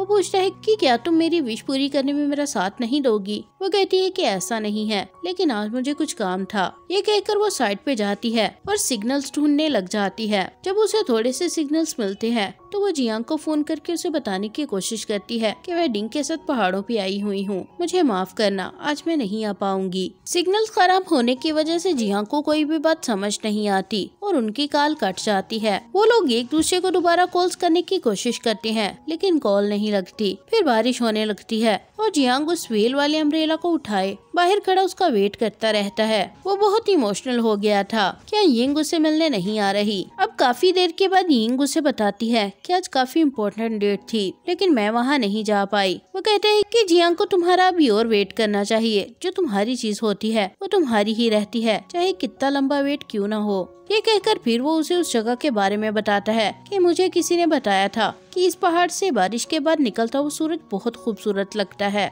मैं जानना चाहता हूँ कि मैं ये देख पाऊँगा या नहीं। यंग कहती है कि आप ज़रूर देख लेंगे। इधर जियांग अपने घर वापिस आकर भी बार बार उसे कॉल करता जाता है। और यिंग के फ़ोन न उठाने पर परेशान भी होता है। फिर वो कुछ देर सोचने के बाद अपना काम करना शुरू कर देता है, कि तभी उसे याद आता है कि स्कूल में उसने सुना था कि ईफे जिस यूनिवर्सिटी जाना चाहती थी कौन जाऊ ने भी कहा था कि वो भी उसी यूनिवर्सिटी जाएगा, जो सुनकर दूसरी क्लासमेट्स कह रही थी कि ज़ाहिर है कि तुम उसी जगह जाओगे, जहाँ वो इंसान जाएगा जिसे तुम लाइक करते हो। ये सुनकर जियांग को भी ख्याल आया कि वो यिंग की यूनिवर्सिटी का पता करे। उसने कॉलेज के फॉर्म जाकर पढ़े और यिंग का फॉर्म पढ़कर पता लगा लिया कि वो बीजिंग जाने वाली है। ये पढ़कर उसे बहुत दुख हुआ, क्योंकि उसके ग्रेड्स इतने अच्छे नहीं थे कि वो वहाँ जा पाता। उसने यिंग को अचानक इग्नोर करना शुरू कर दिया था। जंग रात को अपने घर आया तो वहाँ उसके पेरेंट्स आए हुए थे। यिंग भी उसके घर आकर उन दोनों को हेलो बोलती है और जियांग से बात करने के लिए उसके कमरे का डोर नोक करती है। वो उसे आवाज़ें देखकर पूछती हुई है कि तुम मुझे इग्नोर क्यों कर रहे हो? लेकिन वो दरवाज़ा भी नहीं खोलता और किसी बात का जवाब नहीं देता, बल्कि एयरफोन्स लगा लेता है। यिंग उसके घर से चली जाती है और अंदर बैठा जियांग अपनी बुक्स निकाल कर पढ़ाई करने शुरू कर देता है। उसे जब भी मदद की ज़रूरत पड़ती है तो जुआन को फ़ोन करके पूछ लेता है और वो उसे पढ़ाई में मदद करने लग जाता है। यूँ दिन गुजरते हैं और वो दिल लगाकर अपनी क्लासेस और पढ़ाई को टाइम देने लगता है। यिंग उसे देखकर हैरान होती थी कि ये मुझसे बात क्यों नहीं करता। बाद में टेस्ट के रिज़ल्ट में जियांग को अच्छे मार्क्स मिलते हैं, जिस पर वो काफ़ी देर चुप रहता है। लेकिन फिर क्लास से बाहर जाकर ज़ोर से चिल्लाता है कि मैं एक जीनियस हूँ। मैंने इतने सारे मार्क्स लिए, जो सुनकर सब दूसरे स्टूडेंट्स भी हंसने लगते हैं। अब प्रेजेंट टाइम में डिंग और यिंग सूरज उगने का वेट कर रहे होते हैं। तभी यिंग सवाल कर लेती है कि आप जिन विशेष को पूरा कर रहे हैं, ऐसा नहीं लगता कि आपको उनमें कोई इंटरेस्ट है? फिर आप ये विशेष पूरी क्यों कर रहे हैं? वो कहता है कि ये मेरी नहीं, किसी और की विशेष है। तुमने मुझसे मेरी आने वाली बुक का पूछा था। मैंने उसे दस साल पहले लिखना शुरू किया, लेकिन मैं कई साल से उसका एक वर्ड भी नहीं लिख पाया। बचपन से ही मुझे दूसरे बच्चों के साथ खेलने में कोई दिलचस्पी नहीं थी। मैं एक अजीब सा बच्चा था, जो खुद को अपने कमरे में बंद करके कुछ न कुछ लिखता रहता। फिर एक दिन मुझे एहसास हुआ कि अच्छी चीज़ों को दोस्तों के साथ बांटना चाहिए। मुझे तुम्हें देखकर जलन हुई कि तुम्हारे पास इतने सारे दोस्त हैं, लेकिन अब तुम्हारा दोस्त बनने के बाद मुझे सबसे ज़्यादा जलन जियांग से होती है। ये सुनकर यिंग खामोश हो गई थी। फिर वो उसे विशेष पूरी करने में साथ देने पर थैंक्स बोलता है। अब कुछ ही देर में सूरज भी निकल आता है और वो दोनों उसे देखकर कहते हैं कि ये मंजर वाकई में बहुत खूबसूरत है। अगली सुबह नाश्ते पर जुआन जियांग को बताता है कि मुझे मिंग की कंपनी के एक प्रोजेक्ट पर काम करने के लिए आज इंटरव्यू देने जाना है। वो पूछता है कि क्या मिंग को पता है? तो वो कहता है कि अभी उसे नहीं पता। लेकिन अगर मुझे प्रोजेक्ट मिल गया तो उसे बता दूँगा। बाद में वो तैयार होकर इंटरव्यू के लिए चला जाता है। यहाँ डिंग भी यिंग को उसके घर छोड़ने आया होता है। इन दोनों को जियांग अपनी खिड़की से देख रहा था और उसे फिर से दुख होता है। घर आते ही यिंग अपना फ़ोन चार्ज पर लगा की जियांग को फ़ोन करती है, लेकिन वो कॉल रिसीव नहीं करता। इसलिए वो जियांग से मिलने चली जाती है। उधर जुआन मिंग की कंपनी इंटरव्यू देने आता है तो काई उसे देख लेता है और कुछ सोचने लग जाता है। वहाँ यिंग जियांग की कंपनी में आई होती है, लेकिन वहाँ जुई से पता चलता है कि वो आज काम पर नहीं आया। साथ ही जुई से उस दिन की बात क्लियर करने लगती है तो वो कहती है कि जियांग ने मुझे पहले ही सब बता दिया है। तुम फ़िक्र मत करो। उनसे मिलने के बाद यिंग जुआन की यूनिवर्सिटी पहुँच जाती है, ताकि उसे जियांग का पूछ सके। वो कहता है कि वो तो मेरा भी फ़ोन पिक नहीं कर रहा। मुझे कैसे पता होगा कि वो कहाँ है? मैं उसके घर थोड़ी न रहता हूँ। यिंग ये सुनकर कहती है कि ये कहकर तुम मुझे शक में डाल रहे हो, क्योंकि स्कूल में भी तुम ऐसे ही झूठ बोला करते थे और जियांग के झूठ में उसका साथ देते थे। यहाँ दिखाया जाता है कि जब जियांग उससे बात नहीं कर रहा था, तब यिंग काफ़ी दुखी थी। उसकी इस हालत को देखकर जुआ ने उसे बता दिया था कि दरअसल जियांग मेरे साथ मिलकर रोज पढ़ाई करता है। वो भी तुम्हारे साथ बीजिंग की यूनिवर्सिटी में जाना चाहता है, इसलिए बहुत देर से मेहनत कर रहा है। वो तुम्हें सरप्राइज़ देना चाहता था। ये बताने के बाद वो जियांग के टेस्ट पेपर्स भी दिखाता है, जिसमें उसने मार्क्स काफ़ी अच्छे लिए हुए थे और एक पेपर पर वेल बनी हुई थी, जो देखकर वो इमोशनल हो जाती है कि जियांग उसकी खातिर कितनी मेहनत कर रहा है। ये खुशी से रोने लगती है और भी जियांग की क्लास में आकर उसे देखती है। जबकि वो तो सो रहा था। वो कुछ देर यूँ ही देखती रहती है और फिर जब जियांग की आँख खुलती है तो पास में एक मिल्क बोतल रखी हुई थी, जिस पर यिंग ने लिखा था कि यूँ ही मेहनत करते रहो। ये देखकर वो खुश हो जाता है। कुछ दिन के बाद इन सबके फाइनल एग्ज़ाम्स हो जाते हैं और सब अपना अपना एग्ज़ाम कर रहे होते हैं। जियांग ने भी एग्ज़ाम्स की काफ़ी अच्छे से तैयारी की थी, इसलिए उसे रिज़ल्ट का बेसब्री से वेट था। जब रिज़ल्ट आता है तो जियांग और यिंग मिलकर उसका रिज़ल्ट निकालते हैं। लेकिन बदकिस्मती से जिया के मार्क्स अच्छे नहीं आते और उस बेचारे का दिल टूट जाता है। वो नाराज़ होकर खुद को अपने रूम में लॉक कर लेता है और किसी के बुलाने पर भी बाहर नहीं आता। वो अंदर बैठकर काफ़ी रोता है और फिर रात को उसकी मोम उसके कमरे में आकर उसे बोलती है कि तुम्हारा रिज़ल्ट जैसा भी आया हो। हम सब जानते हैं कि तुमने बहुत मेहनत की थी। तुम फ़िक्र मत करो। मैं तुम्हें यूके ले जाकर अच्छी सी यूनिवर्सिटी में एडमिट करवाऊँगी। तुम्हारा फ्यूचर बहुत अच्छा होगा। जियांग हैरान होकर मोम से कहता है कि क्या आप मेरे मार्क्स अच्छे न आने का वेट कर रही थी, ताकि उसी बहाने मुझे यूके ले जा सके। आप लोग मेरे मामलों से दूर ही रहे। मैं यूके कभी नहीं जाऊँगा। मोम कहती है कि ये सब तो मैं तुम्हारे फ़ायदे के लिए कर रही हूँ। अच्छी यूनिवर्सिटी में जाना तुम्हारे भले के लिए है। लेकिन जियांग उन्हें मना कर देता है। तो मोम वहाँ से चली जाती है। बाद में सब दोस्त इकट्ठे बैठे अपनी अपनी यूनिवर्सिटी के बारे में बात कर रहे थे। जंग कहते हैं कि मैं अब किसी यूनिवर्सिटी जाने के बजाय साइबर कैफ़े में काम कर लूँगा और गेमिंग में हिस्सा लूँगा। उसके दोस्त उसे समझाने की कोशिश करते हैं कि अगर तुम्हारे मोम डैड तुम्हें यूके यूनिवर्सिटी में भेजना चाहते हैं तो तुम्हें चले जाना चाहिए, ताकि तुम्हारा फ्यूचर ब्राइट हो। यिंग उन लोगों से कहती है कि इसे कोई मत समझाए। हर किसी को अपनी ज़िंदगी के फैसले लेने का हक है। इंसान की अपनी मर्ज़ी होती है कि वो अपनी लाइफ को बनाना चाहता है या बिगाड़ना चाहता है। ये बात फ़िलहाल जियांग को समझ नहीं आती। बाद में वो यिंग के घर डिनर करने आता है। वो तो बिल्कुल नॉर्मल था, लेकिन यिंग उससे काफ़ी नाराज़ थी। मोमन से पूछती है कि तुम लोग छुट्टियों में कहाँ जाने वाले हो? तो जियांग बताता है कि हम सब दोस्त ट्रिप पर जाने का सोच रहे हैं, लेकिन यिंग बोलती है कि मैं तो वहाँ नहीं जाने वाली। अगर मैं अपनी यूनिवर्सिटी में जाना चाहती हूँ तो फिर मुझे इन छुट्टियों में पढ़ाई करनी होगी। मैं अब अपने फ्यूचर का सोचूँगी, सारा दिन इंजॉय करती रहूँगी। तो मेरे फ्यूचर पर बात आएगी। यहाँ कहता है कि मैं भी बीजिंग जाने वाला हूँ, ताकि सब दोस्तों को बारी बारी मिल सकूँ। यिंग बोलती है कि दोस्तों के अलावा इंसान को अपने गोल्स को भी सोचना चाहिए। जो सोचेगा उसी की ज़िंदगी सक्सेसफुल होगी, वरना ज़िंदगी बर्बाद हो जाएगी। ये बोलकर वो अपने कमरे में चली जाती है और जियांग उसकी बात सुनकर हैरान हो जाता है। अब रूम में आकर वो रोने लगती है। और उसे याद आता है कि जियांग की मोम उससे मिली थी। उन्होंने ही यिंग को बताया था कि हमने जियांग के लिए यूके में एक अच्छी यूनिवर्सिटी में अप्लाई किया है, लेकिन वो जाने को तैयार नहीं। वो सब दोस्तों में से सबसे ज़्यादा तुम्हारी परवाह करता है। अगर तुम उसे मनाओगी तो वो ज़रूर मान जाएगा। इस पर यिंग ने मोम से कह दिया कि मैं उसे ज़रूर मनाऊँगी। अब यही याद करते वो काफ़ी रो रही थी, क्योंकि जियांग के अच्छे फ्यूचर की खातिर उसे जियांग को खुद से दूर भेजना था। अब यिंग जब ये बात जुआन को भी बताती है तो वो भी कहता है कि मैं भी हैरान था कि जिद्दी जियांग यूके जाने के लिए अचानक कैसे मान गया? यिंग कहती है कि वो वहाँ मेरी वजह से गया था और उस काम में तुमने भी मेरी हेल्प की। वो हैरान होकर कहता है कि वो कैसे? यहाँ पता चलता है कि यिंग ने उस टाइम जुवान को फ़ोन करके अपने पास बुलाया था और फिर उसके साथ वॉक करने लगी। उसे मालूम था कि अब जियांग के यहाँ से गुजरने का टाइम है तो उसने जल्दी से जुआन का हाथ पकड़ लिया। उसने पूछा कि तुमने मेरा हाथ क्यों पकड़ा? तो उसने बोल दिया कि एक लड़का आजकल मेरा पीछा करके मुझे डराता रहता है तो मेरे साथ साथ रहना, ताकि वो डर जाए। आसपास देखे बिना मेरे साथ चलते रहो। तभी वहाँ से जियांग गुजरा, जिसने यिंग और जुआन को हाथों में हाथ डाले देख लिया। यिंग को जब पता चला कि जियांग उनके पीछे पीछे आकर उन्हें देख रहा है तो वो और ज़ोर से उसका हाथ पकड़कर चलने लगी,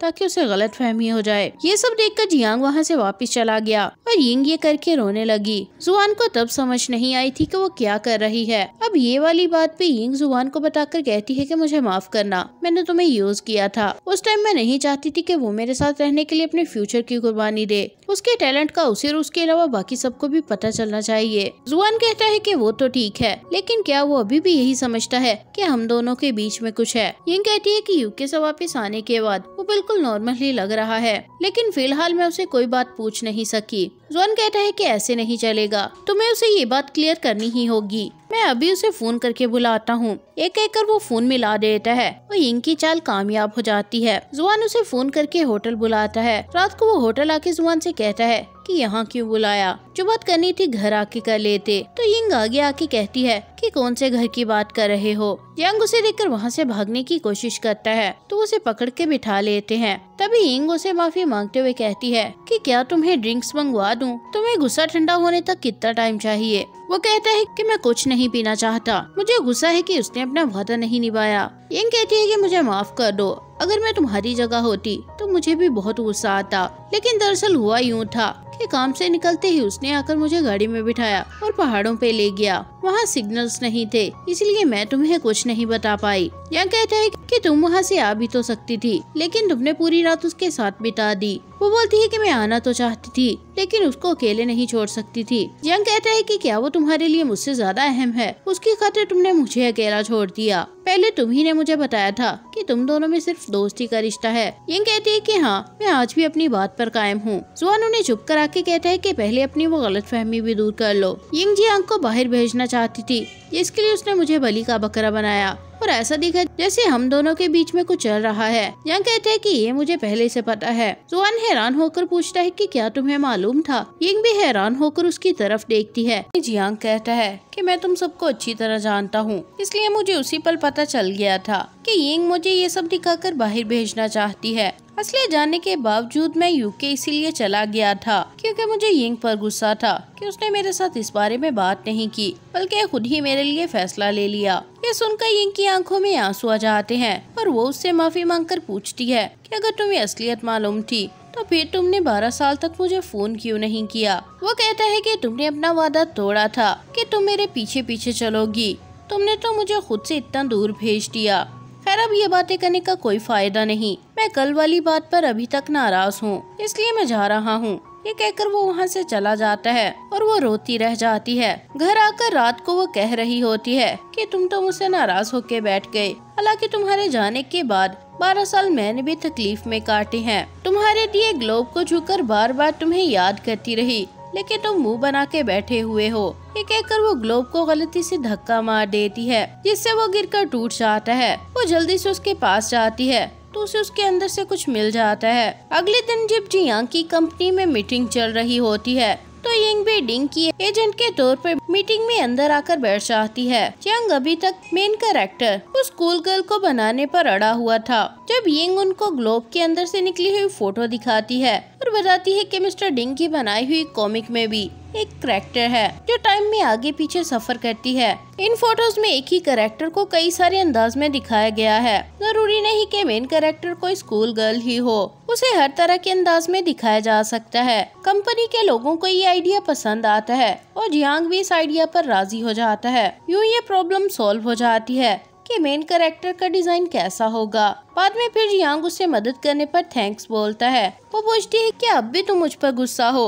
वो पहले तो उसे थोड़ी बातें सुनाता है, लेकिन फिर माफ़ कर देता है। फिर यंग उसे वो फ़ोटो दिखाकर कहती है कि इन गिफ्ट्स के लिए शुक्रिया। जियांग कहते हैं कि गिफ्ट मिलने में तुम्हें बारह साल लग गए। वो बोलती है कि मैंने तुम्हारे दिए ग्लोब को हमेशा संभाल कर रखा।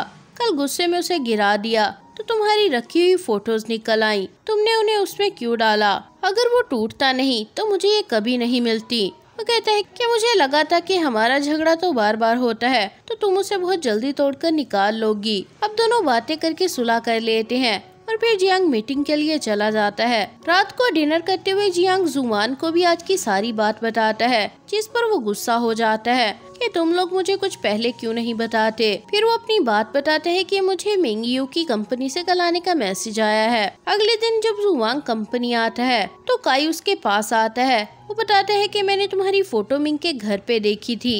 इसलिए मैं जानता हूँ कि तुम उसके दोस्त हो। मैं उसका बॉयफ्रेंड हूँ। लेकिन तुम कंपनी में किसी को मत बताना। दरअसल बात यह है कि यहाँ काम मिलना आसान नहीं। मैंने तुम्हें रेकमेंड किया था। अब तुम्हें मेहनत करनी होगी। जुआन पूछता है कि आपने मेरी मदद क्यों की? वो कहता है कि मैंने तो सिर्फ़ छोटी सी कोशिश की थी। तुम्हारी क्वालिफिकेशन काफ़ी अच्छी थी, इसलिए तुम्हें जॉब मिल गई, वरना मेरे कहने पर कुछ नहीं होता। जुआन उसे थैंक्स बोलता है। तो उसे कहता है कि अगर तुम वाकई मुझे शुक्रिया कहना चाहते हो तो तुम्हें भी मेरी एक काम में मदद करनी होगी। जुआन उसकी बात मान लेता है। और फिर रात को ये जियांगो यिंग को भी उस होटल में बुलाता है, जहाँ कई ने उन्हें बुलाया था। तभी मिंग भी वहाँ पहुँच उन सबसे मिलती है। कई आगे आकर मिंग को बताता है कि मैंने तुम्हारे दोस्तों को यहाँ बुलाया।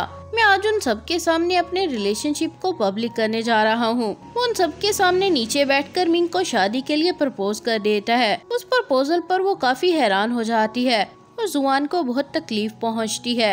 यिंग और जियांग को भी समझ आ जाती है कि जुआन को बहुत बुरा लग रहा होगा। मिंग उसे हाँ कर देती है और वो उसे रिंग पहना देता है और फिर दोनों हक कर लेते हैं। जुआन सबसे पहले तालियाँ बजाना शुरू करता है और बाकी दोनों भी नकली सी खुशी दिखाते हुए तालियाँ बजा देते हैं। बाद में ज़ुबान इस बात पर काफ़ी दुखी होता है कि उसे मिंग को किसी और के प्रपोजल पर हाँ बोलते हुए देखना पड़ा। उसे दुखी होते देख कर यिंग भी कहती है कि ज़रूरी नहीं। कि मिंग उसे हाँ बोलकर वाकई खुश है। हो सकता है कि वो खुद को भी धोखा दे रही हो। यहाँ दिखाया जाता है कि स्कूल टाइम में जुआन ने यिंग से रिक्वेस्ट की थी कि मेरी खातिर पता करो कि मिंग किस यूनिवर्सिटी जाने वाली है, ताकि मैं भी वहाँ एडमिशन ले सकूँ। यिंग जाके मिंग से उसकी यूनिवर्सिटी का पूछ लेती है तो वो बताती है कि मैं किम्बे जा रही हूँ। जब यिंग आकर जुआन को ये बात बताती है तो वो परेशान हो जाता है, क्योंकि उस यूनिवर्सिटी जाना बहुत मुश्किल था। जब उसकी मोम ने ये बात सुनी उन्होंने आकर बोला कि तुम्हें वहाँ जाने के लिए बहुत मेहनत करनी पड़ेगी। खुद पर इतनी मुश्किल मत डालो। लेकिन ज़ुबान बोल देता है कि मैंने सारी ज़िंदगी आपकी सुनी। आज मुझे अपनी कर लेने दे। कुछ दिन गुजरने के बाद जब सब बच्चों की लिस्ट आती है तो पता चलता है कि मिंग तो किसी दूसरी यूनिवर्सिटी जाने वाली है। ये जानकर उसे काफ़ी दुख होता है। बाद में वो जुआन को बैठकर बताती है कि मुझे पहले से पता था कि मेरी यूनिवर्सिटी का पता करवाने तुम्हें ने इंग को भेजा था। मुझे दूसरी यूनिवर्सिटी से कॉल आ गई थी, और उन्होंने बताया था कि उनके पास अर्ली स्लॉट्स अवेलेबल हैं। मैं भी तुम्हारी वाली यूनिवर्सिटी में तुम्हारे साथ जाना चाहती थी, लेकिन उस फ़ोन कॉल के बाद मैंने वो मौका ना गंवाने का फैसला किया। वो पूछता है कि अगर तुम वहाँ जाने वाली थी तो फिर मुझे किम्बे यूनिवर्सिटी का नाम क्यों बताया? वो कहती है कि तुम्हें सबसे बेस्ट यूनिवर्सिटी में जाना चाहिए। मैं जानती थी कि तुम वहाँ पहुँचने में कामयाब हो जाओगे। जुआनी ये सुनकर पहले से रो रहा था। मिंग भी रोते हुए उसे गले लगाकर बेस्ट विश करती है। वो दोनों बहुत रोते हैं। अब प्रेजेंट टाइम में जियांग जुआन को घर लेकर आता है। वो जियांग से कहता है कि मेरा और मिंग का अब कुछ नहीं हो सकता। लेकिन तुम और यिंग के साथ ऐसा नहीं होना चाहिए। अगर कभी तुम्हें भी वही सब सहना पड़ा, जो मैंने सहा है तो बहुत तकलीफ़ होगी। अब कल तुम जाकर यिंग को उसका अम्ब्रेला दे देना। उसने बारह साल तुम्हारा वेट किया है। किसी को इतना वेट नहीं कराना चाहिए कि वो वेट करना ही छोड़ दे। ये बात जियांग को भी समझ आ जाती है वो अगले ही दिन यिंग को फ़िल्म दिखाने ले आता है और सारा सिनेमा बुक कर लेता है ताकि यहाँ सिर्फ़ ये दोनों हो। दोनों साथ बैठकर पूरी फ़िल्म देखते हैं और क्रेडिट्स भी देखते हैं। यिंग पूछती है कि तुम तो कभी क्रेडिट्स नहीं देखते थे। और यहाँ से जाने की जिद क्यों नहीं कर रहे? वो कहते हैं कि आज का दिन मैंने तुम्हें दे दिया। यिंग उसके साथ मूवी के बारे में कुछ बात करने लगती है और फिर जब उठकर जाने लगती है तो जियांग उसे आवाज़ देकर बुलाता है और उसे वो अम्ब्रेला दिखाता है, जिसे देखकर वो काफ़ी हैरान होती है। उस अम्ब्रेला को देखते ही यिंग की पुरानी यादें ताज़ा हो जाती हैं और काफ़ी इमोशनल हो जाती है। वो उसे वो वापस कर देते हैं और इंग की आँखों में खुशी के आँसू आ जाते हैं। इंग घर जाते हुए कहती है कि कभी नहीं सोचा था कि मुझे वापस मिल जाएगा। शायद वो बात सही थी कि जो चीज़ जिसकी होती है उसे कभी न कभी उसके पास वापस जाना पड़ता है। यांग उसे घर छोड़ देता है तो यिंग उसे थैंक्स बोलती है और फिर कल रात डिनर करने का पूछ लेती है। उसे बहुत सारी डिशेस का नाम बताता है और कहता है कि उम्मीद है कि तुम्हारा खाना खा के पेट खराब नहीं होगा। वो कहती है कि अगर हो भी जाए तभी तुम्हें खाना पड़ेगा। फिर वो कहती है कि क्यों ना मैं तुम्हारे घर आकर खाना बनाऊँ। मैं तुम्हारे घर कभी नहीं आई। चियांग घबरा कर कहता है कि मैं घर की सफ़ाई नहीं करता और वहाँ गैस भी नहीं आती। मेरे घर नहीं जाना चाहिए। वो बोलती है कि तुम तो ऐसे घबरा रहे हो, जैसे घर में कोई चीज़ छुपाई हो। ठीक है, मैं तुम्हारे घर पर नहीं आऊँगी। अब जियांग उसे बोलकर जाने लगता है। तो वो कहती है कि बाहर का रास्ता तो उस तरफ़ है। फिर यहाँ किधर जा रहे हो? जियांग भी हैरान हो जाता है और फिर उसकी हाँ में हाँ मिलाकर दूसरे रास्ते पर चला जाता है। यिंग तब उसे शक की नज़रों से देखती है। जियांग के घर वापस आने पर जुआन पूछताछ करने लग जाता है कि तुम्हारी और यिंग की डेट कैसी रही।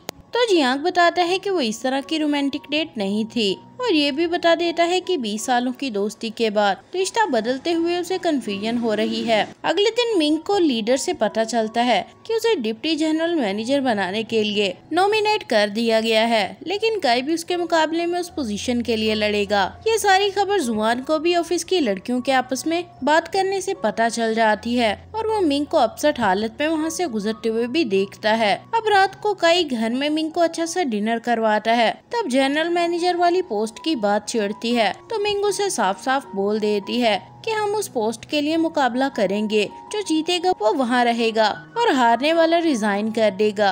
ये बात कई को अजीब लगती है। इससे पहले कि वो कुछ बोलता, मिंग को यिंग का फ़ोन आ जाता है और वो उठकर उससे मिलने चली जाती है। यिंग के घर पे आकर, वो उसे अगली डेट के लिए ज्वेलरी चुनने में मदद करती है और खुश होती है कि 20 साल के इंतज़ार के बाद ये दोनों सच में मिलने वाले हैं। मिंग उसे कैंडल्स और बोतल भी देकर कहती है कि इस डिनर को कैंडल लाइट डिनर बनाओ और अब चीज़ों को थोड़ा तेज करो। तुम लोग बहुत स्लो हो। ये कहती है कि हमें इतनी तेज़ी करने की ज़रूरत नहीं। हमारा रिश्ता कभी नहीं टूटेगा, क्योंकि हमारा रिश्ता बरसों पुराना है। यंग से उसकी शादी की बात पूछती है तो वो कहती है कि सब कुछ ठीक जा रहा है। अगर तुम चाहो तो मेरी ब्राइड्समेड बन सकती हो। इस पे वो भी हाँ कर देती है। फिर जियांग डिनर करने आता है तो वो उसके लिए अपनी मोम की बनाई हुई रेसिपीज़ के मुताबिक खाना बनाती है। पहले तो लगता है कि इंग आज कमाल कर देगी, लेकिन आखिर में वो सब कुछ जला के रख देती है और फिर दोनों को नूडल्स खाने पड़ जाते हैं। अब खाने के बाद यिंग उसे अपना पुराना लैपटॉप दिखाकर कहती है कि ये ऑन नहीं हो रहा, इसे ठीक कर दो। जब वो लैपटॉप चलाता है तो वही वीडियो चल जाती है जो एनिमेशन वीडियो थी। जो जिया की बनाई गेम के सब लेवल्स पूरे होने के बाद इनाम के तौर पर यिंग को मिलनी थी। उस वीडियो में वेल्स थी और आई लाइक यू लिखा हुआ था। यिंग कहती है कि मैंने सारे लेवल्स पार किए। एंड पे पता चला कि मेरा इनाम ये एनिमेशन वीडियो थी।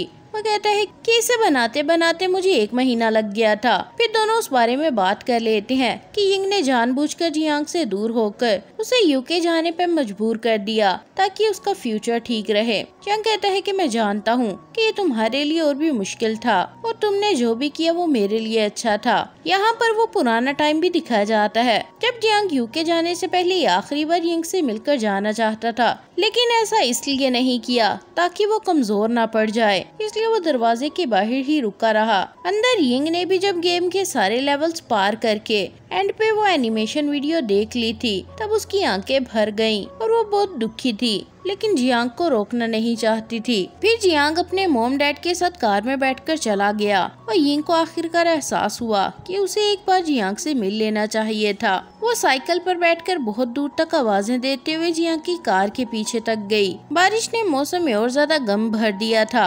यिंग आवाज़ें देती रह गई, लेकिन किसी को पता न चला। और जियांग भी रोता रहा कि वो यिंग से बहुत दूर जा रहा है। आखिर गाड़ी आगे निकल गई और यिंग वहीं रुककर रोने लगी और बोलती रही कि मैं तुम्हें लाइक करती हूँ। मैंने तुम्हारी गेम पूरी करके अपना इनाम देख लिया। मुझसे दूर जा रहे हो तो बच्चे से पढ़ना। मैं तुम्हारा वेट करूँगी। यूँ तब दोनों अलग हो गए। आज के दिन यिंग उसे ये बात बताती है कि वो साइकिल लेकर इतना दूर तक आई, लेकिन किसी ने उसकी आवाज़ नहीं सुनी। जहाँ कहता है कि अगर उस दिन मैं तुम्हारी आवाज़ सुन लेता तो यूके नहीं जा पाता। ये कहती है कि अब पीछे जो भी हुआ उसे भूल जाओ। अब वो काम करके दिखाओ जिसके लिए हमें बारह साल तक दूर रहना पड़ा। तुम्हारी गेम वो पहली गेम थी, जिसे मैंने आखिर तक खेला, और बोर नहीं हुई। अब इस गेम को समराइज करो, और इसका ज़रूरी पॉइंट बताओ। यांग ये सुनकर घबरा जाता है और उसे जवाब देने लगता है कि तभी उसे चुई का फ़ोन आ जाता है। यिंग को ये देखकर अच्छा नहीं लगता, लेकिन जियांग को कॉल उठाने देती है। जियांग को इमरजेंसी में ऑफ़िस जाना पड़ता है। इस पर यिंग गुस्से में बोलती है कि हाँ चले जाओ और वापस मत आना। उधर ऑफ़िस में मिस्टर जाऊ बोस को बता रहा होता है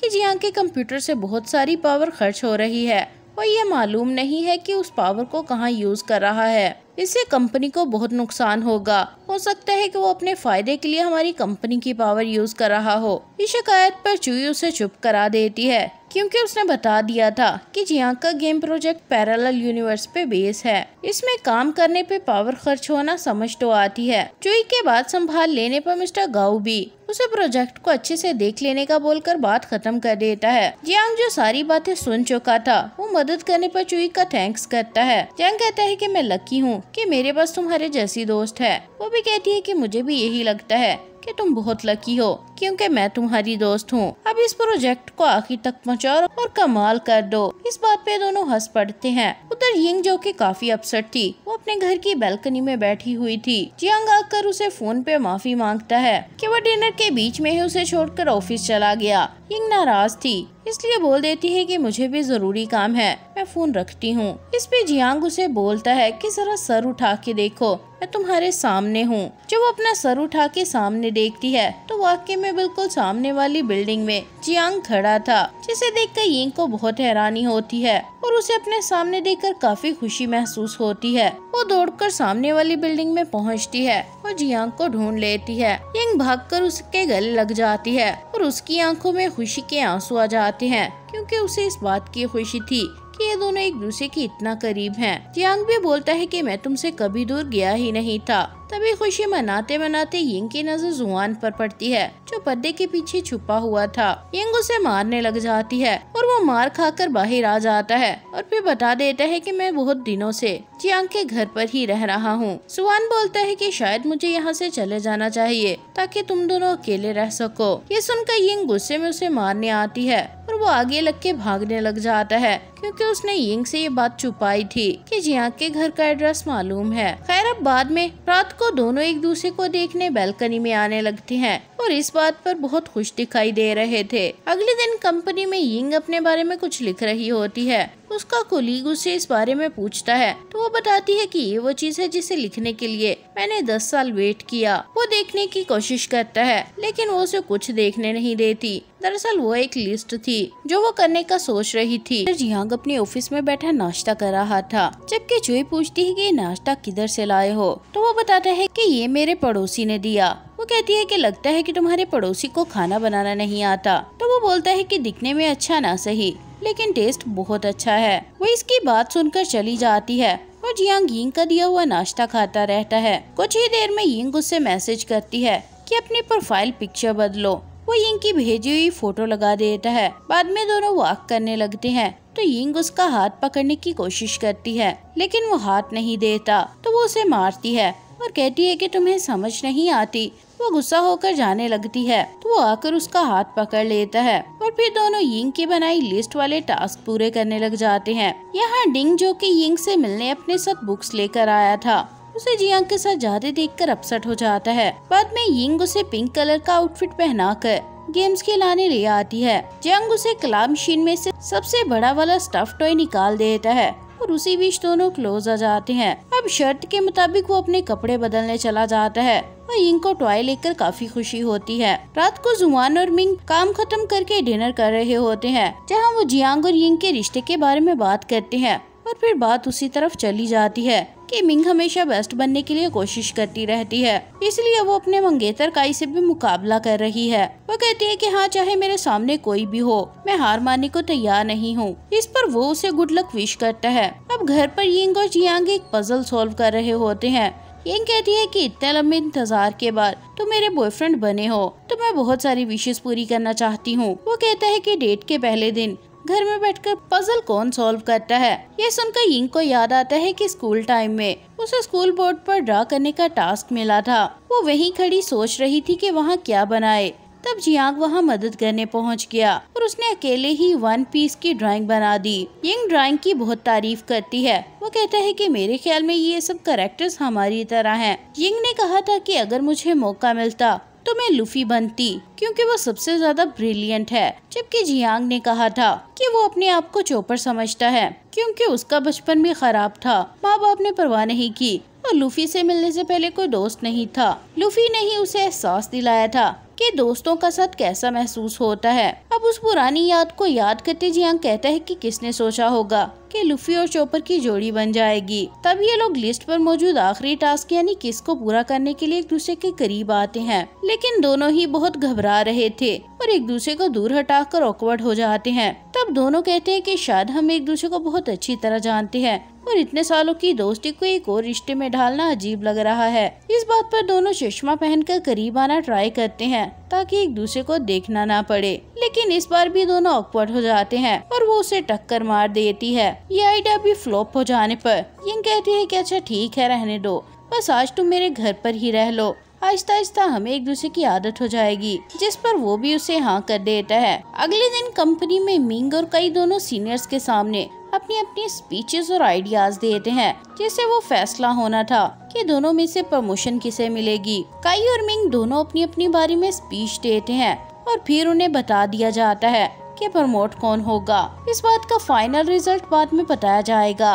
काई उस मीटिंग में मिंग को अपने से आगे फील करके। बहुत नर्वस हो रहा था, जबकि इधर जियांग और यिंग अपनी डेट पर किसी अच्छी जगह आए हुए थे। जियांग उसके लिए स्नैक्स लेकर आया था, जो वो खा रही थी, और काफ़ी खुश लग रही थी। उसके लिप्स पर कैचअप लगी हुई थी, इसलिए वो उसे साफ़ कर देता है। इस बात पर यिंग और जियांग दोनों शर्माते हुए मुस्कुराने लग जाते हैं। वो भी बदले में उसकी गाल पर किस कर लेती है। जिससे वहाँ निशान पड़ जाता है और वो हंसकर कहती है कि तुम तो पागल लग रहे हो। रुको जरा, मुझे निशान साफ़ कर लेने दो। वहाँ कई मिंग से मिलने आता है। और प्रमोशन वाले मामले की बात करता है कि क्या मिंग को पता चला कि प्रमोट कौन होगा। एक्चुअली उसे डर था कि मिंग जीत जाएगी और वो बातें करते हुए पता लगाना चाह रहा था। मगर मिंग उसे कह देती है कि किसी अफवाह पर यकीन मत करना। रिज़ल्ट आने पर हमें पता चल जाएगा। लेकिन काई ने तो सोच लिया था कि भले ही उसे कुछ भी करना पड़े, वो मिंग से नहीं हारेगा। अब अगले दिन मिंग ऑफ़िस आती है तो सब कोलीग्स उसके बारे में बात कर रहे होते हैं। मिंग को भी मिस्टर फेंग अपने ऑफ़िस बुलाकर वो ऑडियो रिकॉर्डिंग सुनाते हैं, जो कि किसी ने लीक कर दी थी। वो रिकॉर्डिंग वही थी जो तोंग ने रिकॉर्ड की थी। और उसमें मिंग ने एक्सेप्ट किया था कि उसने तोंग की प्रेगनेंसी वाली बात कंपनी से छुपाने में उसकी हेल्प की। उस रिकॉर्डिंग को मिंग को भी सुनाकर मिस्टर फैंक पूछते हैं कि ये सब क्या है? उसके मुताबिक तुमने तोंग की प्रेगनेंसी वाली बात छुपाई। और उसे कंपनी में आने दिया। तुम्हें अपने फीलिंग्स के बजाय कंपनी के इंटरेस्ट को आगे रखना चाहिए था। मिंग बताती है कि मुझे ये बात बाद में पता चली थी कि वो प्रेग्नेंट है। लेकिन ये बात पता चलने के बाद भी मैंने उससे हमदर्दी की। गलती मेरी ही थी। मिस्टर फैंग कहते हैं कि वक्त बहुत नाजुक है। जिसने भी ये ऑडियो कंपनी में ईमेल करके भेलाई उसका कोई गलत मकसद ही था तुम्हें फंसाने के लिए। मिंग को उसी पल समझ आ जाता है कि ये सब काई का किया धरा है। वो हर्ट भी हो जाती है। इसलिए वो जब काई के करीब से गुजरती है तो उसे ऐसी नज़रों से देखती है जैसे बता रही हो कि वो उसकी नज़रों से गिर चुका है। अब वो ऑफ़िस के बाहर आती है तो यहाँ उसे टोंग आवाज़ देकर बुलाती है, जो कि उसी से बात करने आई थी। उधर जुआन को भी कोलीग से पता चल जाता है कि मिंग पर उस ऑडियो की वजह से मुश्किल आन पड़ी है, और अब उसको प्रमोशन मिलना बहुत मुश्किल हो चुका है। घर वापिस आकर जुआन उन दोनों को भी बताता है कि जो प्रमोशन की खातिर काई ने यिंग को धोखा दे दिया और अब मिंग मुश्किल में है। इस पर यिंग बोलती है कि फ़िक्र मत करो। हमारी दोस्त मिंग इतनी कमज़ोर नहीं, वो ठीक हो जाएगी। वहाँ मिंग को भी सारी बातें याद आ रही होती हैं कि तोंग ने उसे आकर बताया था कि उसने वो ऑडियो रिकॉर्डिंग सिर्फ़ अपनी सेफ्टी के लिए की, लेकिन काई को उसका पता चल गया। और उसने किसी तरह तोंग से रिकॉर्डिंग ले ली। हालाँकि वो मना कर रही थी, लेकिन काई ने ज़बरदस्ती करके रिकॉर्डिंग निकलवाई। तोंग ने उसे बताया कि काई अपने फ़ायदे के लिए कुछ भी करने का तैयार है। ये सब याद करके उसे उस धोखे पर अफसोस होता है, और वो कुछ करने का सोचती है। अगले दिन मीटिंग में काई खुशी खुशी अपनी स्पीच दे रहा था, क्योंकि उसका रास्ता अब साफ़ था। लेकिन तभी मिंग वहाँ आकर वो तोंग वाले मामले पे सबसे अपनी बात कहती है कि कंपनी में एचआर मैनेजर के होते कंपनी के इंटरेस्ट की हिफाजत करना मेरा फ़र्ज़ था लेकिन इतने साल बाद मुझे समझ आया कि मैं बहुत बेरहम हो गई थी कंपनी के रूल्स में कहीं नहीं लिखा था कि एक औरत को प्रेग्नेंट होने की वजह से जॉब से निकाल दिया जाएगा और न ही उसे ये बात छुपाने पर मजबूर होना चाहिए उसकी प्रेगनेंसी वाली खबर का सुनकर मेरा दिल चाहा था कि मैं उसे काम में छूट दे दिया करूँ। शायद मैं इस जॉब के लिए ठीक ही नहीं हूँ, इसलिए मैं रिजाइन करने आई हूँ। इस जॉब की वजह से मैंने अपने असूल कुर्बान किए और तो और अपना प्यार भी सबसे छुपाया। लेकिन आज मैं सबको बताना चाहती हूँ कि मैं और कई एक साल से भी ज़्यादा टाइम से दोनों रिलेशनशिप में थे। मैंने कंपनी में वो किया जो मुझे एचआर मैनेजर होने के नाते नहीं करना चाहिए था, इसलिए मैं रिजाइन करने जा रही हूँ। ये सुनकर काई के तो होश उड़ जाते हैं। मिंग अपना काम करके वहाँ से जली जाती है और काई उन्हें अपनी सफाइयाँ देने की कोशिश करने लग जाता है। बाद में वो मिंग के पास आकर पूछता है कि तुमने ये क्या कर दिया? तुमने जानबूझकर मेरे साथ ऐसा किया। मैं ये सब हमारे लिए ही तो कर रहा था। उसकी बातों का मिंग एक ही जवाब देती है कि हमारे बीच सब खत्म। ये बोलकर वो चली जाती है। फिर जब वो कंपनी के बाहर आती है तो वहाँ जुआन उससे पूछता है कि तुमने जॉब क्यों छोड़ दी? वो कहती है कि फ़िक्र मत करो, मैं कोई और जॉब ढूंढ लूँगी। तुम इस बारे में जियांग और यिंग को मत बताना, उन्हें परेशान होने की ज़रूरत नहीं। ये वादा लेकर वो वहाँ से चल पड़ती है। उधर जियांग और यिंग पास पास आकर बैठे हुए थे, कि तभी जब डोर बल बजती है तो यिंग उसे धक्का मार के दूर फेंक देती है। कुछ देर में जुआन अंदर आता है। और बैठकर मिंग के बारे में सोचने लग जाता है। यिंग उसकी शक्ल देखकर समझ जाती है और पूछ लेती है कि क्या मिंग के साथ कुछ हुआ है? अगर तुमने मुझे नहीं बताया तो मैं खुद उसे फ़ोन करके पूछ लूँगी। सुबह उन्हें कुछ बताना नहीं चाहता था, इसलिए बहाना बना देता है और डम्पलिंग्स बनाने किचन में चला जाता है। वो दोनों उसे देखकर काफ़ी हैरान थे। तब पुराना टाइम दिखा जाता है। मिंग और जुवान यीफे उसकी ग्रैंडमा के स्टॉल का ध्यान रख रहे होते हैं, क्योंकि यीफे यिंग के साथ मिलकर दादी को हॉस्पिटल चेकअप करवाने ले गई थी। तभी शॉप में एक लड़का आकर मिंग और जुवान से बदतमीजी करने लगता है। और उनसे यीफे के बारे में पूछता है। ये लोग उसे कुछ नहीं बताते। और वहाँ से चुपचाप चले जाने का कहते हैं। वो लड़का फ़िलहाल तो चला जाता है और रास्ते में बैठकर यीफे का वेट करने लगता है। यीफे, यिंग और दादी वहाँ आते हैं तो वो लड़का यीफे को पहचान लेता है और आकर उससे बदतमीजी से बात करता है। और कहता है कि तुम्हारी माँ जिस आदमी के साथ भागी है, वो मेरी बहन का हस्बैंड था। अब मैं तुम लोगों से उसका बदला लेने आया हूँ। देखना, अब मैं तुम लोगों के साथ क्या करता हूँ। ये कहकर वो लड़का इंटरनेट कैफ़े में अपने दोस्तों के पास आता है और उनके साथ मिलकर बदले के तौर पर ईफे की स्टॉल को गिराने की साजिश करने लगता है। खुशकिस्मती से जियांग भी यहाँ मौजूद था, जो ये सब सुन लेता है। और आकर बाकी सबको इस बारे में बता देता है। ये सब सुनकर सब लोग फैसला करते हैं कि इनमें से कोई ना कोई हर वक्त शॉप का ध्यान रखेगा और जैसे ही वो लड़का कुछ करने लगे तो वो बाकी सबको मदद के लिए बुलाएगा। अब रात के कई मिंग के घर नशे की हालत में आता है। वो उससे कहने लगता है कि हम दोनों एक ही तो हैं। फिर इससे क्या फ़र्क पड़ता है कि कौन तरक्की करे और कौन नहीं। इसलिए अभी बॉस को कॉल करो। और दिन के वक्त होने वाली बातों पर माफ़ी मांगो और मजीद अच्छी बातें कहने में मेरी हेल्प करो। मिंग बहुत गुस्से में थी और समझ चुकी थी कि काई की हर बात सिर्फ़ एक धोखा है। इसलिए वो उसकी हर बात मानने से इनकार कर देती है। इस पर काई उसे बदतमीजी करने लगता है। ये देखकर मिंग उसे यहाँ से जाने का कह देती है। लेकिन काई इनकार करता है और बदतमीजी किया जाता है। मिंग समझ जाती है कि कुछ तो गलत है। इसलिए वो खुद ही घर से जाने लगती है। जिस पर काई उसे बालों से पकड़कर वापस ले आता है और उसे मारने लग जाता है। तभी उसी दौरान यिंग मिंग को कॉल्स कर रही होती है, लेकिन उसे कोई रिप्लाई नहीं मिलता। अगले दिन जुआन जब मिंग को ऑफ़िस में नहीं देखता तो फ़ौरन से यिंग और जियांग को कांटेक्ट करता है और फिर ये मिंग के घर के बाहर पहुँच जाते हैं। काफ़ी देर तक दरवाजे को नॉक करने के बाद कोई भी जवाब नहीं मिलता। फिर आखिरकार मिंग आकर डोर खोल देती है। उसके चेहरे और पूरी बॉडी पर बहुत सारी चोटों के निशान थे। ये देखकर सबको बहुत बुरा लगता है।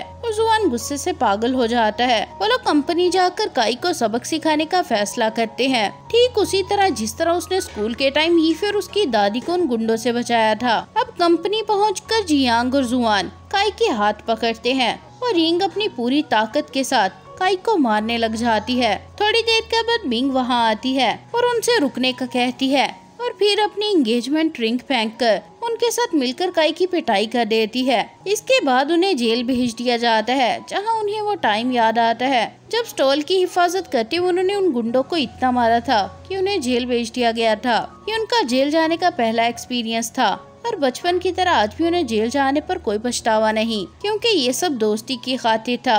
अब जेल से वापस आने के बाद मिंग यिंग के कंधे पर सर रखकर बहुत रोती है और अपना दिल हल्का करने लग जाती है। इसके बाद ये दोनों काफ़ी फनी बातें भी करती हैं और सब बुलाकर पहले की तरह दोस्त बन जाती हैं। अब अगले दिन यिंग डिंगी के लिए एक रीडिंग क्लब ऑर्गेनाइज करती है। टिंग क्योंकि अच्छे मूड में नहीं था और उसका कॉन्फिडेंस भी काफ़ी लो था, इसलिए यिंग उसे टेक्स्ट करती है। ये उम्मीद करते हुए कि वो क्लब में पार्टिसिपेट कर लेगा।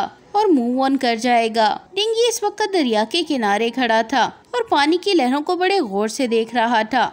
उसे ये दुनिया ऐसे फील हो रही थी, जैसे अभी कुछ बाकी बचा ही नहीं। भले ही डिंग यिंग के मैसेजेस को कम ही रिप्लाई देता था, लेकिन फिर भी वो बुक क्लब आ जाता है। वो वहाँ मुख्तलिफ़ लोगों को देखता है, जो उसके नॉवेल्स पढ़ रहे थे और उसके वर्ड्स की तारीफ़ करते हुए कह रहे थे कि इन वर्ड्स ने इन्हें ज़िंदगी को देखने का नया ढंग दिया है। लोगों की ये बातें डिंग के लिए बहुत कीमती थी और उन्होंने उसे एक नई हिम्मत दी। बुक क्लब के खत्म होने के बाद, डिंग यिंग से कहता है कि अब मैं बीमार नहीं हूँ, अब मुझे तुम्हारी मदद की ज़रूरत नहीं। मैंने बकेट लिस्ट वाली बात मज़ाक में कही थी। मुझे नहीं पता था कि तुम सीरियस हो जाओगी और मज़ाक भी बर्दाश्त नहीं कर पाओगी।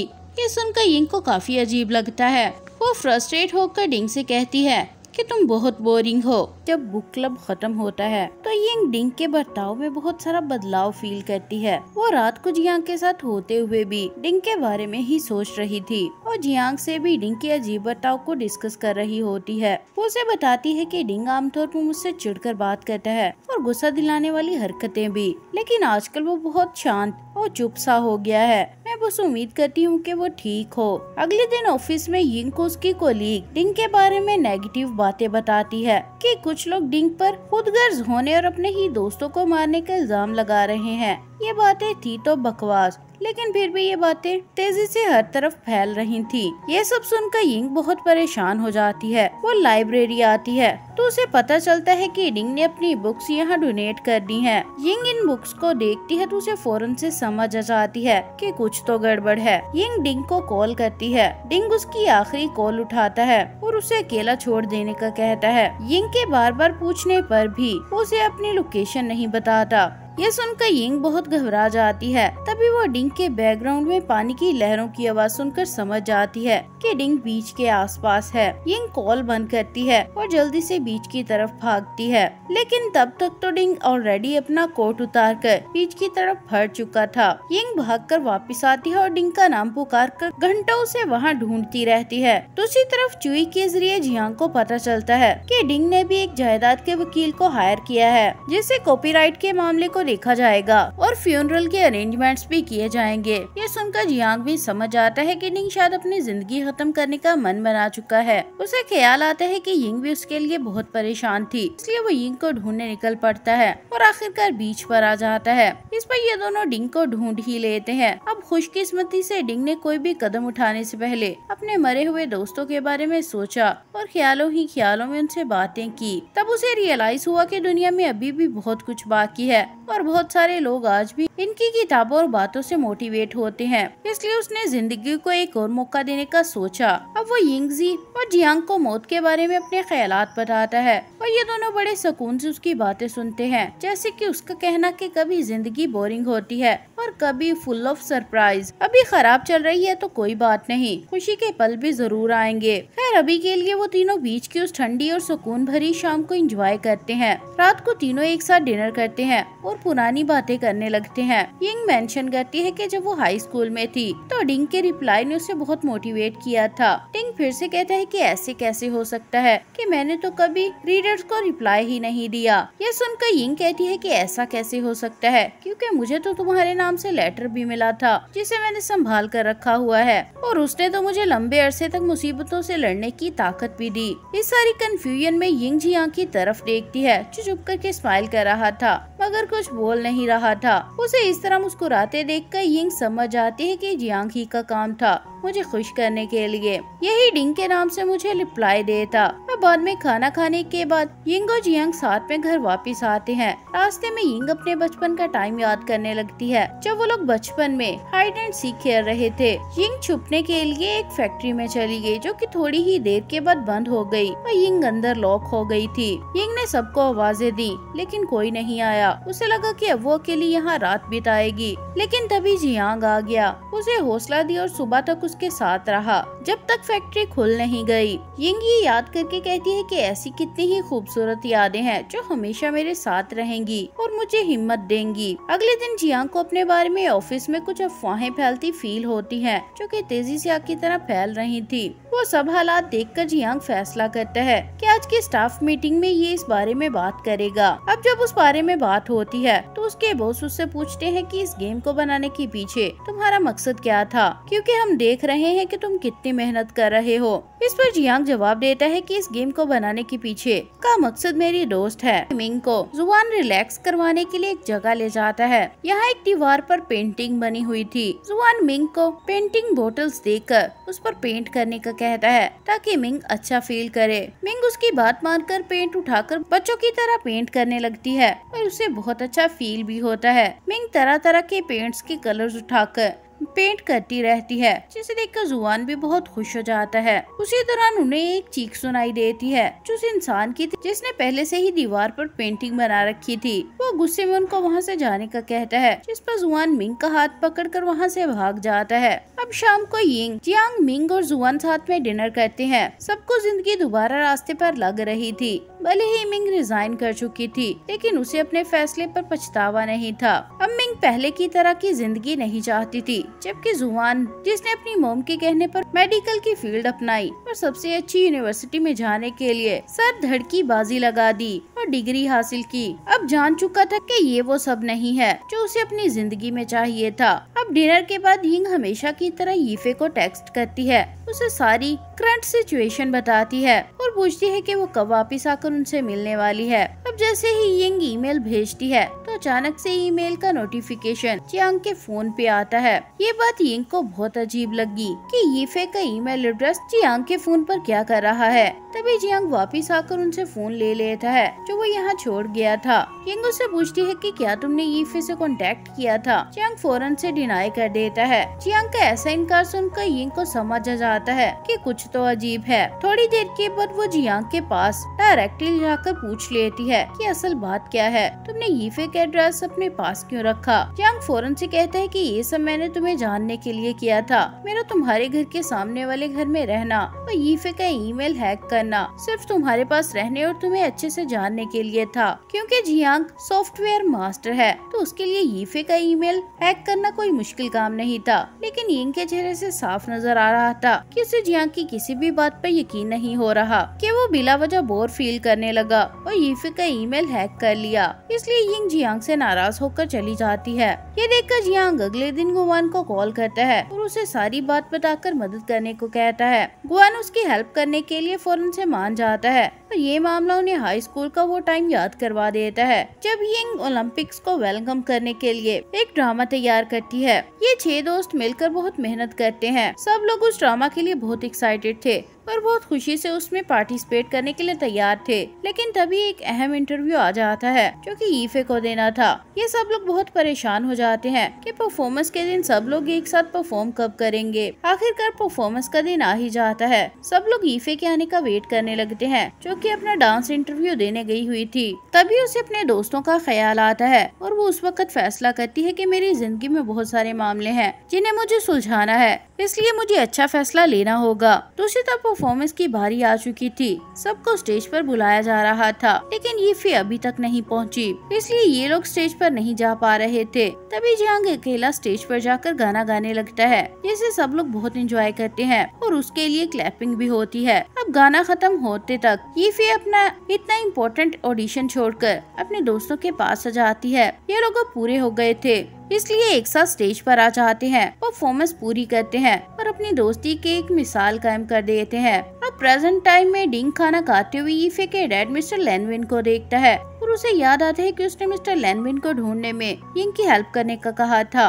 इसलिए वो चुपके से मिस्टर लैनविन का पीछा करने लगता है। जहाँ डिंग मिस्टर लैनविन को देखकर उनका पीछा करने लगता है, लेकिन वो अचानक से उसकी नज़रों से दूर हो जाते हैं। दूसरी तरफ़ जुआन के कॉलेज का रूममेट टिन कबूल कर लेता है कि उसने ही जुआन के थीसिस चुराए थे। वो जाकर डिपार्टमेंट लीडर से भी माफ़ी मांग लेता है और सारी सच्चाई बता देता है। कि जुआन तो बेकसूर है। ये सब सुनकर डिन जुआन को यहाँ रहने की परमिशन दे देते हैं और उसको उसका रिवार्ड भी दे देते हैं, जो वो डिजर्व करता था। लेकिन अब जुआन को इस सबसे कोई फ़र्क नहीं पड़ता। वो वापिस आकर अपना सामान पैक करने लगता है, क्योंकि वो यहाँ से जाना चाहता था। उसकी मोम भी यहाँ आकर उसे यहाँ रहने का कहती है। लेकिन जुआन अब अपनी मर्ज़ी से ज़िंदगी जीना चाहता था और डॉक्टर बनने के बजाय साइंस रिसर्च पर काम करना चाहता। न कि यूनिवर्सिटी रहकर बाकी कामों में अपना जाया करना चाहता था। अब यिंग का तीसवा बर्थडे आ जाता है। सब लोग उसके बर्थडे को सेलिब्रेट करने आते हैं, सिवाय ईफे के। यिंग कहते हैं कि हर साल मेरे बर्थडे के मौके पर, चाहे ईफे जहाँ कहीं भी हो, वो हमेशा मेरे बर्थडे पर आती है। लेकिन इस बार वो मेरे बर्थडे पर नहीं आई। ये सुनकर बाकी सब भी दुखी हो जाते हैं। लेकिन माहौल को ठीक करने के लिए, ये लोग यंग से उसके बर्थडे की सेलिब्रेशन का वेन्यू पूछते हैं। उसे याद आता है कि अठारहवीं बर्थडे पर ये लोग क्लब गए थे। इसलिए वो उस याद को ताज़ा करने के लिए फिर से क्लब जाने का कहती है। यहाँ कुछ देर के बाद बाद वो देखती है कि जियांग कुछ परेशान सा नज़र आ रहा है। वो इसके पास आता है और इसे बर्थडे विश करके कहता है कि मैं कोशिश करूँगा कि फ्यूचर में हमारे दरमियान कोई सीक्रेट्स ना रहे। ये कहकर वो यिंग को एक बर्थडे गिफ्ट देता है और कहता है कि मुझे यीफे ने ये तुम्हें देने को कहा है, क्योंकि वो खुद यहाँ नहीं आ पाई। ये सुनकर यिंग जल्दी से उस गिफ्ट बॉक्स को खोलती है। तो उसमें उसकी फेवरेट सिंगर के सॉन्ग्स की एल्बम थी। यिंग को ये देखकर याद आता है कि जब यीफे और ये अठारह साल की थी तो उन्होंने फैसला किया था कि वो दोनों यिंग के तीसवें बर्थडे पर उस फेवरेट सिंगर के कॉन्सर्ट पर जाएँगी। ये याद आने पर यिंग समझ आती है कि गिफ्ट यीफे की तरफ़ से नहीं। इसलिए वो गुस्से से जियांग से कहती है कि तुमने अभी कहा था कि तुम कोशिश करोगे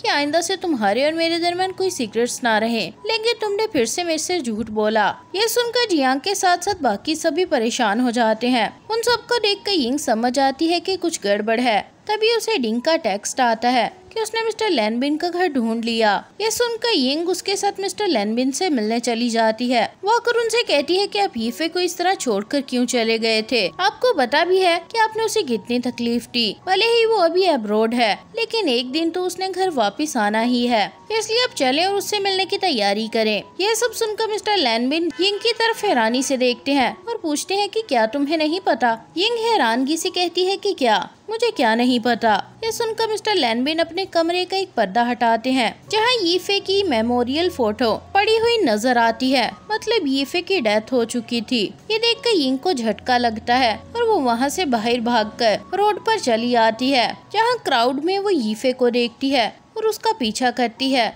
तो ये फेक बिल्डिंग में जाकर वहाँ से कूद जाती है। या उसे नीचे गिरता हुआ देखती है तो खुद भी रोते हुए बेहोश हो जाती है। यहाँ जियांग आ जाता है और उसे उठाकर घर ले आता है। अगले दिन यिंग की आँख खुलती है तो उसे कुछ भी याद नहीं था। वो तो ये भी भूल चुकी थी कि वो डिंग के साथ मिस्टर लैनबिन से मिलने गई। डिंग बाद में जियांग से पूछता है कि ये सब क्या हो रहा है? मुझे कुछ समझ नहीं आ रहा। इसलिए बताओ कि सच क्या है? इस पर जियांग उसे उस साल की कहानी सुनाता है, जब ये सब हुआ था। उस साल जियांग अपने पेरेंट्स के साथ यूके चला गया। जिस पर यिंग उसके लिए बहुत परेशान रहती थी और उसे हमेशा याद करती रहती, जियांग को इस बात का अंदाज़ा था, इसलिए उसे रिप्लाई नहीं दे रहा था, ताकि इंग उसके बारे में सोचना छोड़ दे। हालाँकि जिया खुद भी यहाँ एडजस्ट नहीं कर पा रहा था। इस सब के चलते यीफे यिंग को कंपनी दिया करती। उन्हीं दिनों में उसके एग्ज़ाम्स के रिजल्ट्स भी आने वाले थे। सबका बहुत अच्छा रिज़ल्ट आ जाता है। वन और यीफे को एक ही यूनि में एडमिशन मिल गया था। वो लोग इस बात पर भी काफ़ी खुश थे। बाद में वो लोग पार्क में जाते हैं जहाँ गुआन यीफे से अपने फीलिंग्स का कन्फेशन करता है और उसे एक हेयर पिन गिफ्ट करता है, जो उसने खास उसी दिन के लिए बचा कर रखी थी। वो दोनों काफ़ी खुश थे। कि वो अपनी आगे की स्टूडेंट लाइफ भी साथ में गुजारने वाले हैं। लेकिन उनकी खुशी को यहाँ नज़र लग जाती है, क्योंकि उन दोनों को साथ में ये फेंका लवर जो कि एक गैंगस्टर था, देख लेता है। वो रास्ते में खड़ा उनके आने का वेट करने लगता है। जब यीफे यहाँ आती है तो वो यीफे को उसके डैड की घड़ी दिखाकर कहता है कि उसे उसके डैड से मिलवा सकता है। ये सुनकर यीफे उसके साथ अपने डैड से मिलने चली गई, लेकिन वो उसे एक बार में ले आता है, जहाँ वो उससे कहता है कि क्या तुम्हारे दोस्त, वो लड़का जिसे तुम पसंद करती हो या फिर तुम्हारा खुद का बाप तुम्हें वो ज़िंदगी दे सकता है जो मैं दे सकता हूँ। इसलिए मेरे पास आ जाओ, मैं तुम्हें एक अच्छी लाइफ दूँगा और तुम्हें पहले की तरह हमेशा प्रोटेक्ट करूँगा। उसके इतना कहने पर हमें एक फ्लैशबैक दिखा जाता है, जब वो और उसका साथी ईफे की मोम की शॉप पर लूटमार करने गए थे। वहाँ कुछ सेविंग्स रखी हुई थी, जो कि ईफे की ट्यूशन फ़ी थी। जब ईफे और उसकी मोम उसे बताती है कि ये पैसे ट्यूशन फ़ी के लिए हैं, तो दावे वो पैसे वापस रख देता है और उसे ईफे उसी दिन से पसंद आ जाती है। और वो रोज़ाना ईफे के स्कूल के बाहर खड़ा रहता था। उन दिनों क्योंकि ईफे के डैड ने बहुत सारे लोगों से पैसे उधार लिए हुए थे इसलिए अक्सर लोग ईफे को तंग किया करते। ऐसे ही एक दिन ईफे को रास्ते में कुछ लोग आकर तंग करने लगे और उसके डैड का पूछ रहे थे। यहाँ दावे ने जब ये देखा कि कुछ लोग ईफे को तंग कर रहे हैं तो उसने जाकर उनकी पटाई कर दी जिसके बाद उसको जेल हो गई। अब सजा काटने के बाद ये सबसे पहले ईफे से ही मिलने आया था, लेकिन उसने ईफे को गुवान के साथ देख लिया और सोचने लगा कि अब वो उसे नहीं छोड़ेगा। अब प्रेजेंट टाइम में दावी ईफे की ड्रिंक में ड्रग मिलाकर उसे पिला देता है जिसे ईफे बेहोश हो जाती है। अगले दिन रात को ये सब लोग पार्टी करने के लिए एक जगह बाहर चले जाते हैं। यीफे कल वाली बात पर बहुत परेशान थी, लेकिन वो किसी से कुछ नहीं कहती। पार्टी खत्म होने के बाद गुआन सबके सामने यीफे को प्रपोज कर देता है। उसके प्रपोजल का जवाब देने के लिए जब यीफे को माइक दिया जाता है तो उसके माइंड में सिर्फ़ कल वाली बातें ही घूमे जा रही थी, इसलिए वो कुछ बोल ही नहीं पाती और उसके हाथों से माइक गिर जाता है। तो तभी उनका एक दोस्त अपने फ़ोन पर यीफे और दावे की फ़ोटो दिखाने लग जाता है। यीफे को जब ड्रग वाली ड्रिंक पिलाई गई थी और वो वहीं बेहोश होकर गिर गई थी और फिर उसकी आँख सीधा अगले होटल वाले रूम में खुली और वो बहुत परेशान थी। लेकिन दावे का कहना था कि उसने उसके साथ कुछ भी गलत नहीं किया, जो कि ईफे को झूठ लग रहा था। खैर, ये बचकर वापस तो आ गई। लेकिन अभी भी उसके माइंड में सिर्फ़ वही सब चल रहा था। अब जब बाकी सबको ये बात पता चलती है तो यिंग यीफे को गले लगा लेती है, जबकि गुआन दावे से बदला लेने के लिए उसके अड्डे पर चला जाता है और जाकर उनसे लड़ने लगता है। लेकिन अकेला होने की वजह से गुआन उनके काबू में आ जाता है और वो लोग बाँध कर रख लेते हैं। ये देखकर यीफे दावे से कहती है कि गुआन को छोड़ दो। तुम्हें मुझसे बात करनी है। तो मैं बात करने के लिए तैयार हूँ। यीफे की इस बात पर दावे गुमान को छोड़ देता है। वो यीफे को गाड़ी में लेकर दूर बात करने चला जाता है। दावे कहते हैं कि उस लड़के में ऐसा क्या है जो मुझमें नहीं। तुम उसे छोड़ दो और मेरे पास चली आओ। जब यीफे उसकी बात मानने से मना कर देती है तो तभी उसके साथ ज़बरदस्ती कर देता है। यीफे रोती हुई यिंग के पास आती है और सारी बात बताती है। यिंग उसे पुलिस के पास जाकर सब बताने के लिए कहती है, लेकिन यीफे ऐसा करने से उसे रोक देती है, क्योंकि वह नहीं चाहती थी कि ये बात बाहर निकले। आज की रात वो यिंग के साथ ही गुजारती है। अगली सुबह उसे किसी अपने की बहुत ज़्यादा ज़रूरत महसूस हो रही थी। वो यिंग के साथ अपनी मोम से मिलने चली जाती है, जो कि उसके डैड के जाने के बाद दूसरी शादी कर चुकी थी और अपनी नई फैमिली के साथ रह रही थी। ईफे जब अपनी मोम के पास जाती है तो उसकी मोम उसके साथ बहुत रूड बर्ताव करती है और उससे कहती है कि दोबारा मुझसे मिलने ना आना। ये बात ईफे को अंदर से तोड़ देती है। उसे कुछ भी समझ नहीं आ रहा था। वो यिंग को बहाने से चिप्स लेने भेज देती है और पीछे से खुद बिल्डिंग से कूद कर अपनी जान ले लेती है। यिंग जब चिप्स लेकर वापस आई तो वो यीफे को इस तरह खून में लथपथ देखकर वहीं बेहोश हो जाती है। बाद में जब यंग की आँख खुलती है तो उसके सर में हल्का सा दर्द हो रहा था और उसे कुछ भी याद नहीं था। कि ईफे के साथ क्या हुआ? यिंग के डैड क्योंकि खुद भी एक डॉक्टर थे, इसलिए वो यिंग की कंडीशन को समझ जाते हैं और बाकियों से यिंग को कुछ भी बताने से मना कर देते हैं। बस उसे इतना कह देते हैं कि ये फिर दूसरे शहर के एक डांस स्कूल में डांस सीखने चली गई। उधर गुवान जाकर दावे को ढूंढता है और उसे बहुत मारता है। यहाँ तक कि पुलिस भी आ जाती है और दोनों को पकड़कर ले जाती है। गुआन को बाद में छोड़ दिया जाता है, जबकि दावे को ईफे का गुनागार पाकर पुलिस सजा दे देती है। दूसरी तरफ़ जियांग को जब इस बारे में सब पता चलता है तो वो भी वापस आने की तैयारी पकड़ लेता है। घर में सब लोग यीफे के फ्यूनरल पर जाने लगते हैं, लेकिन यिंग को इस बारे में कुछ नहीं बताते। यिंग घर में बैठी ईफे को मैसेज किया जाती है, क्योंकि उसे तो कुछ भी याद नहीं था कि ईफे के साथ क्या हुआ है। अब फाइनली रात को जियांग वहाँ आता है। यिंग उसे अचानक देखकर शौक हो गई थी और रोते हुए बताने लग जाती है कि उसने उसे कितना मिस किया। अब कुछ दिन के बाद यिंग को पता चलता है कि जिस बैंड के साथ यीफे परफॉर्म करना चाहती थी, वो परफॉर्म करने वाला है। इसलिए वो सबसे कहती है कि हमें वहाँ जाना चाहिए और यीफे को सरप्राइज़ देना चाहिए। सब लोग उसे सच बताना चाहते थे, लेकिन उसके मासूम चेहरे की तरफ़ देखकर किसी की भी हिम्मत नहीं हो पाती। और वो लोग उसके साथ यीफे की परफॉर्मेंस देखने के लिए तैयार हो जाते हैं। जब ये लोग अपनी मंजिल पर पहुँचते हैं तो वहाँ गर्ल्स का एक बैंड डांस करने लग जाता है। यंग उनमें से यीफे को परफॉर्म करता हुआ देखने लगती है और उसके डांस की तारीफें करती रहती है। परफॉर्मेंस के बाद वो बैक स्टेज जाकर उस बैंड की लड़की से यीफे के बारे में पूछती है। वो लड़की आगे से कहती है कि इस लड़की का नाम भी मैंने पहली बार सुना है। यहाँ इस नाम की कोई लड़की नहीं। ये सुनकर यिंग को काफ़ी अजीब लगता है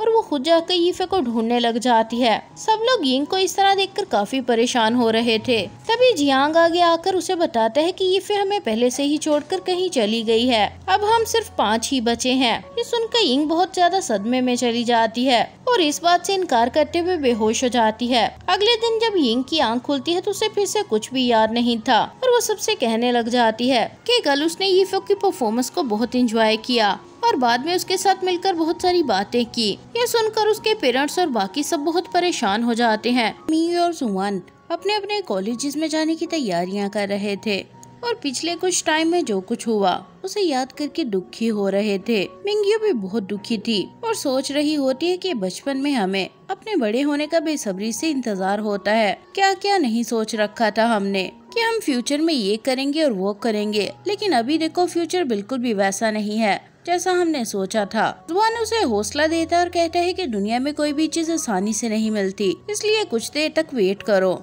सब ठीक हो जाएगा। दूसरी तरफ़, गुआन भी अपने कॉलेज जाने के लिए कुछ सामान पैक करता है। और सब दोस्त यीफे की दादी की शॉप पर मिलने चले आते हैं। किंग अभी अपने दिमाग की ठीक हालत में नहीं थी, जो कुछ भी हुआ। उसके बाद वो बहुत सारी बातें भूलने लग गई थी। सबको अंदाज़ा था कि वो यीफे की डेथ को एक्सेप्ट नहीं कर पा रही। इसलिए जियांग उसको कुछ टाइम देने के लिए यीफे के नाम से ईमेल रजिस्टर कर लेता है और उसे रोज़ाना यीफे बनकर बातें करना शुरू कर देता है। वो सब दोस्त यीफे की दादी को बाय बोलने आते हैं तो दादी सबको गिफ्ट्स देती हैं। यंग ये सब देखकर सोचती है कि दादी ने हम पर इतना खर्चा कर दिया। पता नहीं उनके पास ईफे की ट्यूशन फ़ी के लिए कुछ बचा भी है या नहीं। वो दादी से कहती है कि आपने ईफे के लिए कुछ बचाया है भी या नहीं? उसके बाद सुनकर दादी रोते हुए कहती है कि हाँ मैंने अपनी प्यारी पोती के लिए बहुत कुछ बचा कर रखा है। ये सुनकर ये खुश हो जाती है। अब यंग घर आती है और उसकी मोम भी उसके कॉलेज के लिए कुछ सामान पैक कर रही होती है। जब यंग अपने पेरेंट्स को इस तरह अपना सामान लोड करते हुए देखती है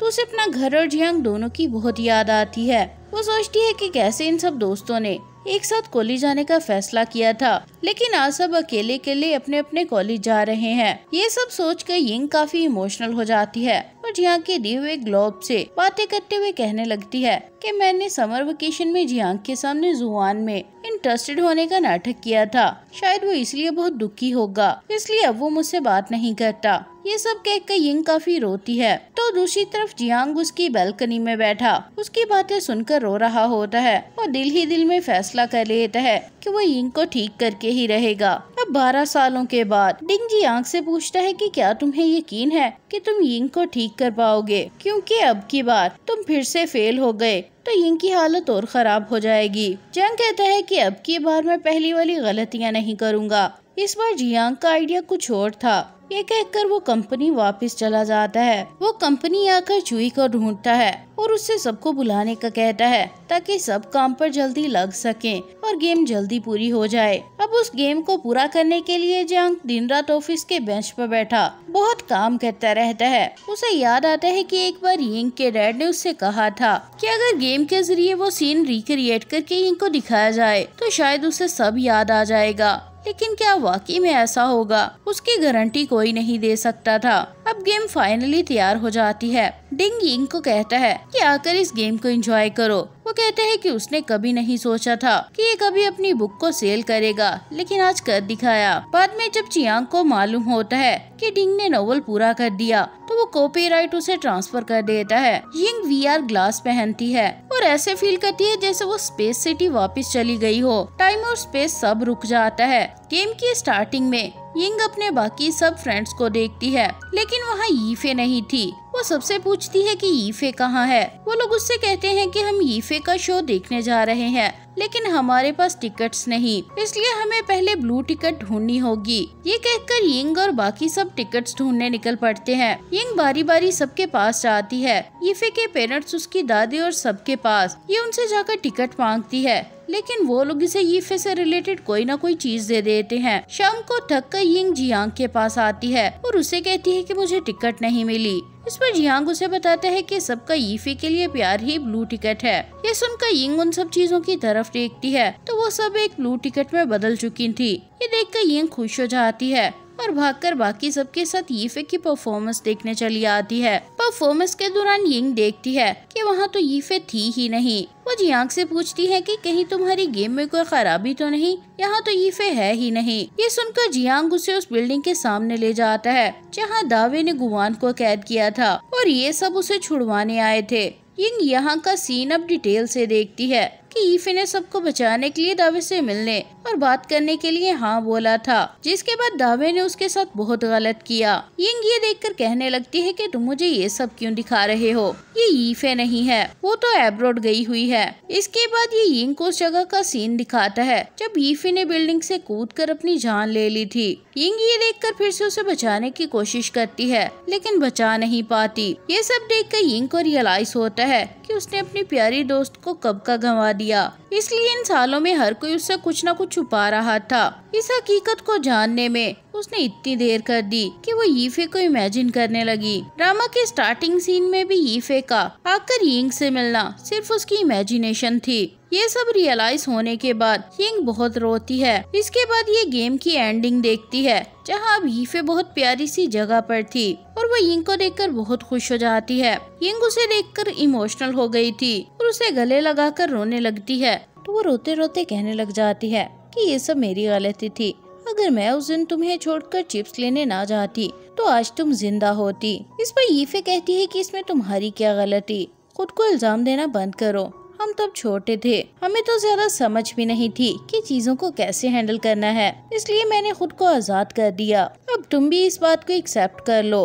और जब तक मैं तुम लोगों के दिलों में हूँ, और तुम लोग मुझे याद कर रहे हो तब तक मुझे किसी चीज़ का गम नहीं। चलो वैसे ही खेलते हैं जैसे हम बचपन में खेला करते थे। ये कहकर ये फींग को स्विंग पर बिठाती है और उसे झूला देने लगती है। इन झूलों के दौरान ही ये फे आहिस्ता आहिस्ता यिंग को बाय बोलती है और वहाँ से गायब हो जाती है। ये फील करके यिंग बहुत दुखी होकर रोने लग जाती है और वी आर ग्लास उतार कर जियांग के पास आती है। उसे गले लगाकर रोने लगती है। क्योंकि अब वो यीफे की डेथ को एक्सेप्ट कर चुकी थी और उसकी याददाश्त भी वापस आ गई थी। अब कुछ देर के बाद यिंग जियांग के साथ पार्क के एक बेंच पर बैठ जाती है और उससे पूछती है कि अगर इस बार भी तुम फेल हो जाते तो क्या करते? जियांग कहता है कि मैं फिर से कोई दूसरा हल सोचने लग जाता और जब तक तुम्हें ठीक ना कर लेता कोशिश जारी रखता। ये सब सुनकर यिंग कहती है कि मुझे माफ़ कर दो। मैंने तुम्हें गलत समझा। दरअसल जियांग उन सब सालों में यूके नहीं था, बल्कि चुपके से यिंग की केयर कर रहा था।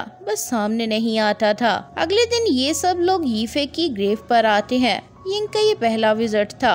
इसलिए वो बहुत इमोशनल बातें करती है। वो यीफे से रोते हुए कहती है कि मुझे उम्मीद है कि अब तुम्हारी अगली ज़िंदगी अच्छी जा रही होगी और तुम बहुत अच्छी होगी। हम भी वादा करते हैं कि बहुत अच्छे से ज़िंदगी बिताएँगे और फ्यूचर में तुमसे यहाँ मिलने आते रहेंगे। अब यीफे से बहुत सारी बातें करने के बाद, यिंग बाकी सबके पास वापस आती है तो गुआन उसे यीफे का कैमरा देता है और उसे बताता है कि यीफे ये तुम्हारे लिए छोड़ कर गई थी, लेकिन मैं इतने सालों तक तुम्हें ये दे ही नहीं पाया। अब जबकि तुम्हें सब पता चल गया है तो अपनी अमानत अपने पास रख लो। यंग ले लेती है और घर आकर लैपटॉप पर उसकी रिकॉर्डिंग्स देखने लगती है। उसमें उनके बचपन की वीडियोस थी, जिसमें सब लोग अपनी अपनी तीस साल वाली सेल्फ से बात कर रहे थे और अपने अपने इरादे उनसे शेयर कर रहे होते हैं। सबसे पहले यिंग अपनी विश बताते हुए कहती है कि तीस साल वाली यिंग मुझे उम्मीद है कि अब तक तुम एक रिपोर्टर बन चुकी होगी। और दुनिया से नाइंसाफी को मिटा चुकी होगी। इसके बाद जुआन कहते हैं कि मुझे उम्मीद है कि अब तक तुम प्रोफेसर बन गए होगे। खैर, ज़रूरी भी नहीं कि तुम प्रोफेसर ही बनो। जो दिल चाहे बस बन जाना। इसके बाद मिंग यू कहती है कि मुझे ज़्यादा कुछ नहीं चाहिए।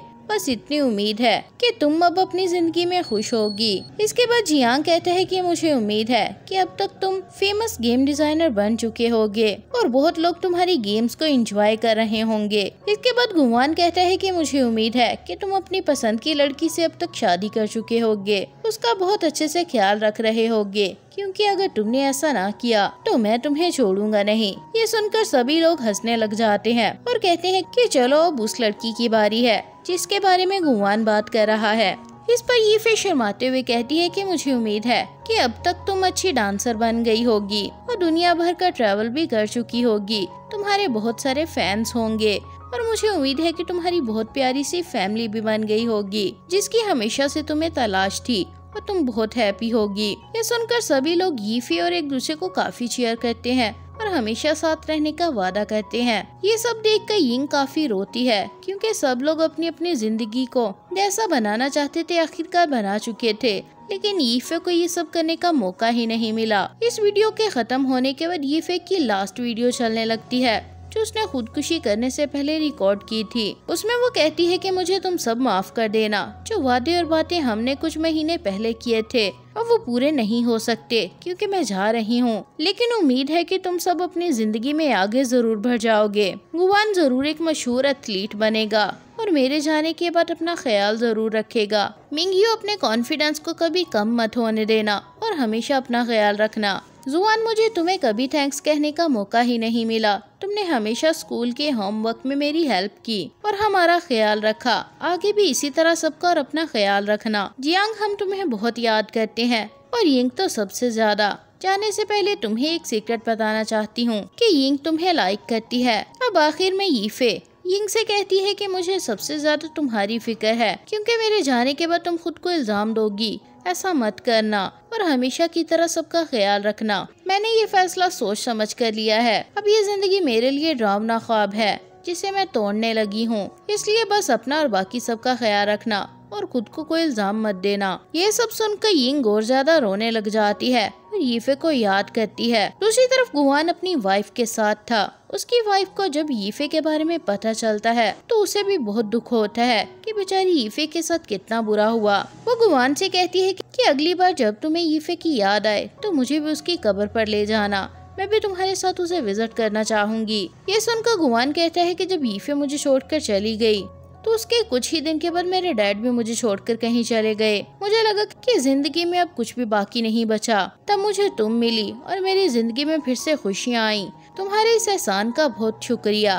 अब मुझे ज़िंदगी से कुछ और नहीं चाहिए। इसकी बातों के दौरान ही उसे यिंग की कॉल आती है, जो इसे बताती है कि ईफे की दादी दुकान का ख्याल रखते हुए अचानक से बेहोश हो गई थी। किस्मत अच्छी थी कि ज़्यादा कुछ नहीं हुआ। ये सुनकर गुआन और बाकी सब दादी से मिलने चले आते हैं। और दादी को ब्रेक देने के लिए उन्हें पूरी कंट्री घुमाने की प्लानिंग करते हैं। इस ट्रिप की प्लानिंग करते हुए यिंग को याद आता है कि इन सब का पहला ट्रिप सिर्फ़ दादी की वजह से ही मुमकिन हुआ था, जब वो सब लोग बीजिंग जाना चाहते थे। लेकिन ना तो किसी को अपने घर से ट्रिप पर जाने के पैसे मिले और ना ही परमिशन इसलिए सब खुद से कोई ना कोई हल निकालने की कोशिश करने लगे। मिंगी और जुआ ने इस ट्रिप पर जाने के लिए बुक्स बेचकर पैसे कमाने का प्लान बनाया था और वो दोनों तरह तरह के तरीके आजमा कर बुक्स को बेचने की कोशिश कर रहे थे। लेकिन ये फिर भी काफ़ी नहीं थे कि ये लोग आसानी से वहाँ जा सके। रह सके और यिंग की फेवरेट सिंगर का कॉन्सर्ट अटेंड करें। सब लोग बात ना बन पाने पर अपनी अपनी जगह बहुत परेशान होते हैं। ये देखकर जियांग उनकी हेल्प को आता है। वो अपनी सेविंग्स उन्हें दे देता है ताकि सबकी कुछ हेल्प हो सके। इसके बाद यिंग कॉन्सर्ट की टिकट खरीदने के लिए ऑनलाइन क्यू में लग जाती है, लेकिन तभी कोई और लड़की उसके हिस्से की टिकट ले लेती है। इस पर यिंग को बहुत गुस्सा आता है। वो उस लड़की को कंपटीशन के लिए चैलेंज करती है, ताकि फेयर तरीके से टिकट की किस्मत का फैसला हो सके।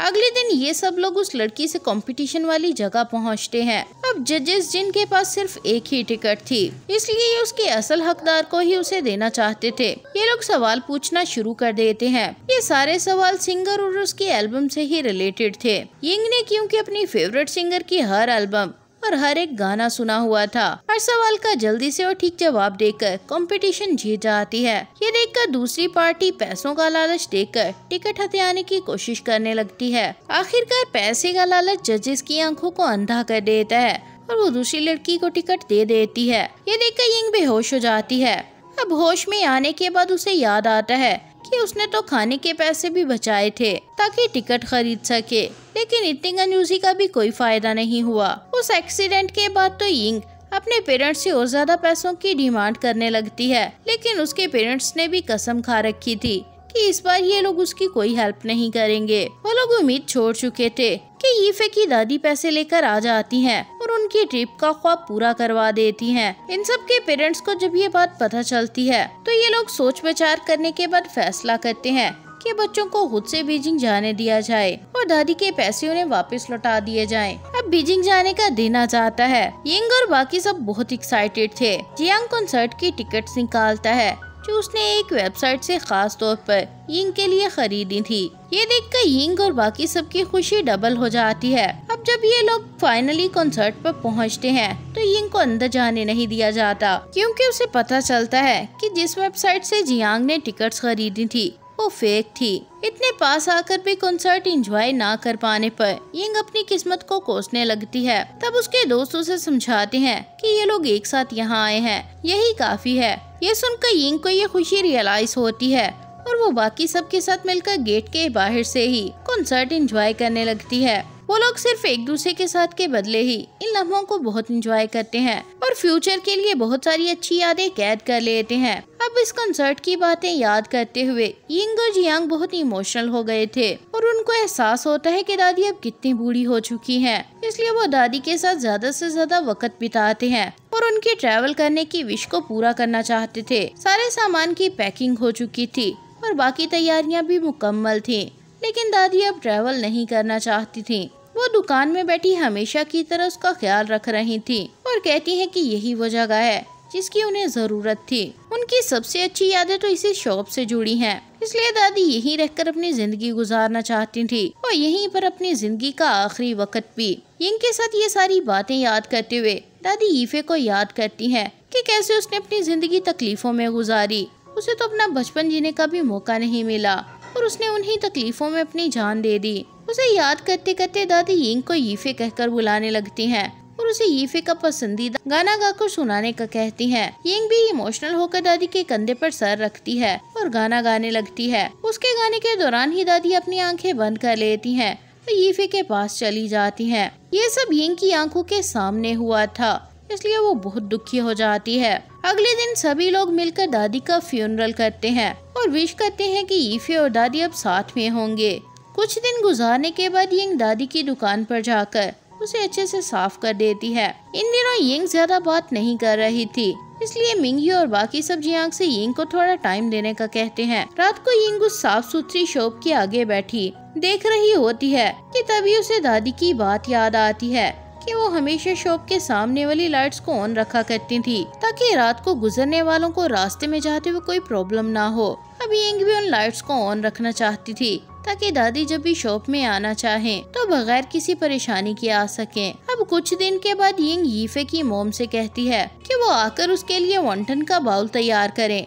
वैसे तो वो अपनी शादी के बाद यहाँ वापस नहीं आना चाहती थी, क्योंकि उन्हें लगता था कि पास्ट में दोबारा ना जाने से। उनका फ्यूचर अच्छा रहेगा। लेकिन अब उन्हें इस सोच पर पछतावा हो रहा था, क्योंकि उनकी ज़िंदगी के बहुत सारे कीमती लोग अब इस दुनिया से जा चुके थे। यीफे की मोम ये सब सोचते हुए बहुत रोने लगती है। जब चियांगी यिंग की फेवरेट सिंगर स्टीव को एक ईमेल भेजता है कि मेरी गर्लफ्रेंड बचपन से ही आपसे मिलना चाहती है, लेकिन कभी उसे मौका नहीं मिला। यहाँ तक कि आपके कॉन्सर्ट से भी खाली हाथ जाना पड़ा। मैं अब उसकी ये विश पूरी करना चाहता हूँ। मुझे उम्मीद है कि आप मेरी हेल्प करेंगी। जियांग की ईमेल के कुछ ही देर के बाद उसे स्टीव के एजेंट का रिप्लाई आ जाता है कि स्टीव ने आपका मैसेज देख लिया और अब वो आपकी हेल्प करना चाहती हैं। ये सुनकर जियांग तो बहुत खुश हो जाता है। अब ये सब दोस्त दादी के फ्यूनरल के बाद इकट्ठे होकर बातें करने लगते हैं। अपने अपने फ्यूचर के बारे में बात करते हुए सभी बहुत एक्साइटेड नज़र आते हैं। यिंग इनसे कहती है कि मैं अपने रिपोर्टर के करियर को जारी रखना चाहती हूँ।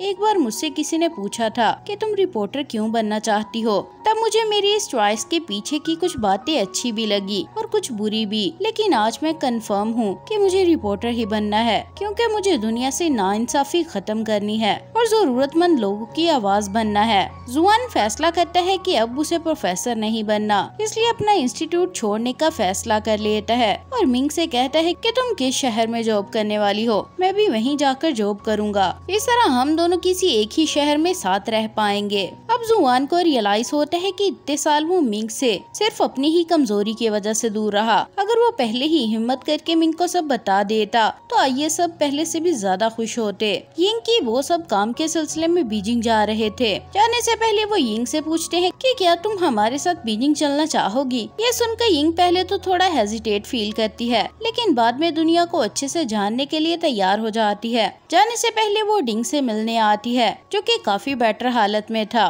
और अब नई किताब भी लिखने लगा था। जब यंग उसे अपने बीजिंग जाने का बताती है तो वो उसे बहुत अच्छे से विश करता है और ब्लेसिंग्स भी देता है। अब जाने से पहले यिंग डिंग की वह ब्लू टीन्स वाली फ़ोटो देखती है, जिसे देखकर डिंग काफ़ी इमोशनल तो होता है, लेकिन रू तक सुकून फील करता है और उसे लगता है जैसे उसका कोई दोस्त उसके साथ बैठा हो।